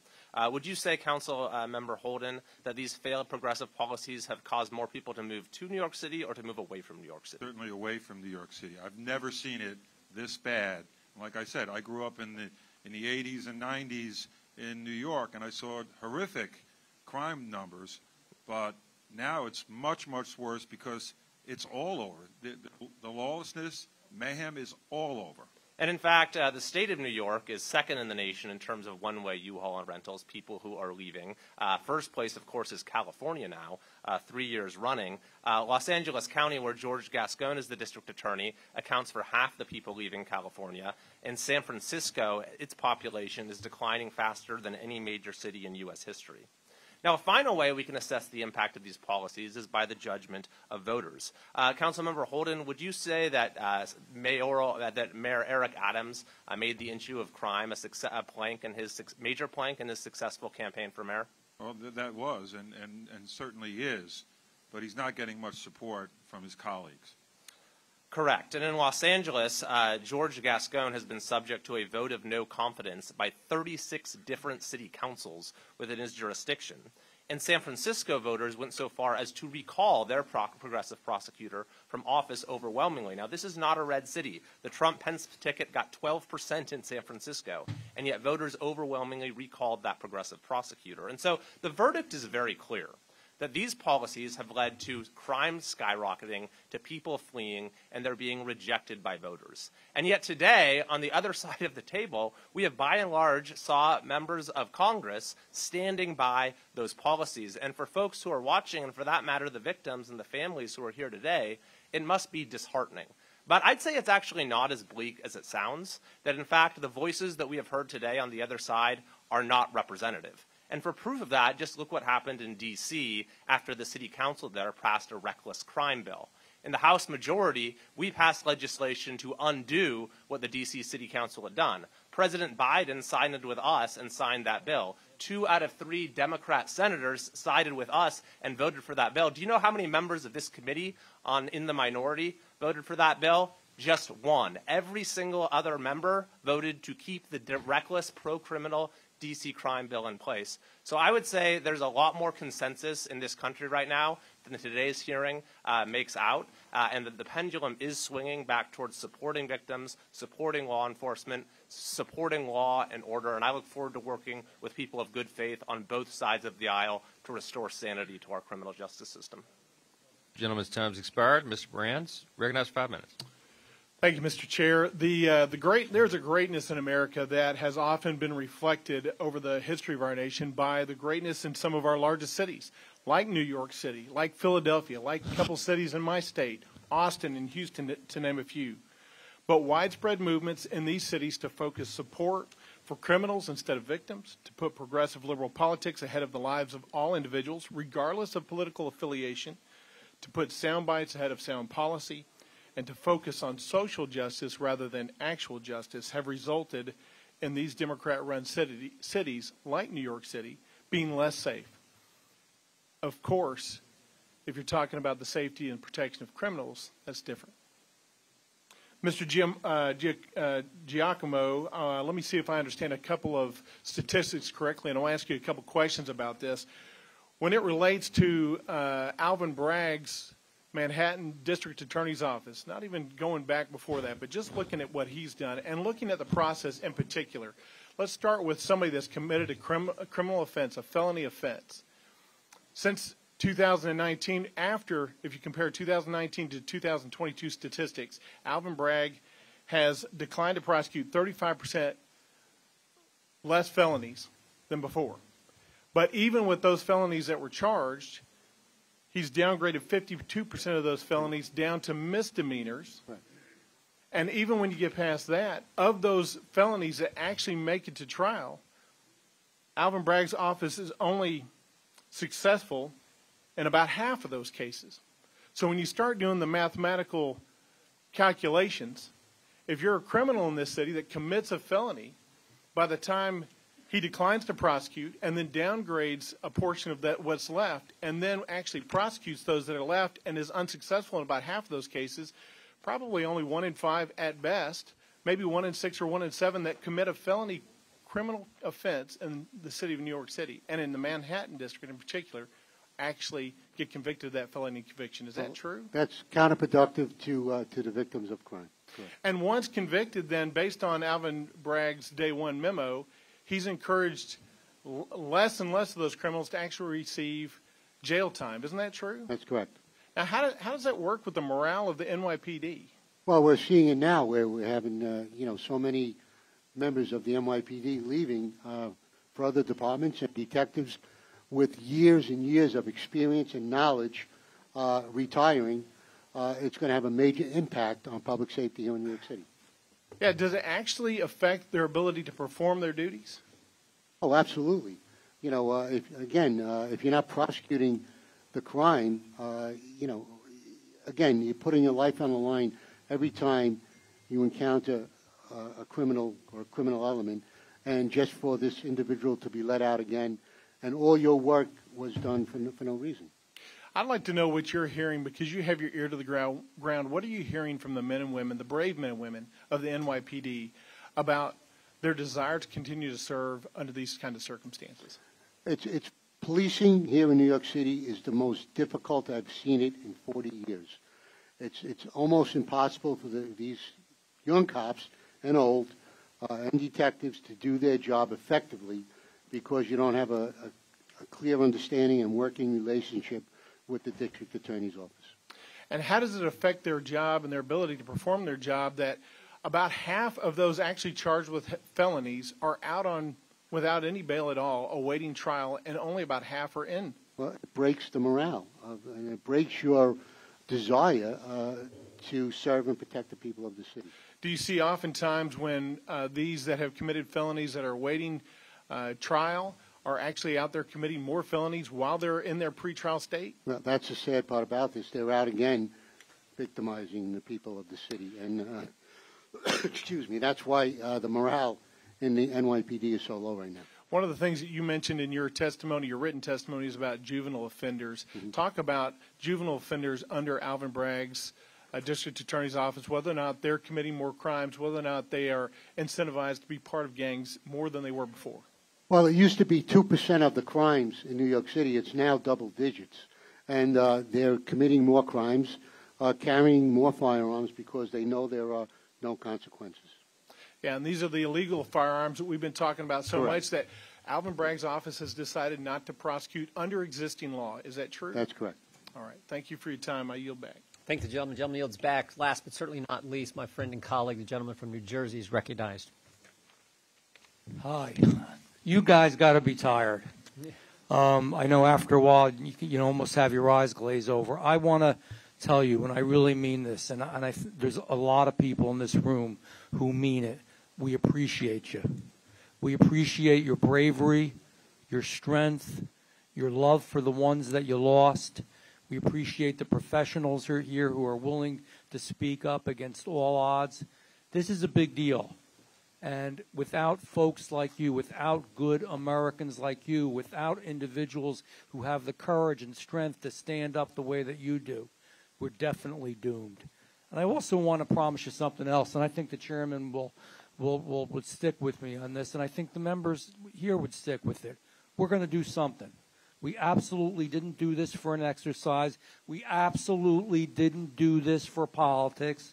So I, I do want to say this to, to my friends on the other side. You know, um, they threw out all kinds of stuff today, numbers that weren't real, a whole discussion of guns. You can have a lot of discussions on guns, but that wasn't what today was about. It wasn't a discussion about the guns. It was discussion about Alvin Bragg. They talked about George Santos, anti-Semitism, Donald Trump, money going from the NRA to members, which, by the way, I don't think it does, or else I'm surely the only one not getting it. But I asked a few people. I, I don't think that's accurate either. That's an old political trick, just so that you all who are sitting here at this table know you put the shiny object up here. The shiny object is Donald Trump. So hopefully, you hope that you all and that we all get so focused on his issues and get drawn into that. I don't give a damn about his issues right now. We'll deal with his issues, and they're important issues at another time. I care about your issues. We care about your issues. They should care about your issues, not all this other crap they threw out there. And I'm sorry, I'm a little rough around the edges sometimes, but I'm just telling you the truth. It's about time we hear the truth. And that's what the truth is. And the truth is this I did write some things down too that crime rates in our biggest cities have risen to staggering levels. You know, when you say the crime rate or what's really going on, you can't just talk about somebody who is actually been prosec- was going to be prosecuted but was released. That's why these numbers look down because we're releasing everybody. We're not putting them in jail. Bad people should go in jail. That's where they belong. They shouldn't be out so they can hurt your wives, your children, your mothers, your fathers, your grandfathers. We want to be safe, and it doesn't matter if we're, you know, what color, what race, what origin we are. We want to be safe in our homes. You know, I think of what goes on in Chicago. It's not only New York. My God, how many little black babies get shot every single week in that town? And we can stop it. We can stop it if we had good prosecutors. And who's funding these progressive district attorneys? We should know that. Well, it's George Soros. With this increase in crime, you would think their DA would be actively trying to slow it down. He's not. He's taking money from George Soros. No, I don't know any but money from the NRA, but I'll tell you, there's tons of money, tens of millions. In fact, he spent 170 million. That's a lot of dough. 170 million in 2022 and 40 million which was for local prosecutor elections. We never had money spent like that on prosecutor elections and it's wrong. Prosecutors should run because they want to defend the law, help their police and most of all help you. God bless you after being a victim and losing people you love that you're here. I can't believe how strong you are. And the beg the, you know what begs a question too? Who's worse? Is it a prosecutor who doesn't enforce the law or the criminal? Well, you know, the prosecutor who doesn't enforce the law has a broad effect across mm-hmm. the whole city and should know better and is taking his position, that position of such importance, to be the legal guardian, to be the person that's the caretaker of our America, of our cities, of this great city of New York. And what does he do? For politics, he doesn't care. The fact that he didn't sit down and shed some tears with you. It's unbelievable to me. The fact that he put you and accused you of murder. Troy was right before. A man tries to kill you, you've got to stop him. It's your right. But I guess he would have rather that you got killed. I don't understand it. And it's in New York City, it's in Chicago, it's in San Francisco, and this is the facts. Ah, shoot. I got, I got a few more seconds. A few more. Um, the, the bottom line is the facts are that all the Soros-backed district attorneys are doing this everywhere. It leads to more crime. And I'm going to say this. I'm going to finish up. Gentlemen. And I think the answer is I think he should resign. I swear to God he should resign, and he should be disbarred. Gentlemen's, uh, gentleman time has uh, expired. I want to, uh, this concludes our, our hearing today. I want to thank our witnesses. I've been in, I've been in Congress a while, um, not quite as long as Mr. Nadler, but I've been there a while.